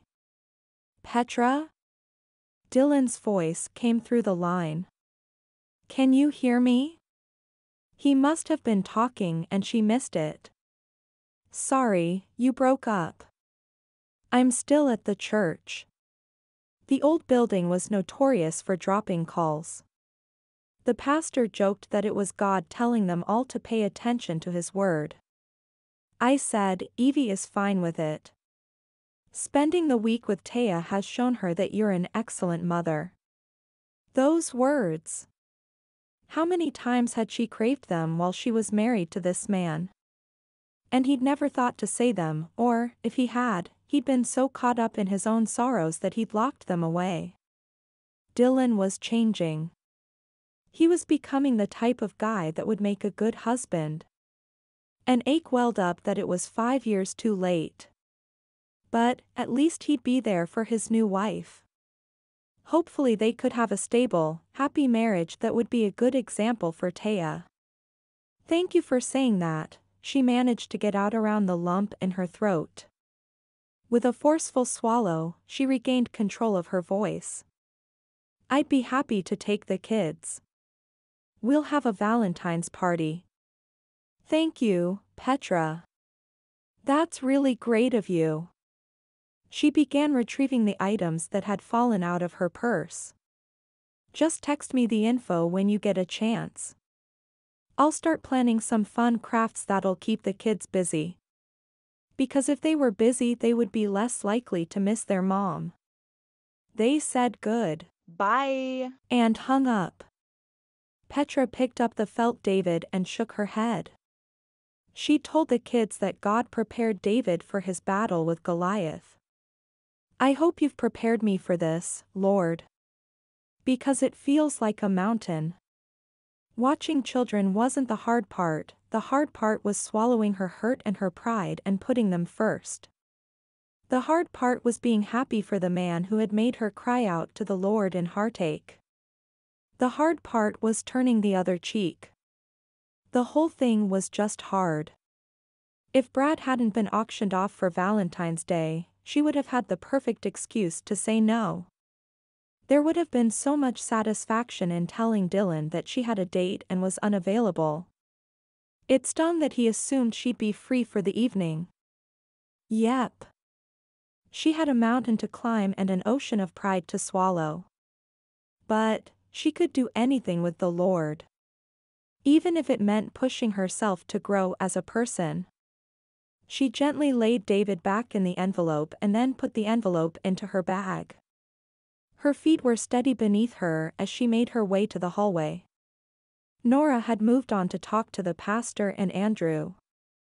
As soon as they caught sight of her, Petra's nieces charged, wrapping her up in their hugs. Can we go home with you? N. Dolores asked with big blue eyes. She was the oldest and the spokesperson for the two girls. You're the coolest aunt ever. Petra laughed at her obvious attempt to flatter her into doing their bidding. She cupped the back of her head. We'll have to ask your mom. The girls' faces fell. They usually had to take Sunday naps after church, a tradition Petra and Nora's mother instituted when they were young. Sunday nap time was a slice of heaven she used to say. Nora noticed she was back and excused herself from the conversation. Is everything okay? Her eyes were tight with worry. It's fine. He wanted to know if I would babysit the girls on Valentine's so he could propose. He didn't, she gasped, her hand splaying across her chest. Although Petra felt vindicated by her sister's response, she was staring down at her nieces. As much as she was buffeted by her ex's decisions in life, Taya also bore the brunt of them. And she was just a child. An innocent. As were these girls. Heck, they'd lost their parent didn't even have visitation with him. If Dylan could fill that place in their lives, who was she to hold him back or make their lives any more difficult? You know what? It's a good thing. These kids will be Taya's stepsisters. I want them to feel welcome in my home.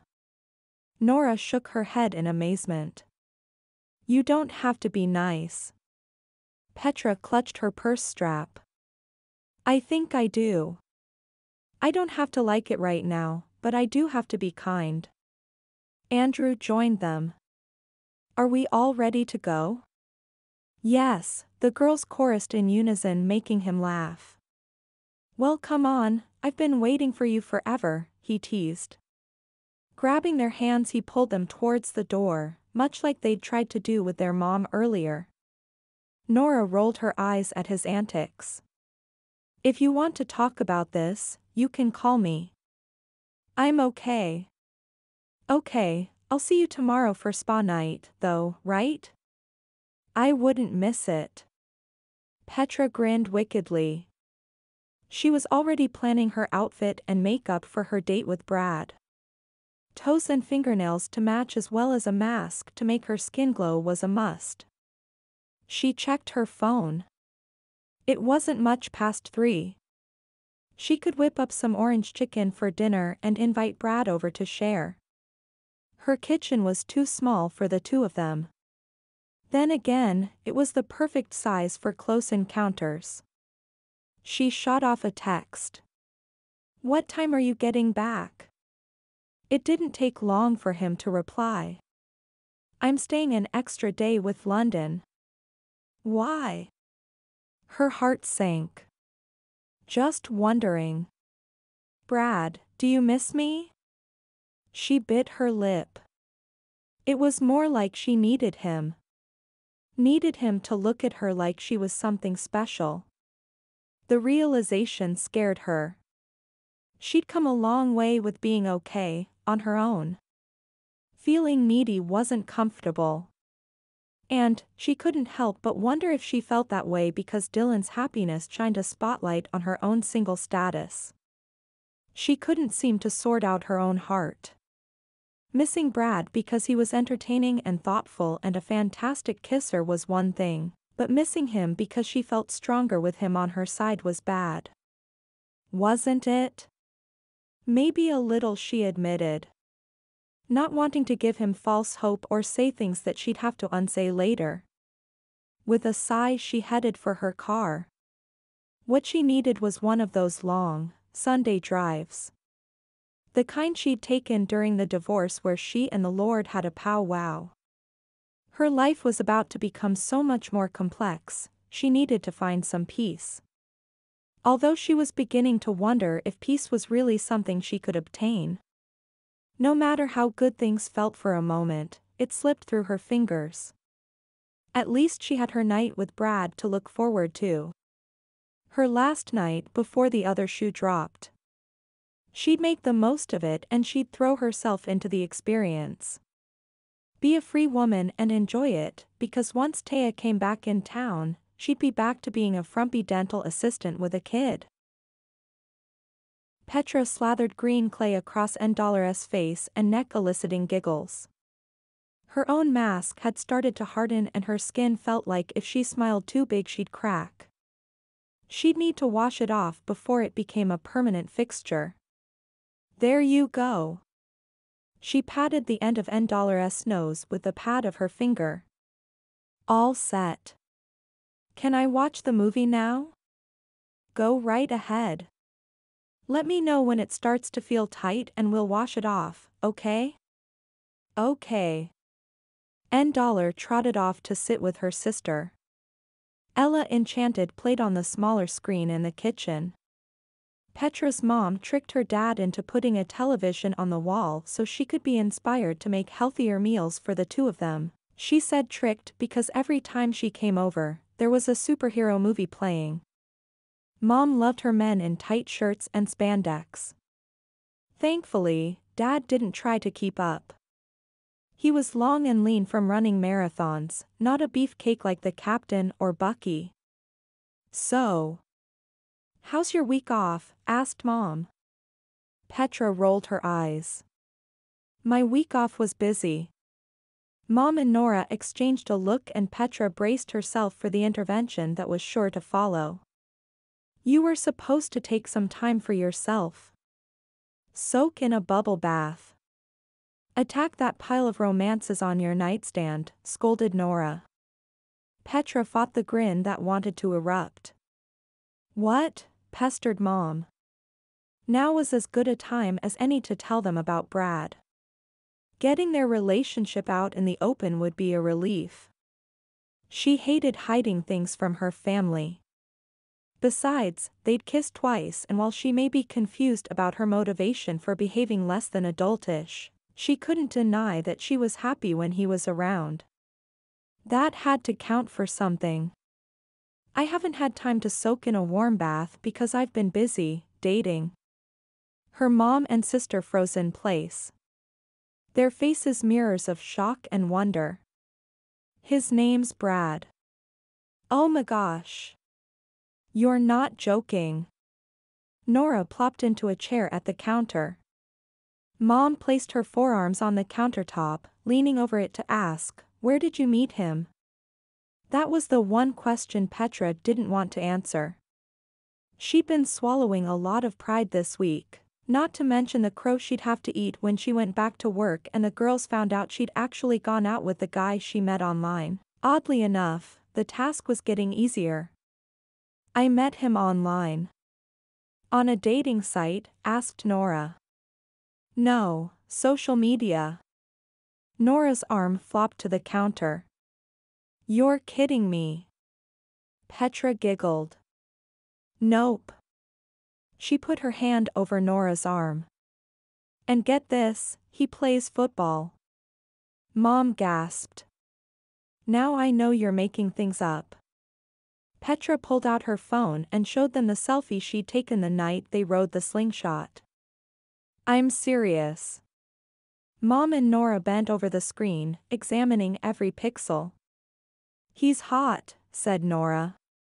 Mom shushed her and motioned to the girls. Keep it G, she warned. Nora waved her off.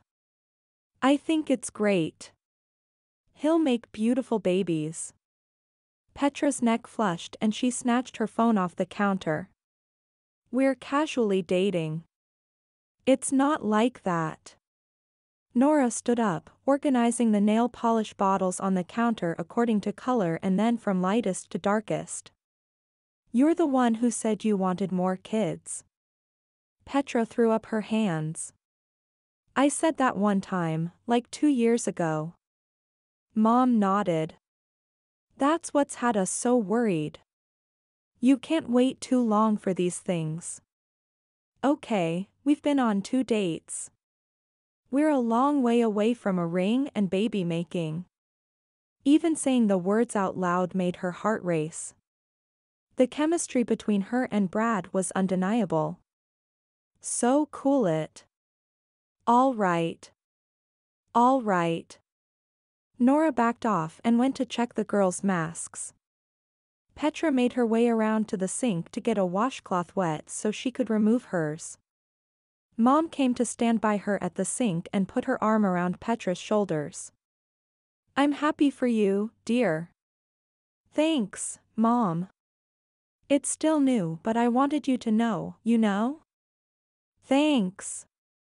Just, she rubbed Petra's arm. Be careful, okay?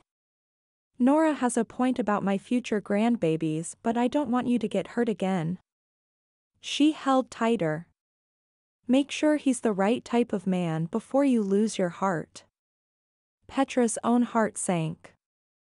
Yeah. Her first marriage had fallen apart, but that didn't mean they were bad people. Dylan might not have been the right man for her, but he was right for someone. Obviously Dylan was a better person for what they'd gone through. She didn't feel like a better person, but maybe she was stronger. That had to count for something. I will.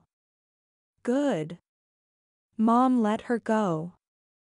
Hand me a washcloth will you, I'm cracking like the driveway over here. Petra laughed and handed over the cloth. She buried her face in her own, letting the steam and the moisture soften the roughness before scrubbing away the green clay. She was looking forward to pulling out all the stops for Brad. But, in the back of her mind was her mom's voice and a doubt in her abilities to recognize a good man. Maybe she did have bad taste in men. Maybe she was headed for heartbreak. And yet, a part of her didn't care. She might be making the biggest mistake of her life, falling for Brad and letting him into her life, but it was her mistake to make. Until Taya came home, who she dated didn't affect anyone but her. Chapter 17 The atmosphere at RE Doc Dollar was exactly as Brad had hoped. They dined in the library of the estate turned five-star hotel and restaurant. The walls were covered in dark wood paneling which absorbed sound and conversation around them, allowing for an intimate experience despite the clustered round tables. The stained glass windows and hand-carved fireplace offered an historical appeal and the black upholstered chairs were comfortable, inviting them to settle in for a spell. They had settled in, enjoying the beef tenderloin and one another's company. Lingering over dessert was heaven in a chocolate torte laced with orange flavoring and dusted with powdered sugar. Brad reached for Petra's fingers, toying with them. Are you ready for a stroll around the grounds? She smiled. More than ready. Although you'll probably have to roll me out of here. I hear they keep a dolly in the kitchen for that exact reason. She smiled and his chest warmed with the knowledge that he'd done well with her tonight. They got up, and she collected her small purse, draping the thin strap over her rounded shoulder. She dressed up and she looked good, temptingly good. As they left the main entrance, he pointed to a path on the right. I think that goes to the gardens. She smiled again, lighting up the night. His night. He let his gaze dance across her features. You know, I think spa night looks good on you. She turned away shyly. You know what else would look good on you? She lifted her gaze. What? My arm. He draped it across her shoulders. She put hers around his back and leaned into him. You're pretty sure of yourself tonight. You're the one sending me I miss you texts. She snorted. I knew that would go to your head. Hey, a guy likes to know he's appreciated. You mean he likes his ego fed? I don't know about that, he lifted a shoulder.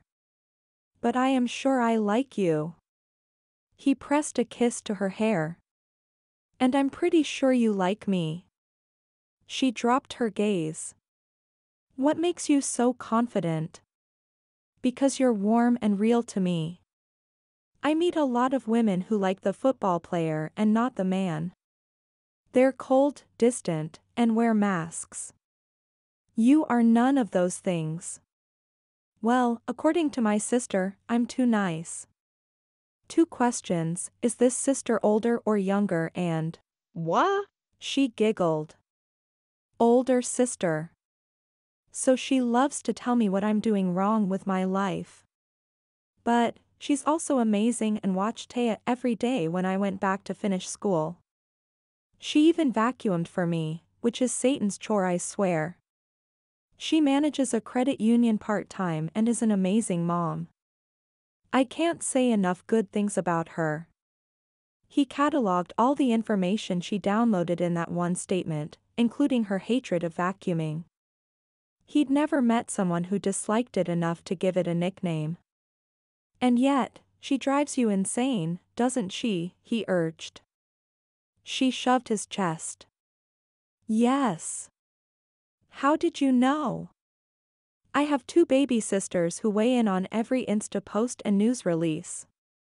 It's like being constantly pelted with sock balls. He hadn't been very good at responding lately. The women in his family tended to be high strung and their constant drama drained him. Sock balls? You know? You roll up a sock and, boom, instant ammo. Wow, the things I missed out on not having a brother. Hey, I was the good guy. Sure you were.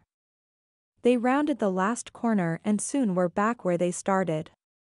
Where to? she asked. He'd googled a list of fun things to do in Dallas. He had a preference for their next outing but tonight was about her. If she wanted to do something that would bore him, then he'd go for it.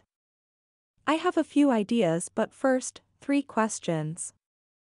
Oh, Sounds intriguing. She rubbed her palms together. How do you feel about art? Like paintings and stuff? He nodded. It's okay. I can appreciate talent but I'm not a collector or anything. The museum was out. Thank goodness. He felt the same way she did and wasn't looking forward to an evening in the hushed tones of an art gallery. Besides, he had the art show on Valentine's Day to get through. Question 2 Do you like the zoo? What kind of a question is that? She shoved him playfully. If I say no, then I'm a baby penguin hater. So you do like it? I've been three times with Taya this year. I like it. But you've been there and done that. Got it. Okay, last question. How competitive are you? Excuse me, I was a cheerleader. She cocked a hip and an attitude all at once doing a perfect imitation of the stereotypical mean cheerleader type. He doubted she was ever the mean girl but he'd bet his car she was fierce in competition. Go karts it is. He grinned. He was hoping they'd get to race tonight. Ever since he'd seen the ad on the website he thought it looked like a blast. She glanced down. I'm in heels. Advantage me. He shrugged. She snorted. You wish. Oh, it's on, pretty lady. He twisted his head to the side, popping his neck loudly. She made a face at the noise. Be prepared to be schooled. They headed for the car, trash talking the whole way. If he wasn't so aware of the fact that Petra was a woman, with beautiful curves and sultry eyes, he'd think he was hanging out with one of his buddies. Which kind of made spending time with her that much sweeter. As they pulled into the fun park, he stopped her for a kiss. What he wanted to be a quick moment to express how happy she made him turned into something more. There was a desperation in the way Petra clung to him, as if she thought he'd evaporate right out of her hands. He could taste the hunger and feel the fever in her trembling body. What's going on? he asked when they finally broke apart. She blushed deeply. Tomorrow, well, things are going to change with Taya back in town. I just, I wanted to enjoy every minute of this. He pulled her close, loving the feel of her body tucked next to his. It'll be fine. Nothing has to change. He kissed her hair before opening the door and ushering her inside the loud arcade. Her lips pulled down for a moment. When she caught him looking she brightened and slipped her arm through his. I'm going to leave you in my dust. We'll see about that. He paid for several races and they went outside to take their place in line. Petra did all she could to be close to him. While he liked the attention, her constant contact carried a sense of nervousness that made it difficult to relax. Maybe it was the auction date that had her worried. She shouldn't be, his heart was quickly becoming hers. Maybe it was time to tell her the truth. He could get it all out in the open and. Sir, are you coming? asked the attendant. He blinked out of his thoughts and saw that Petra had already chosen a bright green car towards the front of the line. He hurried to get the cart next to her. The conversation would have to wait until after he won the race. Chapter 18 Valentine's Day The day lovers should be together, gazing into one another's eyes, and feeding each other decadent chocolates. Petra tried not to think of all that as she scrounged in the junk drawer for a glue stick for Layla who was making a heart mogul, to hang over her bed. Her thumbnail connected with the bottom of the drawer and split right down the middle. She bit back a curse. So much for her manicure. She should be out, celebrating love and romance and all that crap. But she wasn't. She was in her yoga pants. The red nail polish dripped down the side a holiday accessory. I know it's here somewhere. She slammed the drawer and checked the one below, coming up with an ha when she found it. She checked her bad attitude and smeared a smile on her face before handing over the prize. Here you go, sweetie. Layla took it with a smile. The girl had white blonde hair and huge blue eyes like a little Elsa. Thank you, she said quietly.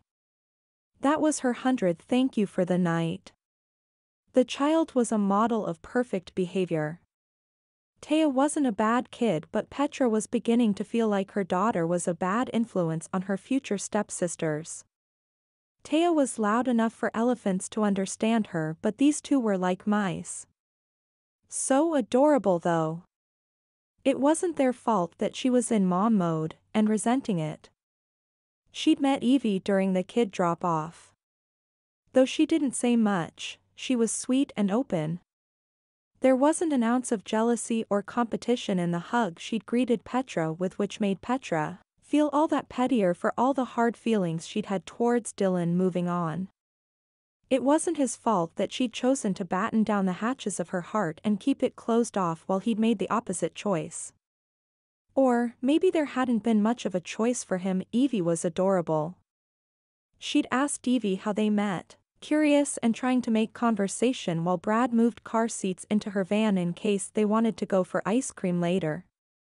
She wasn't promising anything to the girls. If they were content to be at home, there was no sense dragging them out in public.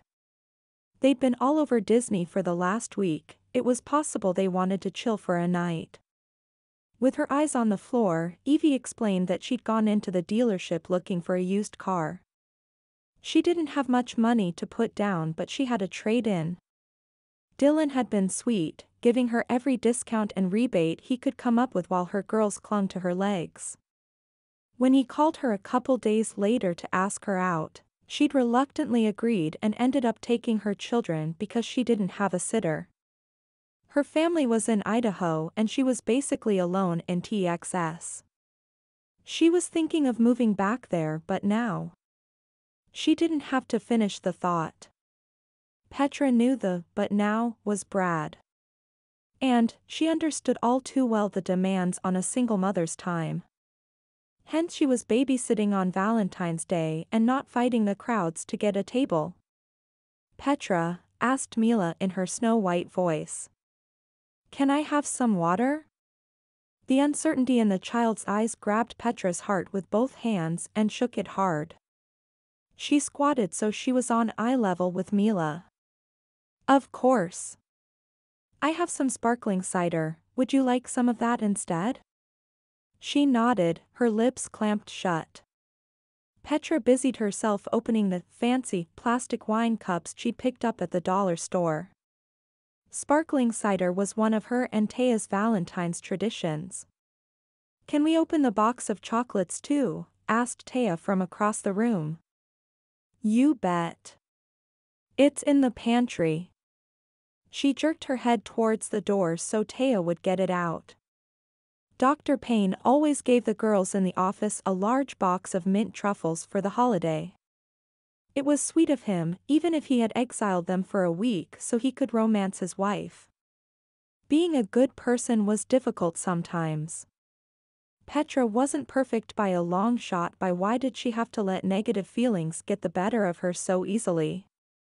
She replaced her feelings of frustration with her boss by mentally repeating he was being a good husband, he was being a good husband. While the girls were busy gluing and glittering, she checked her phone. She hadn't heard from Brad all night, didn't expect to because he was on a date with another woman. Not that it bothered her. They hadn't had a conversation about their relationship advancing past the casual dating stage. Unless you counted kissing as a conversation. Which it was, in a sense. His lips told her all sorts of things last night. Like, he wasn't worried about them like she was. Of course, it wasn't his daughter coming home after a week away. It wasn't him who'd found a piece of her old self that scared the dickens out of her. It wasn't Brad who had to come back to cleaning the toilet, washing dishes, and vacuuming the darn floor. She glanced at the small slivers of paper littering the tile under the table. At least they were on the tile. A quick sweep and she'd be done. There had to be a deep psychological reason she despised vacuuming. Unfortunately, with all her other issues at the moment, there wasn't time to delve into that. One Charlie Brown movie later and there was a soft knock at the front door. Petra disentangled herself from the kitten-like pile of little girls on her lap and opened it for Dylan and Evie. Evie's smile could have lit the Titan Stadium. And just like that she was missing Brad again. How was dinner, she asked quietly, wrapping her arms around her stomach. Her eyes darted to the girls on the couch, their blonde hair spilling over the pillows and blankets they'd used to make a nest. This should be easier. Long lines and great food, said Dylan. He cleared his throat. For all the joy on Evie's face, his was tight with anxiety as he too stared at the pile of kids, sleeping peacefully. It hit Petra that he was taking on a lot, two kids, an ex-wife and a child of his own. Not to mention the new job that he was just starting to succeed at was still demanding emotionally and on his time. For the first time in a long time, her heart went out to him. Evie pointed over her shoulder. I'll move the car seats and come back to carry one of the girls. Dylan nodded, softly touching her back before she left. So, how'd it go? asked Petra. Good. She said yes. He spoke in hushed tones. For all the time they'd spent apart, Petra could still read Dylan. You're stressing out, aren't you? He puffed out his lips. We started talking about where we want to live and having enough space for all the kids, maybe having another one in a while. I just wasn't thinking about all of that when. When you fell in love, Petra finished for him. I was going to say proposed. She smiled. I know you were. That's why I changed it for you. She glanced out the front window and could see Evie moving the second car seat to her vehicle. Brad if you love her. Petra, I loved you and that didn't work out. She sucked in. Not two hours ago she'd been patting herself on the back for being nice to an innocent child who had lost her father. Putting her in the position to help her ex-husband find happiness with someone else, was God's way of testing her resolve to grow as his child. To be more like his son. All the words to make Brad feel better, more confident about his path, were right there in her head. But God was giving her a choice to say them or to hold them back, the power to choose who she wanted to be. Ah. Growing up is so hard. She steeled herself against the massive sense that this wasn't a fair test and continued on, but this isn't like that, like us. We planned everything from the very beginning, right down to the months we were going to conceive children. Losing the life we envisioned was like losing a part of who we were. We identified with that life and when it was gone, we were both lost. What love we had for each other was conditional. And that kind of love can't last forever. As soon as the words were out, a giant sense of peace filled her like warm water filling a bottle. It wasn't about passing a test, it was about loving like God loves and sharing his love with everyone, even when it difficult. Brad nodded slowly, she nudged him with her elbow. I'm actually glad you didn't think that far ahead. That gives me hope for you too. You think? She nodded. Evie was coming back up the steps, her head low. I'm guessing you've been less than affectionate tonight. Maybe. He hooked his thumbs in his pockets and dropped his gaze. Well, you're probably making her second guess saying yes, so knock it off. Petra cuffed him on the back of the head. He scowled. Evie softly pushed the unlatched door open and poked her head inside like she wasn't sure of her welcome. We're all set. Petra headed for the couch and picked up Mila. I've got her. She headed out to the car to give the two of them a moment together. Mostly so Dylan could apologize. Mila nestled into her, sighing as softly as a squirrel. Petra cuddled her for an extra minute, remembering what it was like to have one this small. Her motherly instincts swelled and her eyes stung with unshed tears. Another child felt far out of her grasp. As she laid Mila in the car seat and buckled the latch, she blinked back the tears. There was no sense in bemoaning the unfairness of life. It was what it was and it would be what it would be. She'd just have to keep working on being happy no matter the circumstances. Did you see this? asked Maddie. It was their first day back on the job. Two days after Valentine's Day. Dr. Payne had a major case of jet lag and a dopey grin all over his face. France had been good for him. Petra glanced over at her phone to find a picture of Brad, his arm around the woman from the auction. The two of them were smiling for the cameras, looking completely at ease in their formal wear appearing in a who's who on Valentine's Day in the social section of the paper. Why do they even have those types of articles anymore? I thought we were in the modern age, not Regency land. She shoved the rolling chair aside, slamming it into the wall. Apparently, all the growing up she had done last night was undone with a good night's sleep. No, she was still happy for Dylan and Evie. They'd looked Twitter-pated as they drove off the night before. He must have apologized good enough to make things right. Plus, Evie seemed to have the patience and understanding that Petra was always trying to achieve. Maddie's eyes bulged at Petra's angry tone. You knew about the date. We were at the auction. I know. She swiped her moist hands on her hips. But he hasn't called or texted. Oh my gosh, do you think he went home with her? I didn't until you said that. A panicked sense of insecurity welled up inside of her like a snake coiling tighter and tighter. She tried to swallow it down but ended up gasping for a breath. Maddie studied the picture. She paid a lot of money for him. She didn't buy him. She bought the date. Petra shoved the chair to the other side of the room, banging that wall too and leaving a scuff mark. She cringed. She'd spent the last two days wiping off walls and molding and light fixtures. Who cared when Brad had dropped her like an icky brown banana?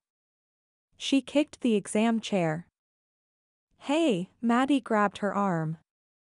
Tantrum much? Petra shook her off. I'm not overreacting. He should have called.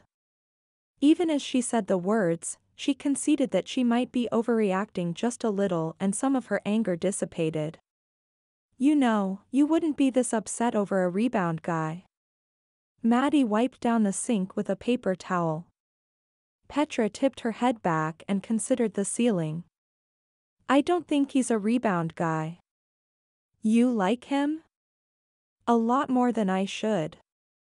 She tugged on her high ponytail. Especially since he hasn't called me. Call him.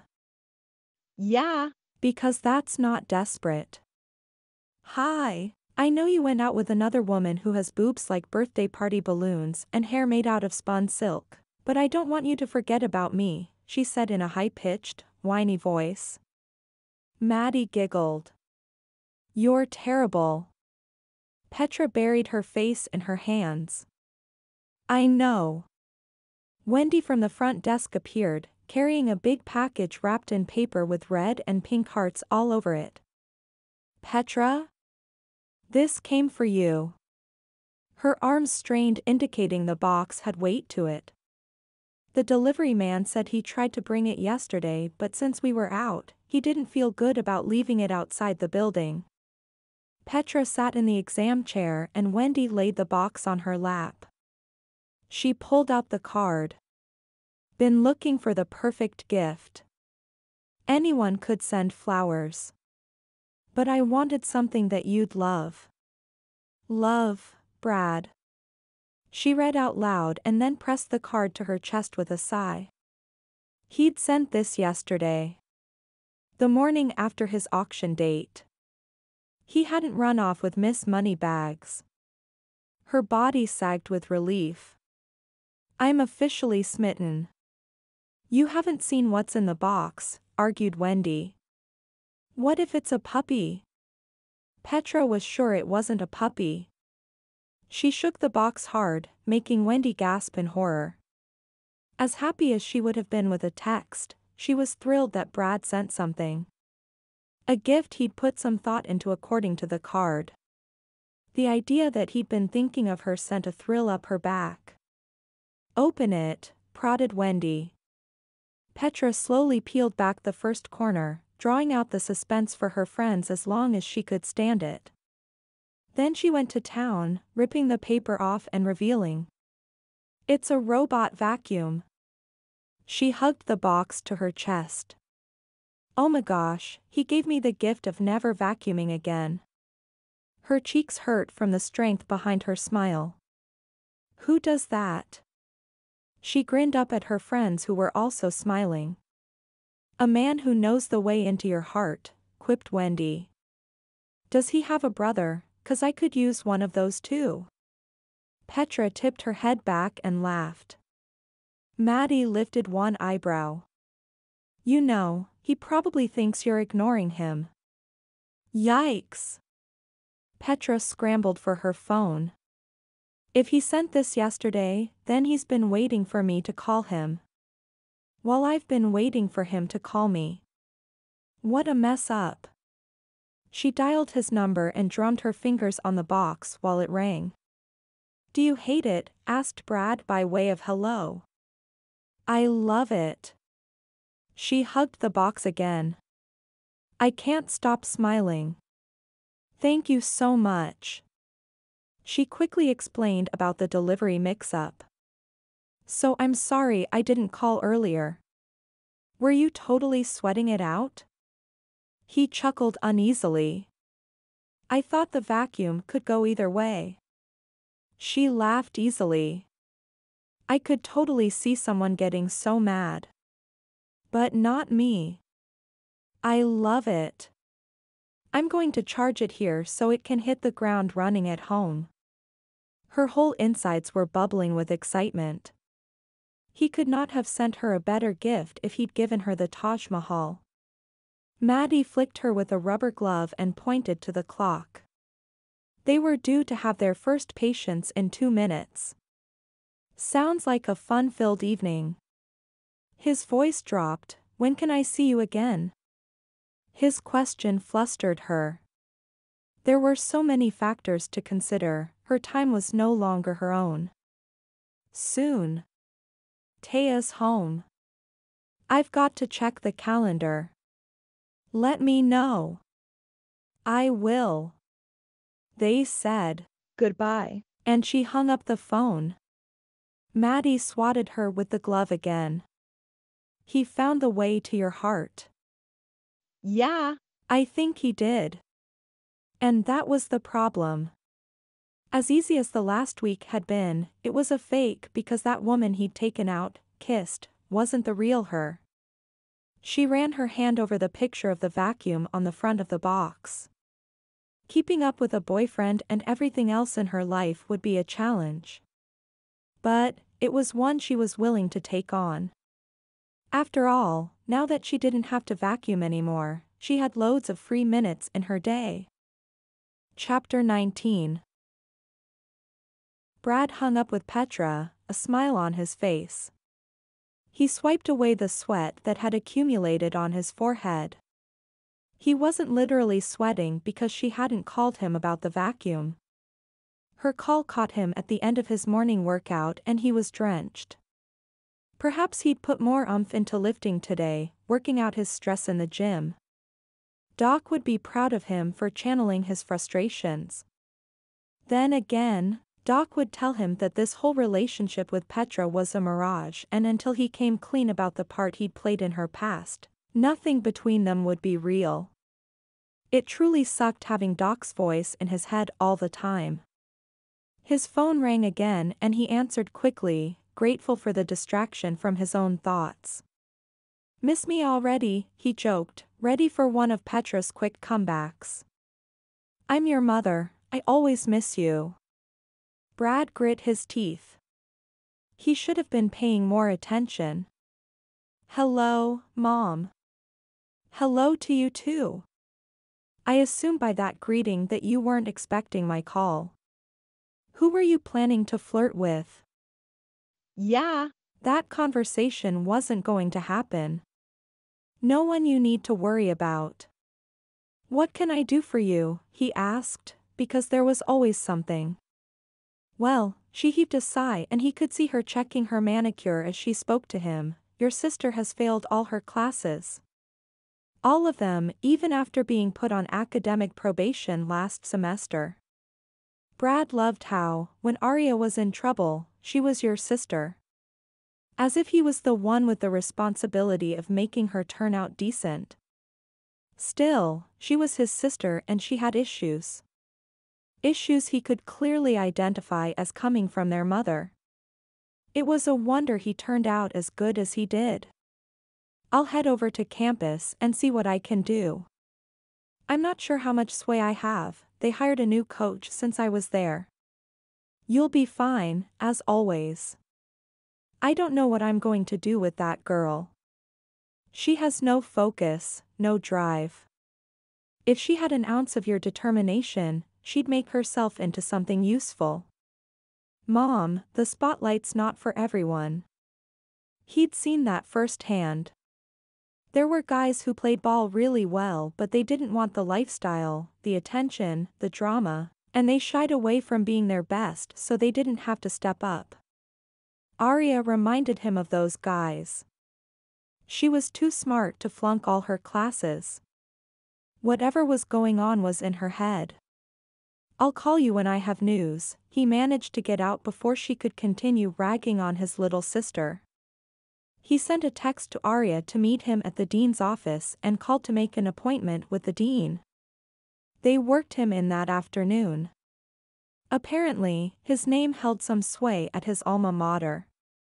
No doubt, they wanted a nice big alumni contribution this year. He'd have to talk to his accountant and see what he could do. Once Arya replied that she'd be there, he hit the showers and then was on the road. The drive didn't take long.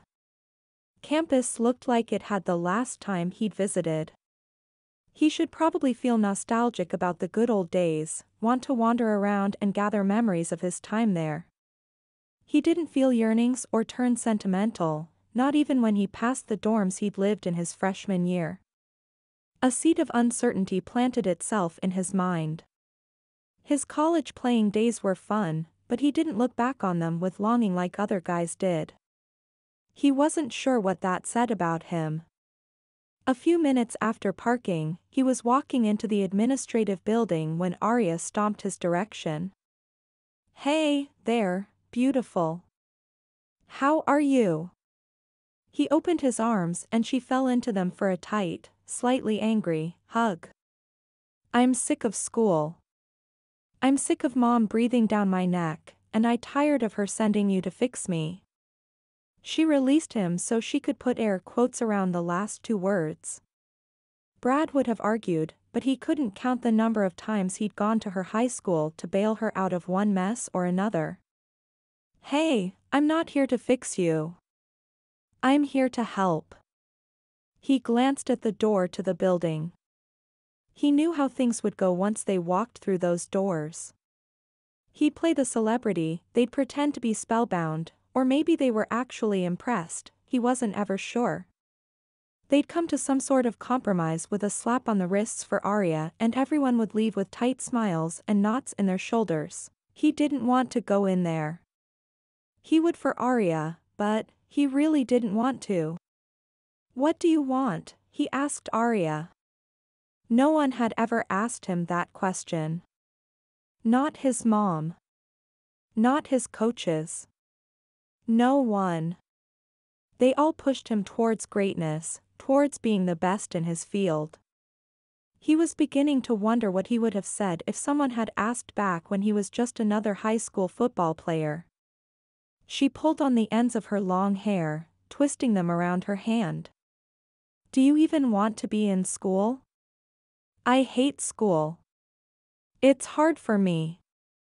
Her shoulders rounded. She'd struggled academically, needed tutors to make it through the basic classes. Babisis Dollar was a stinking genius. She could beat the pants off them in a math competition. No wonder she was mom's current favorite. He'd been her star when he was growing up, shining on the field and earning mom praise right and left for having such a gifted son. Arya had lived in his shadow and then been shoved aside by Babisis Dollar who won science fairs and completed college-level courses, as a high school sophomore. So, what do you want? Her eyes turned red and swelled with tears. I want to be away from mom. She's slowly killing me, Brad. I swear. I can't do anything right. He hugged her again. He understood. Mom was intense. If he had a bad game, she was in the backyard, blowing the whistle and making him run the play over and over again until he got it right. He didn't think anything of it at the time. It was just how his life went. His mind cleared and a path laying out before him. Okay. You can live with me. She jerked back, her face alight with hope. He held up a finger. If you don't have a job, any job, in two days, you're out. Two days was a fast deadline but she worked best under pressure. I can find something, I will. Her eyes darted around the landscaping, her head spinning the possibilities. I know. His phone beeped. That's probably mom. He pulled out his phone and Arya leaned over to see the text. Petra, you've changed my life. She added a picture of the vacuum charging in an outlet. She'd made two eyes out of white paper and a blue marker and stuck them on the front. He smiled. Yeah. It felt great to make her happy. Who's that from? Arya asked. Uh, he stuttered over the definition. Petra meant much more to him than a friend but she'd insisted they keep things casual. Woman. He mentally stuck his tongue out at himself for being an idiot. You bought a woman a vacuum? Dude, you have no game. He laughed. How many times had Petra told him that same thing? I'm pretty sure the vacuum was a touchdown. He glanced down his nose at his know-it-all sister. Can I make you dinner tonight? He typed. He'd already asked when he could see her but persistence didn't hurt. Besides, he missed her. I gotta see this. Arya folded her arms. He rolled his eyes, lifting the phone so she couldn't read it. He needed to explain this new situation to Petra. Arya moving out of her house and in with him was going to blow up the family. But that was for him to handle. He wanted someone to talk things through with, to bounce ideas off of and Petra was the perfect someone. She understood people, and she was a mom, she'd know how to handle this. He chewed his lower lip as he contemplated his sister's request. Things are still new with her, he left the implication that a little sister tag-along wouldn't be cool hanging there. Oh, Sakai. I'll call Dominique. Crap. Dominique liked to party, too hard for Brad's tastes. I'll ask her if she minds. He sent of the text. Petra, sure. Let's eat at my house. You bring the food. I'll make sure the carpet is clean. Wink. And just like that, Petra opened the door to his family. He was impressed with her hospitality. He only hoped she knew what she was getting into. Chapter 20 The caterer I tempied with was looking for a few more full-time people. If you're interested, I can give you the number. Petra finished off the freeze steak with a happy moan. Across from her, Brad's sister picked at her food. Her nose wrinkled. Thanks, but I'm not sure that's a good fit. Her words were nice enough but the expression on her face told a whole other story. She looked down on Petra for waitressing. Mentally smoothing down the bristling of her pride, Petra applied a smile. Well, if you change your mind let me know. She turned to Taya. Two more bites, sweetie. Taya scowled at the broccoli as she took a nibble from the tree end. She'd clamped her lips shut at the mention of steak. At five and a half, she had yet to learn to appreciate the deliciousness that was grade A beef. If it didn't have chicken in it, Taya was a food snob. She should have warned Brad. Instead, she'd had to pull on her mommy panties and wage a battle with her daughter. Said daughter was in the I don't like it corner while Petra was in the you have to eat to live and for the love be polite corner. There were never winners when dinner became a battle. Instead of press the steak, Petra pointed to the steamed veggies which Taya normally ate with only half a prompting. Tonight her daughter was in rare form. And in front of Brad too. She turned to him with a weak smile. It's delicious. Thank you for cooking. He swiped his napkin across his lips. They still glistened from the steak and for a moment she was lost in the memory of the feel of them on her lips, of his hands on her lower back, urging her closer. If only that were possible right now. Like the ancient commercial for bubble bath, she wanted Brad to just take her away from this crazy life. I'm glad you liked it. Um, hmm. She moaned. Taya's giggle brought her back to reality. She and Arya were looking at her like she had broccoli for brains. Maybe she did, sitting here mooning over Brad with an audience. The sooner she got it into her head that she wasn't the glamorous woman who dated professional football players the better off she'd be. Picking up her plate, she made her way to the kitchen and opened the dishwasher. If there was any job that said average life it was washing dishes. Taya brought her plate over too. Can I be done? Petra barely glanced at the food left, sure that there was more than there should be and those two more bites hadn't disappeared. Sure. She took the plate and scraped the morsels down the disposal. Would you like to play beauty parlor? Taya asked Arya. I have pretty nail polish and stickers. Petra held her breath as the invitation hung in the air. Arya was the most glamorous person to enter this house in a long time. Her beautiful black hair was tousled in long waves, the kind commercials called sexy beach waves. She wore makeup like a My Heart Channel pro, her shirt was tight enough to double as a corset, and her jewelry was bold and demanded attention. She wore it all as if she'd just rolled out of bed gorgeous. She probably had. Maintenance on a look like that was so much easier than creating it from scratch. Sure. Arya smiled at Brad as if looking for his approval. It'll be fun. Petra glanced down at her chipped nails before plunging her hands into the dishes stacked in the sink. She ignored the feel of something slimy and kept right on loading the lower rack. Thanks again for letting me bring her tonight. Brad set his plate by the sink and went back for another load. They kept their voices low so the girls, hunkered down around the coffee table with an army of nail polishes, wouldn't hear them talking. Petra appreciated his willingness to jump in and help with the dishes. Of course, since the alternative was painting nails, he'd probably figured he'd gotten the lesser of the two evils. You know what, it was a good thing, it kind of took the pressure off of you and Taya meeting for the first time. There was pressure? His forehead wrinkled. She nodded and smiled up at him. There was. And you handled it well.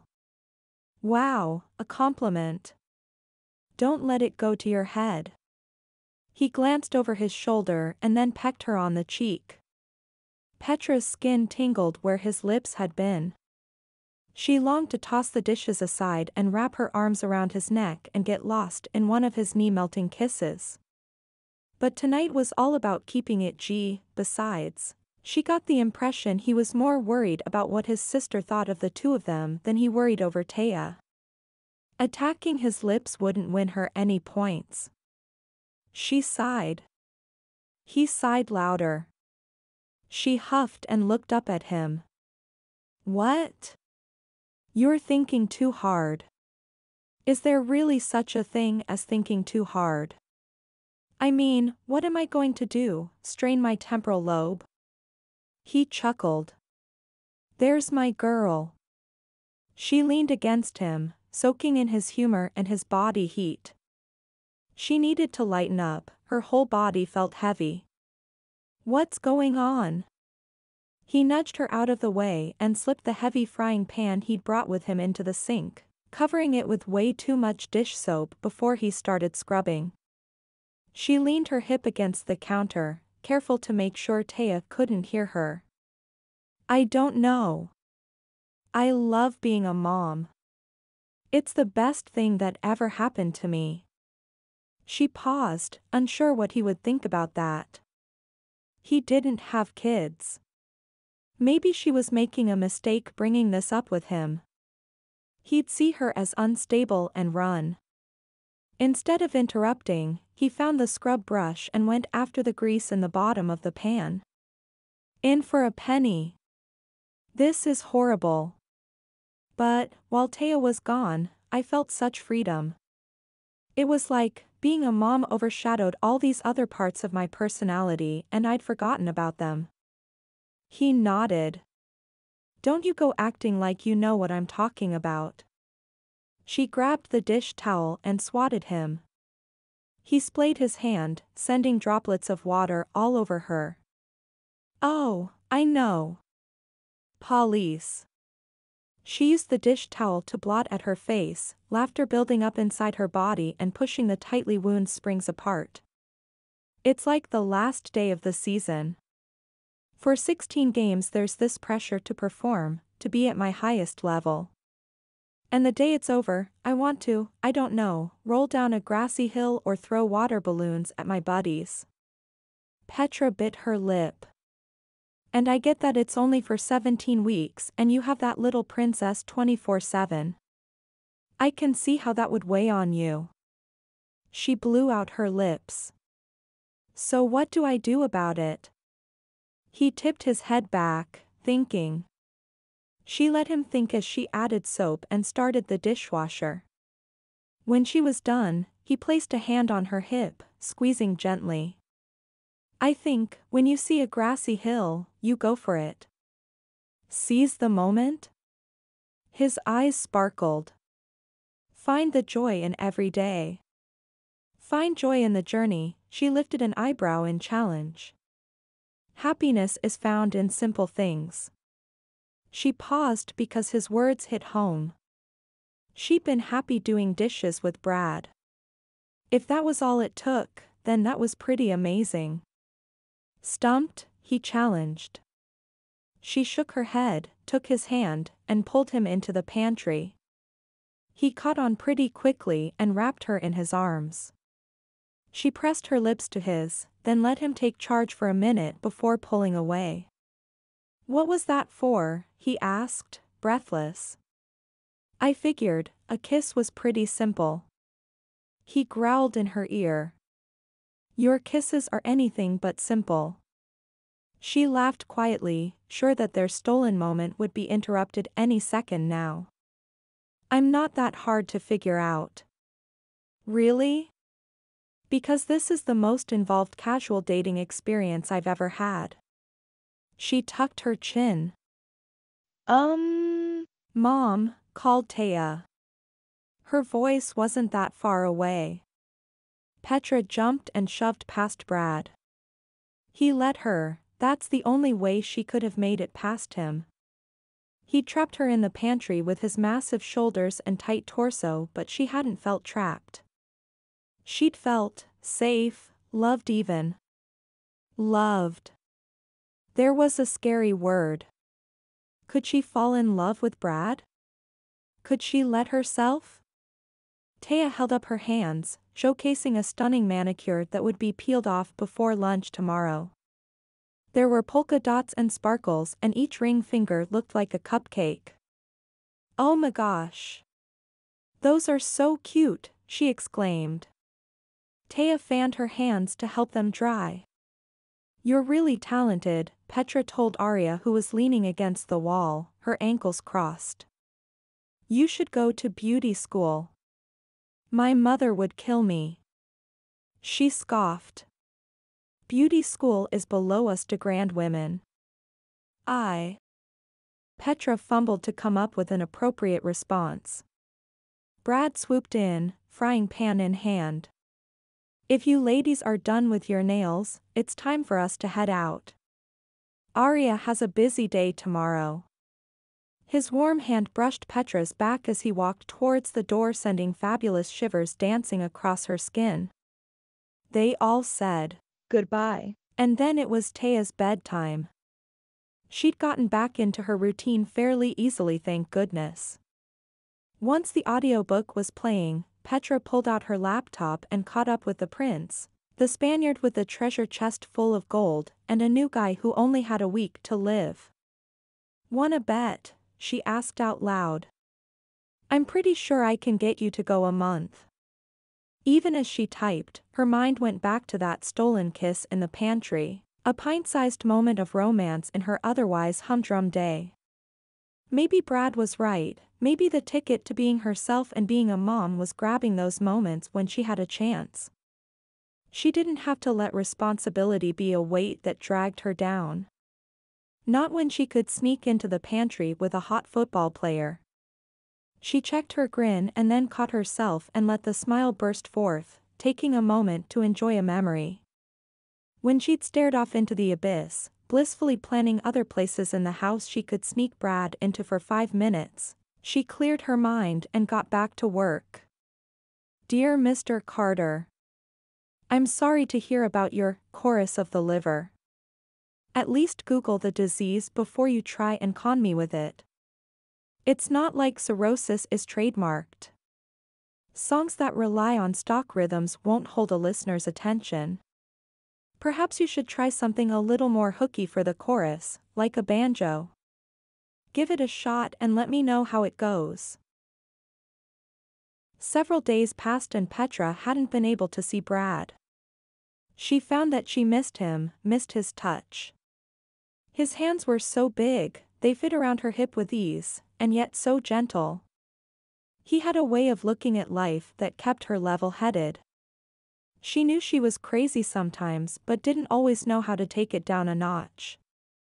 He managed to make things seem manageable with just a few words of encouragement. They'd had plans to go out last night while Taya was on her weekly visit with Dylan, but Brad was sick. She'd talked to him on the phone and his voice was raw. She'd ended up spending the evening with her laptop. The prince had gotten fed up with her stall tactics, and called off the whole rescue attempt opting to take his chances with his brother's half-sister's cousin instead of read another cake recipe. The next day, she was at work, cleaning the teeth of a seven-year-old with an aversion to brushing. She'd managed to get him to rinse with mouthwash to help with the smell, which was a plus. The poor guy's gums were swollen and sore. She hated to see kids in pain when the answer was so simple. Just as she was rinsing him off, Dylan poked his head in the exam room. She cringed, historically, surprise visits were a bad thing. Hi. What are you doing here? Wow. Nice welcome. His tone was light so she didn't get her hackles up. I was driving by and I know you don't answer your phone when you're at work so I came in to ask if I could borrow Taya tonight. Evie wants to take the girls dress shopping for the wedding. They'd set a date less than two weeks away. Petra was invited. She'd gotten an official invitation and everything. Which was weird and it wasn't. Dylan hated limbo. What time? I'll pick her up at school. Petra mentally ran over her to-do list for the evening and found that it was surprisingly short. She'd wanted to take Brad some soup but didn't want to expose Taya to his germs. A sick kid meant she was homebound too and that was no bueno. Sure. She dabbed at the kid's gums, trying to get some of the bleeding to stop. She'd have to talk to the dentist about talking to the mom about his gums. With a little effort, they could be healthy. Dylan patted the door jamb. Thanks. You know, you've been really cool about this whole thing. The girls had a great time at your place. They keep asking when they can come back. Petra's first instinct was to think Brad was trying to flatter her into babysitting. She held on to that thought just long enough for another one to pop up. The girls were very sweet and they'd enjoyed making the Valentine's crafts. Even if Brad was working it to get a babysitter, she wouldn't mind having the kids over again. Yeah. We'll have to set something up. Sounds good. Thanks. He left just as quickly as he'd come and Petra went back to work. She cleaned up the boy's mouth and went to get the dentist, running into Maddie in the hallway. Dr. Payne was just finishing up in room 5 so she waited. Do you have any plans tonight? she asked Maddie. Maddie tightened her ponytail. I'm going to see that movie we talked about. Wanna come? Petra considered the invitation. She'd been worried about Brad all day. He was so big and strong that she couldn't imagine him laid low by something as little as a cold. Maybe he was one of those baby types. The kind who moaned and laid around until they felt better. Hmm. I'm spending the evening with Brad, he's not feeling well. But thanks for asking. Dr. Payne came out of the room and stopped at the sight of the two of them. Am I behind? Nope. Petra smiled and waved him in the direction of her patient. You're right on time. The rest of the day flew by quickly as she anticipated spending the evening taking care of Brad. Taking care of a sick muscle man had its perks. Maybe kissing was off the table, she didn't need his germs, but the chance to hang out with him, to just share the same space for a while, made her heart lift. Petra climbed out of her van and took in Brad's house. His extra-large house. She cocked her head. If she had to describe it, she'd say it was craftsman style. Dark gray with white trim and shutters on the windows, the home had a good feeling about it. Perhaps that feeling came from the large front porch with white slats and a railing. She could imagine afternoons in the shade, rocking and kissing. She jerked herself out of the daydream. Soup, lots of soup for the sick guy. That's why she was here. Not to plan out her future. They were still in casual mode, not that Brad hadn't tried to have the relationship upping conversation the other day in the pantry. Thankfully, they'd avoided that one and he hadn't brought it up since. She wiped her palms on her scrub bottoms. Yes, she was being cautious but her heart had already been through so much, she couldn't put it through that much pain again. Brad was just going to have to be patient. Unfortunately, like most football players she'd known, he was not patient. Her old self would have waved a hand down her body and said, how can he be patient when he could have all this? She shook her head at her crazy thoughts and retrieved the takeout bag from the back seat. The brick walkway was nice, a homey touch. The house could have been intimidating, because of its size. What did a single guy need with all this square footage anyway? She climbed the wood steps and knocked. A few seconds later Arya answered the door. Her brows pulled together. What are you doing here, Brad's sick. Petra was taken off guard by her territorial tone. She smiled and lifted the bag. I brought dinner, for the two of you. Not really, but there was enough to feed them all so she might as well play nice. Whatever. Arya dropped her arm from the door and sauntered in the house. Not exactly an invitation but probably the best I'm going to get. She made her way inside, her steps quiet on the hand-planed flooring, and went the general direction Arya had disappeared to. That path brought her to the kitchen. Relieved, she set the bag on the counter and began unloading styrofoam containers of hot soup, crackers, and breadsticks. Arya slid onto the counter top, her legs swinging. Petra bit back how unsanitary it was to put her rear end on the counter where food was prepared. How's work?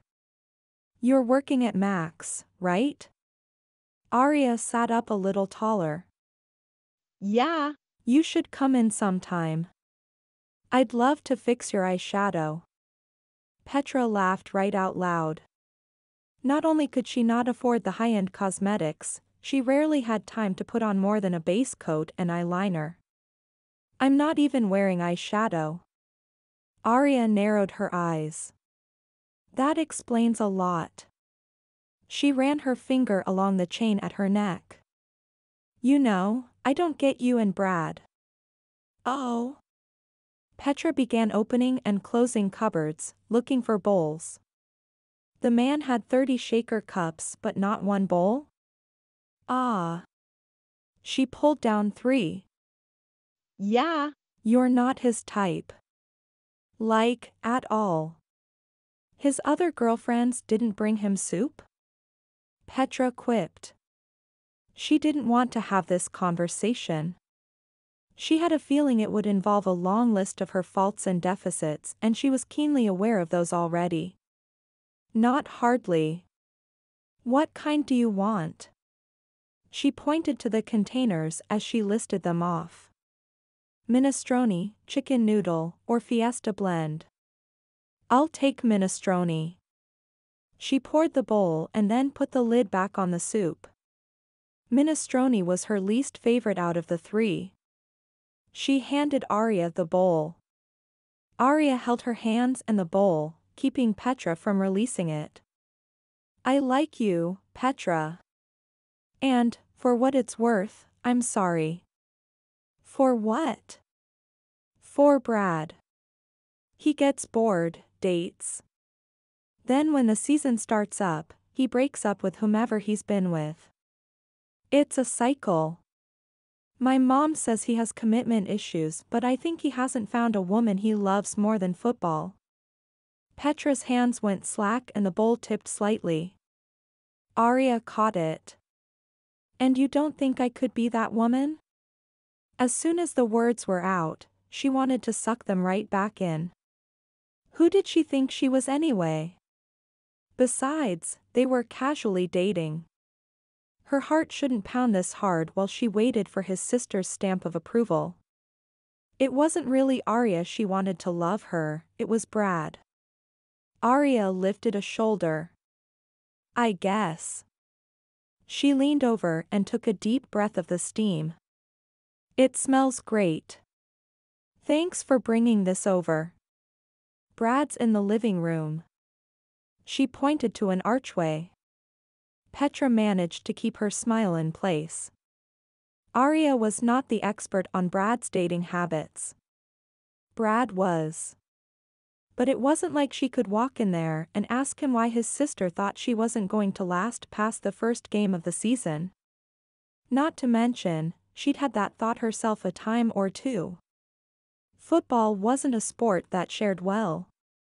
It was demanding, all-encompassing, and it played dirty. No offense to football in general. Then again, most players only had five years in the league. Handing over five years of your life in exchange for financial freedom seemed like a fair trade. She wasn't so sure. She wouldn't compete with football, she refused. And, she couldn't give Brad some sort of ultimatum. That wasn't fair to him. Especially since she wanted to avoid all relationship talks for the time being. Avoidance wasn't a good strategy but it was all she had at the moment. Chapter 21 Off-season workouts weren't meant to stress the body. They were a way for the trainers and coaches to evaluate players and for players to keep their skills up. A few of the guys were nursing wounds earned during the season. That's how it was for Titans. They pushed themselves to the point of breaking for 17 weeks and then spent the next few months recovering. Brad was one of the lucky ones. He'd made it through the season with just a few pulled muscles. Now that his cold was gone, he felt strong. Petra was the one to thank for that. She brought him soup, rubbed menthol on his chest, a process he enjoyed much too much, and kissed his forehead before she left. Despite her tender bedside manner, he had the feeling that something was wrong. She didn't hold his gaze, dropping her eyes behind her heavy lashes far too quickly for his liking. He'd sent several texts and received short answers. Since he was finally back to 100%, he wanted to see her, but she'd had an excuse every time he'd asked. Valid excuses, but excuses nonetheless. Add to that his growing unease that he'd picked football to appease his mother and his head was all over the place. He had this feeling that if he could just see Petra, talk to her, she'd put it all in perspective. You're looking good, Degrand, shouted their strength trainer, Hank. He never said anything, always shouted. Which was fine when he was giving you compliments but if he thought you were wussing out, the whole gym knew it.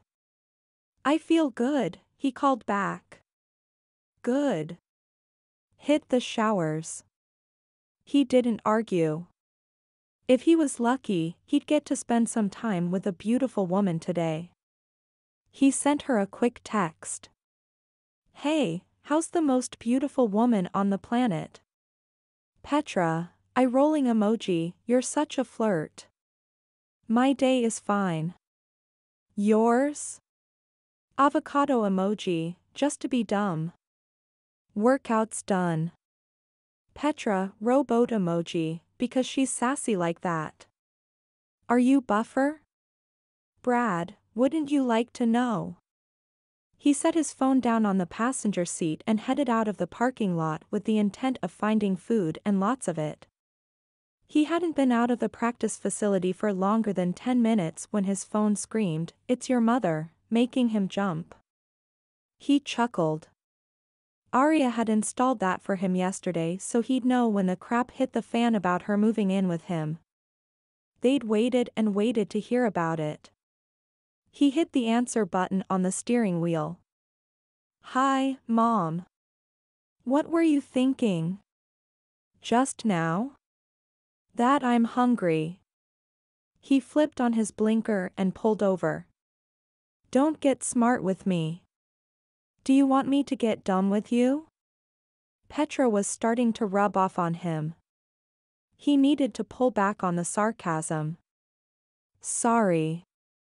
I just got out of a workout. I'm pumped up. A likely excuse but the only one that she'd let slide. Arya needs to be in school. Agreed. Then why is she schlepping cosmetics and not in class? Because she needs to find her own way back. If she goes back. His mom gasped. You're enabling her bad behavior. I'm giving her room to find herself. You should try it sometime. He clenched his jaw. What is that supposed to mean? Nothing. You're undermining me as a parent.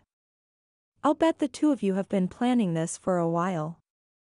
Brad pinched the bridge of his nose. I'm not the bad guy here, Mom. And I suppose I am? No. There's not a bad guy. Arya's not the bad guy either. She has the right to make her own path, even if you don't like it. You never gave me such trouble. Because we had the same vision for my life. Thank goodness. He barely stopped himself from ragging on his mom. That wasn't his job. Look, I have to go. I have a lunch appointment. This isn't over. Sure. Sure. We can talk about it another time. He said, Goodbye. and hung up before she could prolong the discussion. Brad, can I take you to lunch? Petra, does cereal taste better with milk? Brad, why yes, it does. I'll pick you up at your office. Petra, I'll be ready in 20 minutes. He sent her a thumbs up emoji and then put the car in drive and pulled back into traffic. It wasn't long before they were seated at a deli. He had three sandwiches in front of him, she had a half a sandwich and a salad. She glanced at his lunch, lifted her eyebrows, and then smiled easily. I get the feeling that you enjoy the fact that I'm always hungry. She nodded, her hand over her mouth as she chewed lettuce. She swallowed and said, It makes me think I'm dieting, even though I'd eat this any day. Like you'd need a diet. She rolled her eyes and took an extra large bite of her sandwich. They ate for a minute before she asked, So what's going on with you? What do you mean? There was something big going on inside of him, but he wanted to know how she knew. She waved her hand around in front of him. You have this whole preoccupied aura going for you. Is it Arya? Sort of. He set his food down and brushed the crumbs off his fingers. She's doing well. Better than she has in a long time. I hope it lasts. It will. She's a smart girl. Yeah, I just. She's got me thinking about my own life. About the decisions I've made. Petra leaned back, her palms on the table and her arms straight. Like what? Football. Whoa. Whoa, there big guy. You told me that you were the game and the game was you. I know. But I never really had a choice. The path was always there in front of me and I just went with it. He rested his elbows on the table. I could be a great golfer, better than Tiger, and I'd never know. She licked her beautiful lips. Or a ballet dancer. An astronaut. A firefighter. A computer programmer. Her eyes sparkled. You could have the key to flying cars locked away in that head of yours and because you played football, none of us will have flying DeLoreans. He cocked his head and a smile. It's crazy how well you understand me. She nodded seriously as she drank from her straw. You know what you have to do, don't you? Buy some plutonium? No, she smacked his arm. You need to take the coin test. The what now? The coin test. She picked her purse off the extra seat and dug through, coming up with a quarter. It's a simple test. Heads, you keep playing football. Tails, you quit. Okay. His head spun. He couldn't let a coin toss decide his fate, could he? Then again, up to this point in his life, that had basically been his strategy. He'd gone with the hand fate dealt him, and it had done well. He played for a fantastic football team. He had a big, beautiful house. He was dating this sweet woman. Why not let fate decide? One, two, three. She flipped the coin. Time slowed down as Brad watched the silver disc turn over and over in the air. It moved so slowly he could practically read the date. And while it spun through the air, he thought about what he'd do if it came up tails. He have to quit the team. That would suck. He had a good rapport with the other players. London was his friend. He'd think Brad was nuts to quit now, at the top of his game. And he was right. He'd lose out on a good portion of his contract. That was money in the bank if he stuck around. And, if he managed it right, he and his future family would be set. Without that guarantee, he'd have to find a job. Working at a desk sounded exhausting and morally depleting. He'd be grumpy in a day. His legs bounced. And then there was the rush of a play going right. The kind where he could read the ball, read the field, read his opponent so well that everything clicked into place and he soared. It wasn't about the crowds, it was about the clarity that came when he pushed himself to the brink and then found another ounce of will to go one more play. It wasn't about his mom and what she wanted either, that disappeared when he went off to college. He dug his cleat into the grass and it felt like home. Football had gotten him through the lonely first year because football was a piece of him. As long as he had that piece, he'd have peace. The quarter landed in Petra's palm and she flipped it over onto the back of her opposite hand. Brad covered her hands with his one. Don't. Her energy stilled. Why not? Because I can't walk away from it. Says who? Says me. He smiled the words tumbled out of him. I think, I think I did choose this path, or God chose it for me. Because when I think of my life without football, it's like I'm lost. She smirked and pulled her hands away from his, dropping the quarter into her purse with a pointed look. That's the real test, isn't it? To see if I could live with tails. He folded his arms. She laughed. You're a smart man. She ducked her head and focused on her salad. He picked up his sandwich, feeling much better about life in general. Petra was the answer. He'd known he needed to see her, that she'd help. And she had which made him fall just a little deeper for her. You're pretty amazing, you know that? She laughed. Yep. But I'm glad you know it too. He shoved her lightly, already feeling better, happier. Yeah. He knew she was amazing. He just wasn't allowed to do anything about it. If it were up to him, they'd be exclusively dating, and he didn't need a coin flip to figure that one out. Chapter 22 That night Petra sat at the bar in her parents' kitchen and shared everything that had happened since Valentine's Day. Her mom and Nora stood on the other side of the bar, their spoons dipping into the Chocopolitan ice cream container at regular intervals as they listened with rapt attention. Her dad had taken the three granddaughters for ice cream. No doubt they were all getting tummy aches and dad would be popping tums all night. When she'd summed up their lunch that afternoon, she finally took a deep breath and went for a spoonful of ice cream. Three different flavors of chocolate in one pint-sized container was heaven. Mom turned to Nora. Well, I'm glad he's playing for himself.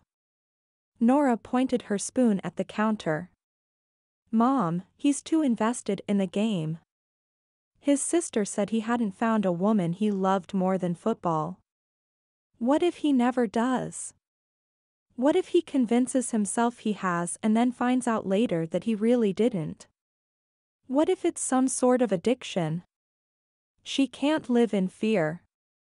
No, agreed Nora but she doesn't have to put herself in that situation again. They continued to talk about her as if she weren't there. Petra let them go on because she had the same thoughts bouncing around in her head. Maybe they could come up with an answer about football. Brad isn't Dylan. Besides, there are no guarantees in life. She could fall in love with a dentist who dies in a plane crash. Should she avoid flying for the rest of her life? Nora's hand went to her chest in shock. You can't seriously compare dying in a plane crash to playing football. Mom was right. There weren't guarantees. Life was full of ups and downs. The trick was to find a way to enjoy the ride. Brad made her happy. When he told her today that she got him, her whole body had gone warm and gooey. He got her too. Even though she told him he had no game, his cheesy one-liners never failed to lift her spirits. And his kisses? Forget about it. The man was a pro. Instead of letting the debate continue, she decided to interrupt. Pulling Dylan and Evie's wedding invitation out of her back pocket, she flopped it on the counter between the two of them. They paused, glanced down, and then pounced on it like cats on a laser dot. They both looked up at the same time, their eyes brimming with uncertainty about how to proceed. After all, the remarriage of an ex-in-law was uncharted territory. Petra flipped her spoon over and sucked the ice cream off of it before saying. I was thinking of taking Brad as my plus one. Mom and Nora exchanged a look. Nora nodded approvingly. That'll show Dylan what he's missing. Brad's, buffer, cuter, and actually made it onto a pro team. Whoa! Petra held up her hands. That's not at all what I was thinking. Really? asked Mom in disbelief. I wouldn't mind seeing Dylan eat a little humble pie. What has gotten into you too? Petra snatched up the invite and stuffed it back into her pocket. You're supposed to be an example as the older sister. I'm supposed to protect you. Ask Andrew how many times I threatened to go after Dylan with a paintball gun for what he put my baby sister through. Petra sat up taller. She didn't need her big sister to protect her. Although, there were a couple times she would have planned the paintball attack if she'd known that was an option. Dylan has been a much better ex-husband than he was a husband. Mom conceded the point with a nod. Besides, Petra hurried on before Nora could argue with her. He's moving on. I want to too. And, I like Brad. I think brining him to the wedding would be a good way to say I want to be more serious. She took an extra large bite of ice cream, filling her mouth so she couldn't say anything else. She put Brad off for some time, not wanting to get serious. He'd proven over and over again that he was a good guy, trustworthy, and maybe he was her match. She wouldn't know unless she gambled some of her heart. The thing was, with Brad, it didn't feel like much OFA gamble. Ugh. Nora pumped her eyebrows. Fine. If it's that. She lifted her spoon full of milk chocolate ice cream. But that doesn't change the fact that he's totally hot. Who's hot? I can turn down the thermos, said Dad as he came in on the tail end of the conversation. The ladies all giggled at his cluelessness. Mom pecked a kiss on his cheek and he gave her side a squeeze. Petra sighed. If she was ever going to get where her parents were, she was going to have to be brave in the here and now. She hugged Taya hello and then sent her to the bathroom to wash her sticky hands. She could only imagine what the inside of her parents' car looked like. Three little girls with ice cream fingers could do some damage. While Nora helped her girls in the kitchen sink, Petra snuck out to the garage to call Brad. Brad. Brad flipped through the channels, looking for something good. Football was over. Baseball hadn't started yet. Golf was not in swing. There was nothing good on. He brought up the streaming movie service, hoping to find something to binge watch. Petra was at her parents' house and Arya was out with friends. London was in Seattle with Maya on tour. He could have called a couple of the other guys but they'd want to go out, hit the clubs, and he wasn't in the mood. All he really wanted to do was be with Petra and Taya. The little girl was growing on him. He'd watched over his younger sisters growing up, and Petra's daughter brought out the same protective grizzly bear inside of him. They could do something she wanted to do. Well, not play beauty parlor, he had to draw the line at that. But maybe she'd like to go to the park or something. His phone rang and he picked it up, already feeling happier just because it was Petra. Hey, babe. Hey, her voice was soft, as if she didn't want to be overheard. Are you still at your mom's? Yeah. The kids just got back.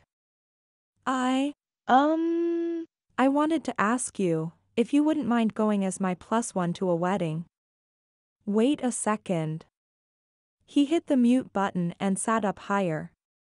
Are you asking me on a date? Oh my gosh, don't make a big deal out of this. She was nervous. His smile went from 10 to 100 watts. Finally, she was going to introduce him to her family. If that wasn't a step up from casual, he didn't know what was. Whose wedding? See, that's the thing. It's a little awkward because it's Dylan's. Brad's heart screeched to a stop, right along with his thoughts. Dylan? Your ex? He knew darn well who Dylan was and that they'd been married. He knew much more about Dylan than Petra thought he knew. yeah. Is that weird? Is it too soon to introduce you to my ex? He could just see her twisting the hem of her t-shirt in her delicate fingers. He took a moment to really hear what she was saying. She was asking to take things between them to the next level. He'd be an idiot to say no. Avoiding Dylan was impossible if he was going to continue to see Petra. If he was ever going to be able to say I love you without scaring her away, he had to put forth the effort to be a part of her life. And, no matter what happened between them, Petra and Dylan shared a child. Dylan would always be a part of her life. No, not too soon. He cleared his throat once and then had to do it again before he could talk. I'd be happy to go with you. Okay. Good then. I mean, that's great. Petra, Yeah. it's going to be okay, okay? Who was he trying to convince here? I know. I'm not at all upset about Dylan getting remarried. I mean, I thought I would be, but Evie's been really good for him. He's a better person with her in his life, more devoted to being a dad and better at communicating. I'm happy for him. Brad scratched his cheek, confused as to why she was unloading this all on him. Uh, Huh. So I'm not nervous about Dylan. That's good. The line was silent so long he checked to make sure the call was still connected. Then it hit him. You're nervous about us. Maybe, she said so quietly he had to strain to hear her. Honey, we're good. It's just, this is kind of a big deal. My family is growing. I'm going to be the coolest aunt to Dylan's new girls. Is that what you'd call me? I'm not their stepmom, so I was trying to come up with a term that would work and not be weird. I think aunt works fine. I did too. So my family is growing and it's a big deal to bring you into the circle because it's been the same size for years and now, it's not. He scrubbed his knuckles over the couch cushion. You stink at relationship talks. She burst out laughing. I didn't always. I just wish I could have said all this in person. Do you want to video chat? Heck no. I probably have ice cream all over my chin or something. I'll bet you're beautiful, he said soft and low charging the conversation with intimacy. You're too good to me, Brad. There's no such thing. Thank you. The I love you was right on the tip of his tongue. Saying it over the phone would be so much easier than saying it in person. But, that was one area that he didn't want to take the easy way out. Once again, he was struck with the idea that Petra deserved better than a phone call confession of love. He'd tell her, and he'd tell her right. Are you good? I'm good. They worked out the date and dress code, said Goodbye. and hung up the phone. Brad leaned back against the couch and stared up at the ceiling. This was an interesting turn of events. He hadn't really thought through what would happen when he saw Dylan. Maybe it was his one-track mind keeping his eyes on the prize, Petra. There was a day of reckoning coming. Maybe, like Petra, Dylan wouldn't remember him from that day and nothing would happen. But what if he did? The sound of Petra's nervousness coming across the phone was enough to spur him to continue forward. She needed him. She claimed she was over the whole Dylan getting remarried thing, but until it happened, she wouldn't know for sure. She needed support. She needed a friend. And, she needed to know she was beautiful and desirable. He could do those things for her. A few months ago, Doc had asked him to visualize what he would say to Dylan if he saw him in person. Brad had worked through the exercise, crafting an apology. It had helped. At the time, he never thought he'd use it. The wedding could be his chance to finally say the words that had stuck to his soul like tar. And, maybe if he apologized to Dylan, Petra would be okay, with his role in her past too. He would apologize to her too. But only if Dylan recognized him. Otherwise, he'd wait until he and Petra were alone to explain how and why he'd found her online that day several months ago. The plan sounded shaky to him. But there was one thing he was certain of, he wouldn't be free to love Petra completely until she knew the whole truth because, until she found out, he would always hold a sliver of fear in his heart. Fear and love were opposites. One couldn't survive while the other had control. Therefore, he needed to gain control of his fear, wipe it out, so that love could thrive.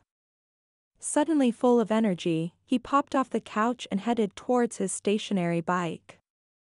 He needed to burn off some anxiety that he was going to lose Petra, because the chance was real that he might. Chapter 23 Petra slowly blew out a breath to calm her racing heart as they entered the restaurant for the wedding dinner. Taya tried to let go of her hand and she adjusted her grip to keep the girl from dogging through the crowd in search of her new stepsisters and BFFs. Not only would she introduce Brad to Dylan and his new family, her ex-in-laws would be here. She hadn't thought much about Mr. and Mrs. Silverling until the ride over. Dylan's parents were good people. They were. They were also under the impression that she'd driven Dylan into his depression. She'd never forget the day Dylan's mom called to tell her that she needed to spend more time seeing to her husband's needs. That was a good day, not. Brad stepped ahead of her, twisting his arm behind his back and reaching for her hand. She grabbed hold, pulling Taya behind her. The group waiting to be seated parted for him, probably not wanting to get run over if they didn't move. She saw a few people take out their phones and snap pictures. That was something she'd have to get used to. Maybe Brad's celebrity status would work to her favor with Dylan's parents. His dad was a huge football fan. He might be struck silent by the fact that she brought a Titan to the dinner. Brad glanced behind him and she smiled, giving his hand a squeeze. A hostess showed them to a private room in the back. As soon as they walked in, Layla and Mila rushed Taya for hugs. They clamped onto one another as if they'd not seen each other for months instead of the mere 24 hours. They'd actually had to be apart. Petra made certain to greet them both and compliment them on their dresses. They were so cute. She lifted her gaze to find Dylan approaching the doorway, a scowl on his face. She glanced down to make sure she'd dressed Taya correctly. Evie had wanted the girls to coordinate in flower dresses. They were all the same print in a different color. It was sweet how Evie included Taya and softened Petra's heart to the situation even more. Taya had on the right dress. Petra gave Dylan a curious look. Dylan glared at Brad and took her by the arm to pull her aside, not even acknowledging her date. She threw an apologetic look to Brad. I'll be just a minute. Leaving him in a room full of strangers was beyond rude. Are you kidding me right now? Dylan growled. What? She shook off his hand. He had no right to touch her, let alone manhandle her like that. Your date. She glanced over at Brad. He had his hands in his pockets and his head down but his eyes were trained on the two of them. What, you're allowed to move on but I'm not. I told you I was bringing someone. You're perfectly welcome to move on. But not with him. He spat out the last word. What's wrong with him? Oh, maybe this was about the fact that he was a football player. Well, Dylan would just have to get over his aversion to all things football. She was done living her life for him, had been for quite some time. Just because he plays football doesn't mean. Brad stepped up to them. He lightly touched her arm, the contrast between his touch and Dylan's wasn't lost on her. Where Dylan had been slightly demanding, Brad's was all give, as in give the butterflies in her tummy something to flap about. I can't let you two fight because I'm here. Brad, he's being unreasonable, Petra defended herself and her choice to bring him. Brad gave a small shake of his head. He's not. He has every right to hate me. What? She glanced back and forth between the two of them. Why? Dylan snorted in derision. You don't know? Man, and you thought I was distant. What? She demanded from Brad. He ran his hand through his hair, opening and closing his mouth. He's the one who took me out of the game, Dylan filled in. The one who, her voice trailed off as her mind picked up speed. Brad was a defensive tackle, her eyes darted to Dylan's elbow and then up to Brad's eyes. You? I don't understand, how? Instead of answering her question, Brad faced to Dylan. The look on his face was resolved, like a man facing a firing squad. If he had been the one to break Dylan's arm, then, her mind couldn't finish the thought because it was so far-fetched. I'm sorry, I've thought about that hit every day for the last five and a half years. Petra reached behind her to find a chair to hold on to. If it weren't for that hit, she stared at Dylan. They would be in a different place right now. Wouldn't they? Her head raced through the past, through the knowledge she had now, seeing things in hindsight. Seeing them clearly, and yet, brand new knowing Brad was involved. Brad kept talking. I didn't mean to hurt you. I didn't mean to take you out. I can't tell you how much guilt I've carried, the day I signed with the Titans, my hands shook so hard. I just, I'm sorry, man. I wish things had turned out differently. If I could have traded places with you, I would have. Dylan continued to glare. Brad faced Petra. I'm sorry to you too. I broke rule number three. I knew who you were that day I first messaged you. I kept tabs on the two of you after the accident. I, I wanted to know if you were okay, and I didn't have any other way to find out. She recoiled. You are a stalker. He gave her a pained smile. Hopefully not in a creepy way.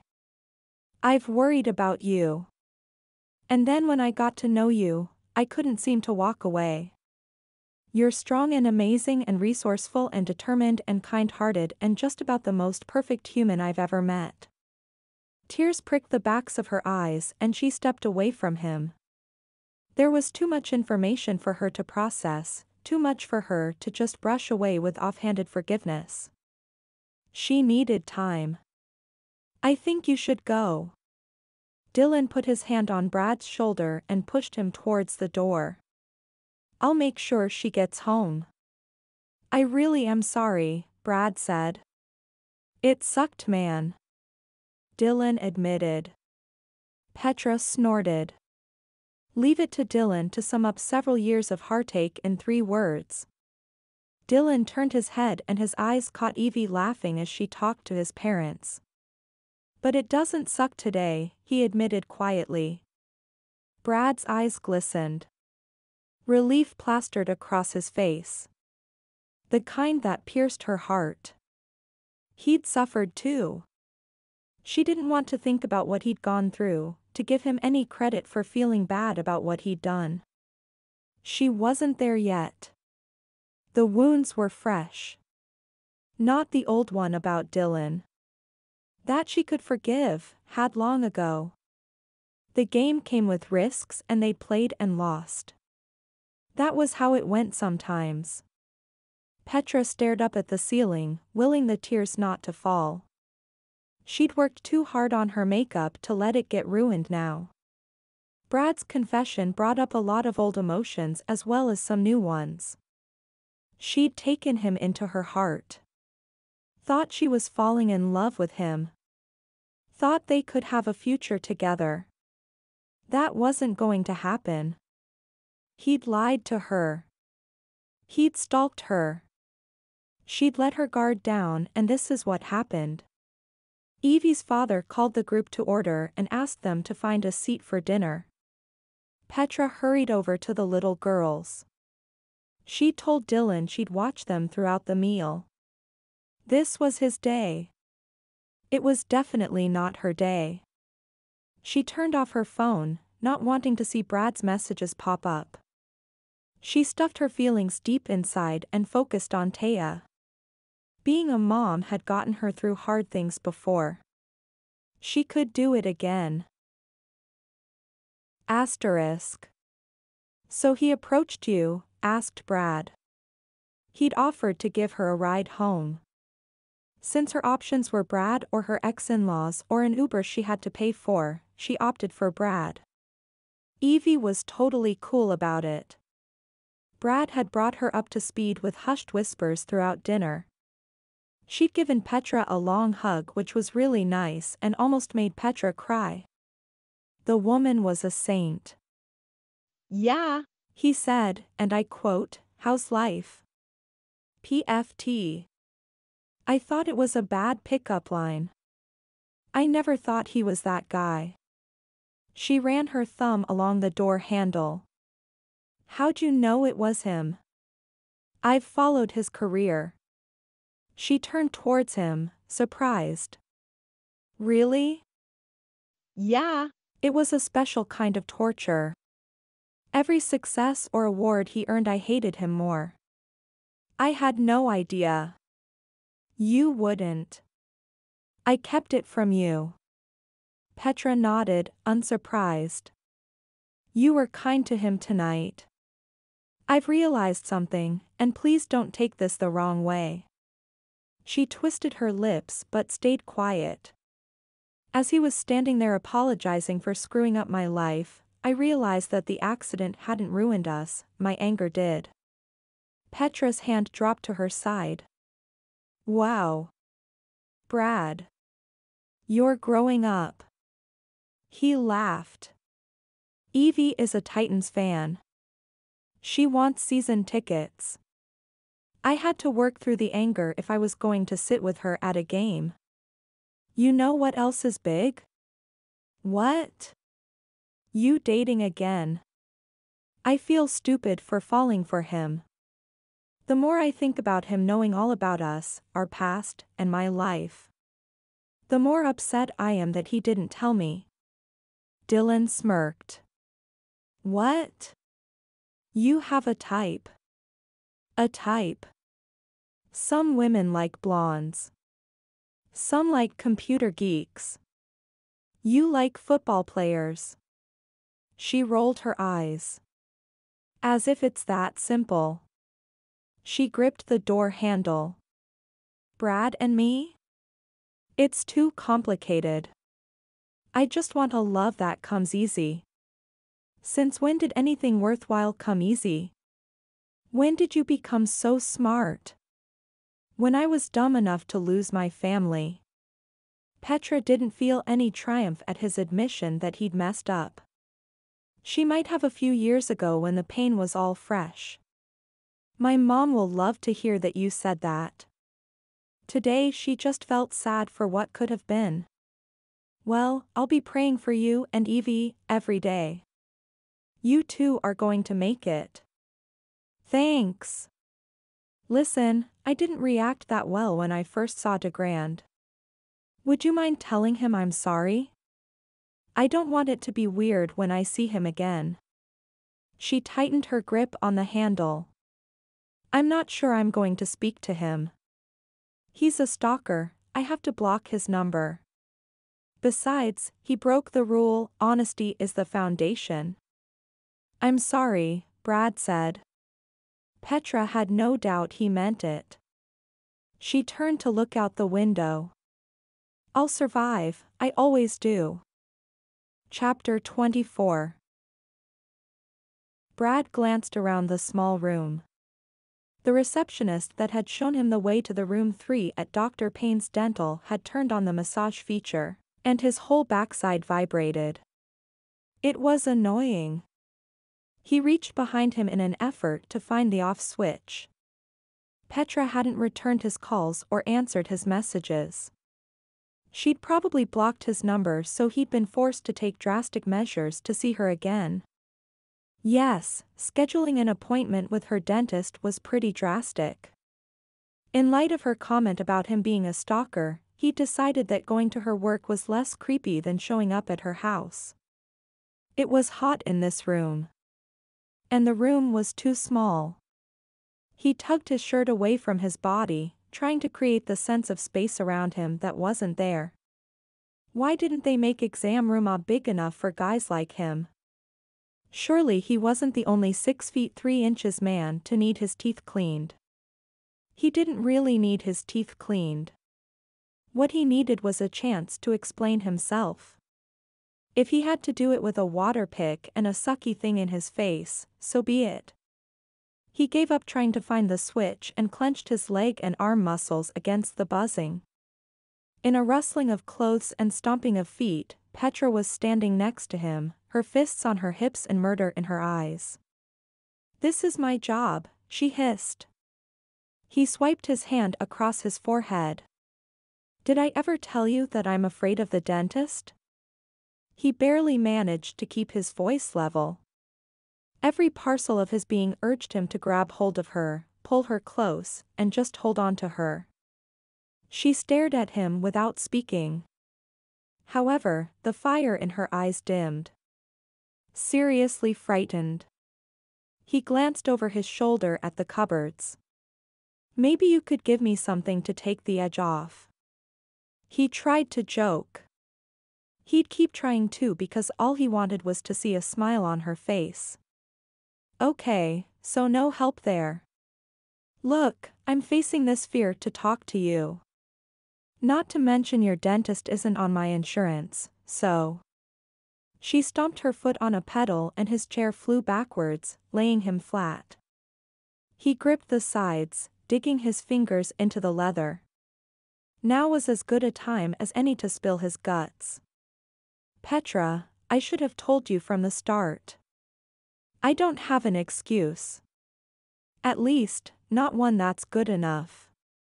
Why did you contact me? She held up a tool of some sort. It was sharp and looked cold, mean. Brad's eyes zeroed in on the impossibly pointy tip. He literally couldn't look away. What I told Dylan was true. I've kept tabs on you guys. Mostly Dylan. I've carried this huge bag of guilt around. I saw you in the stands that day, pregnant. It was too much. Anyway, the team counselor suggested I look in on you. He thought that once I knew you were okay, I'd be able to let go of the negative feelings and break through to another level of play. Did it help? She flipped on the bright light, blinding him. The fact that she hadn't actually touched him hadn't escaped Brad's notice. Not at first. He kept talking, laying it all out there. The whole battery thing threw me off. But then, we talked and talked and I realized that you're wonderful. I expected someone bitter and jaded and I found someone sweet and kind, even to people who don't deserve it. He couldn't help but throw that in there because he really didn't deserve her forgiveness no matter how much he wanted it. You're so much more than I planned on, I, I love you, Petra. She flipped off the light and his eyes slowly adjusted to the change. I can't trust you, Brad. You can, Petra. I'm the same guy who took you on the slingshot and that let you win at go-karts. She snorted at his let her win comment. He hadn't and she knew it but he was trying to break through her walls and the best way to do that, at least with her, was to get her to laugh. You need me, honey. And I need you. You entered my life under false pretenses. I turned my back on basic rules for online safety and I feel like I betrayed part of myself for letting you into my life, my daughter's life. I don't know how to come back from that. I am sorry. She covered her mouth and tears built in her eyes. She ducked out of the room and left him alone. Brad swore. He scrambled from the chair. He wasn't going to sit there if there was no hope. Petra heaved a deep breath, begging her eyes to stop leaking. She was the epitome of professionalism. Breaking down on the job was an unpardonable sin. She didn't mind if others did it but didn't allow herself room to be that dramatic. Yet here she stood, in the stupid supply room, with a tissue pressed to both eyes and her nose running like a dental thing that RUN dollar. Maddie poked her head in the door, took one look at Petra, and slipped inside. Hey! It's been hours since he left. Have you been in here the whole time? Petra choked on a sob as she shook her head. She'd managed to make it through most of the day with only short breaks to cry between patients. He didn't even get his cleaning. She laughed at how stupid that sounded.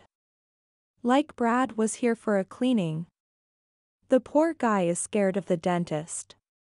Maddie rubbed her back. What are you going to do? I told him that we couldn't work. Maddie frowned even as she continued to rub Petra's back in support. Petra gulped down the lump in her throat and kept talking. We can't. It's too much. My family is all mixed up and in transition right now. His sister moved in with him. I haven't met his mom but I hear she's tough to deal with. I just don't think I can handle the stress. Please. You handle stress better than anyone I know. Petra gave her a weak smile. You don't want to let him go do you? I don't. But. I do. She gripped the tissues in tight fists, Ugh. What am I going to do? Maddie was quiet for a minute. Do you remember when Mark and I were looking at that house and I couldn't decide if I wanted to move? Petra nodded. Maddie fished a quarter out of her pocket. Let's flip a coin. She laughed. You're telling me that I already know what the right move for me is. Maddie nodded. She did know. That's why she was in here crying, because she'd made a mistake sending Brad away.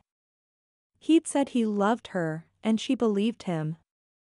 But like a broken record, she repeated the same phrases she'd used to convince herself that she had to break up with him. He lied to me. And stalked me. You say stalking, I say overactive concern. Petra laughed. That's so dumb. It is, but I don't think he intended to hurt you, sweetie. He's in love with you. And the fact that he's been worried about you for years is kind of sweet. Well, crap. Petra pulled out her phone.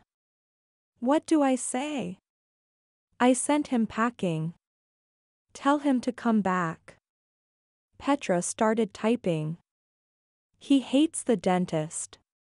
Maddie laughed. And you're in love with him. Yes, I am. She typed several messages and deleted them. Finally, she ended up with How's Life? She hit send before she could change her mind. If he didn't respond, then she'd just have to go to his giant house and track him down. Brad sent back a thumbs down emoji. Not the kind of response she was looking for that included another declaration of his deep-seated feelings for her, but she'd take it. Petra, do you think it's possible that we could be in US? She held her breath. If he said no after seeing her crazy, she'd understand. Maybe she could offer to talk to the team counselor, get some of her issues taken care of by a professional. Brad, yes. Her heart about leapt out of her chest. She couldn't type fast enough and made several mistakes before getting something legible. Even with my ex and his stepkids and your crazy mom who hasn't met me and your sister living at your house, and all the crazy things that have happened this week? Brad, yes. Petra, can I see you? Tonight? Brad, yes. Petra was going nuts. Can you say something besides yes? Brad, I love you. Petra's whole body sagged with relief. I love you too. Brad, confetti emoji, I can't wait to kiss you. I'm coming over. Petra, drive fast. Safe but fast. She jumped up and down, her arms flapping. He's coming, she squealed. Maddie shoved her to the door. Don't stand there, go out and meet him. Petra raced for the front door.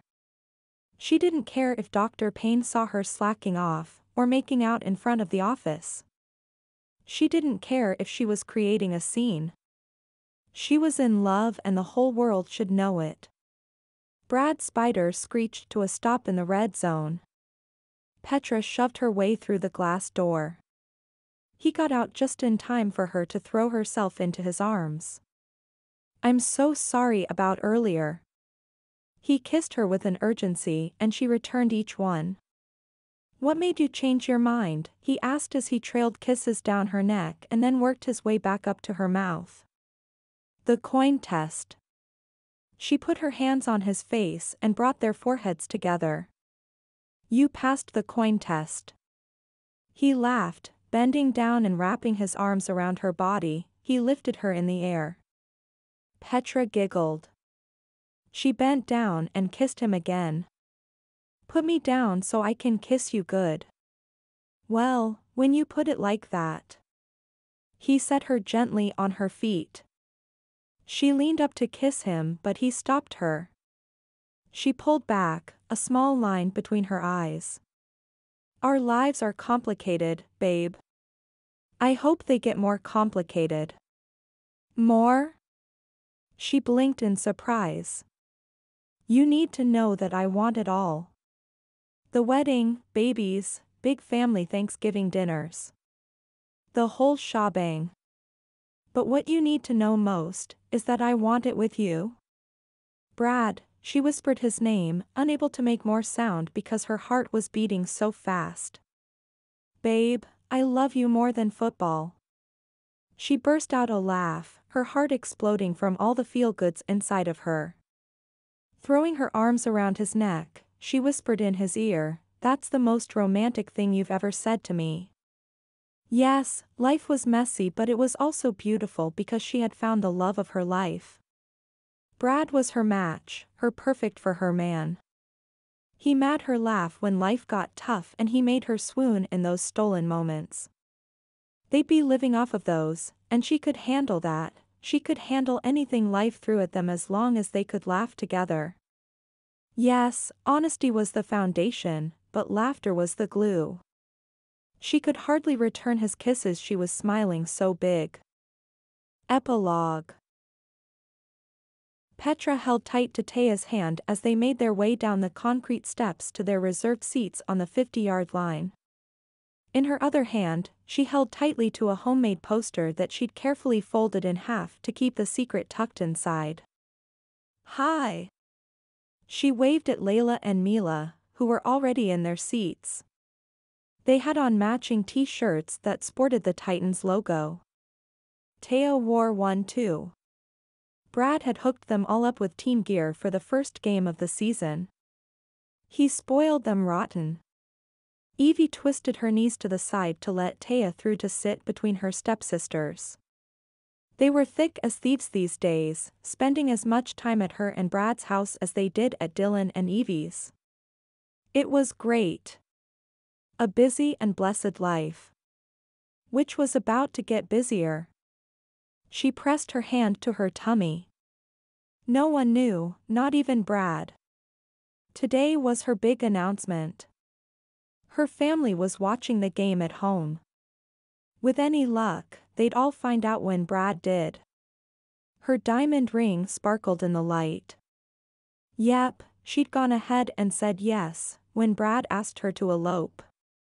They didn't have much time before the season started and she didn't want a big wedding, not again.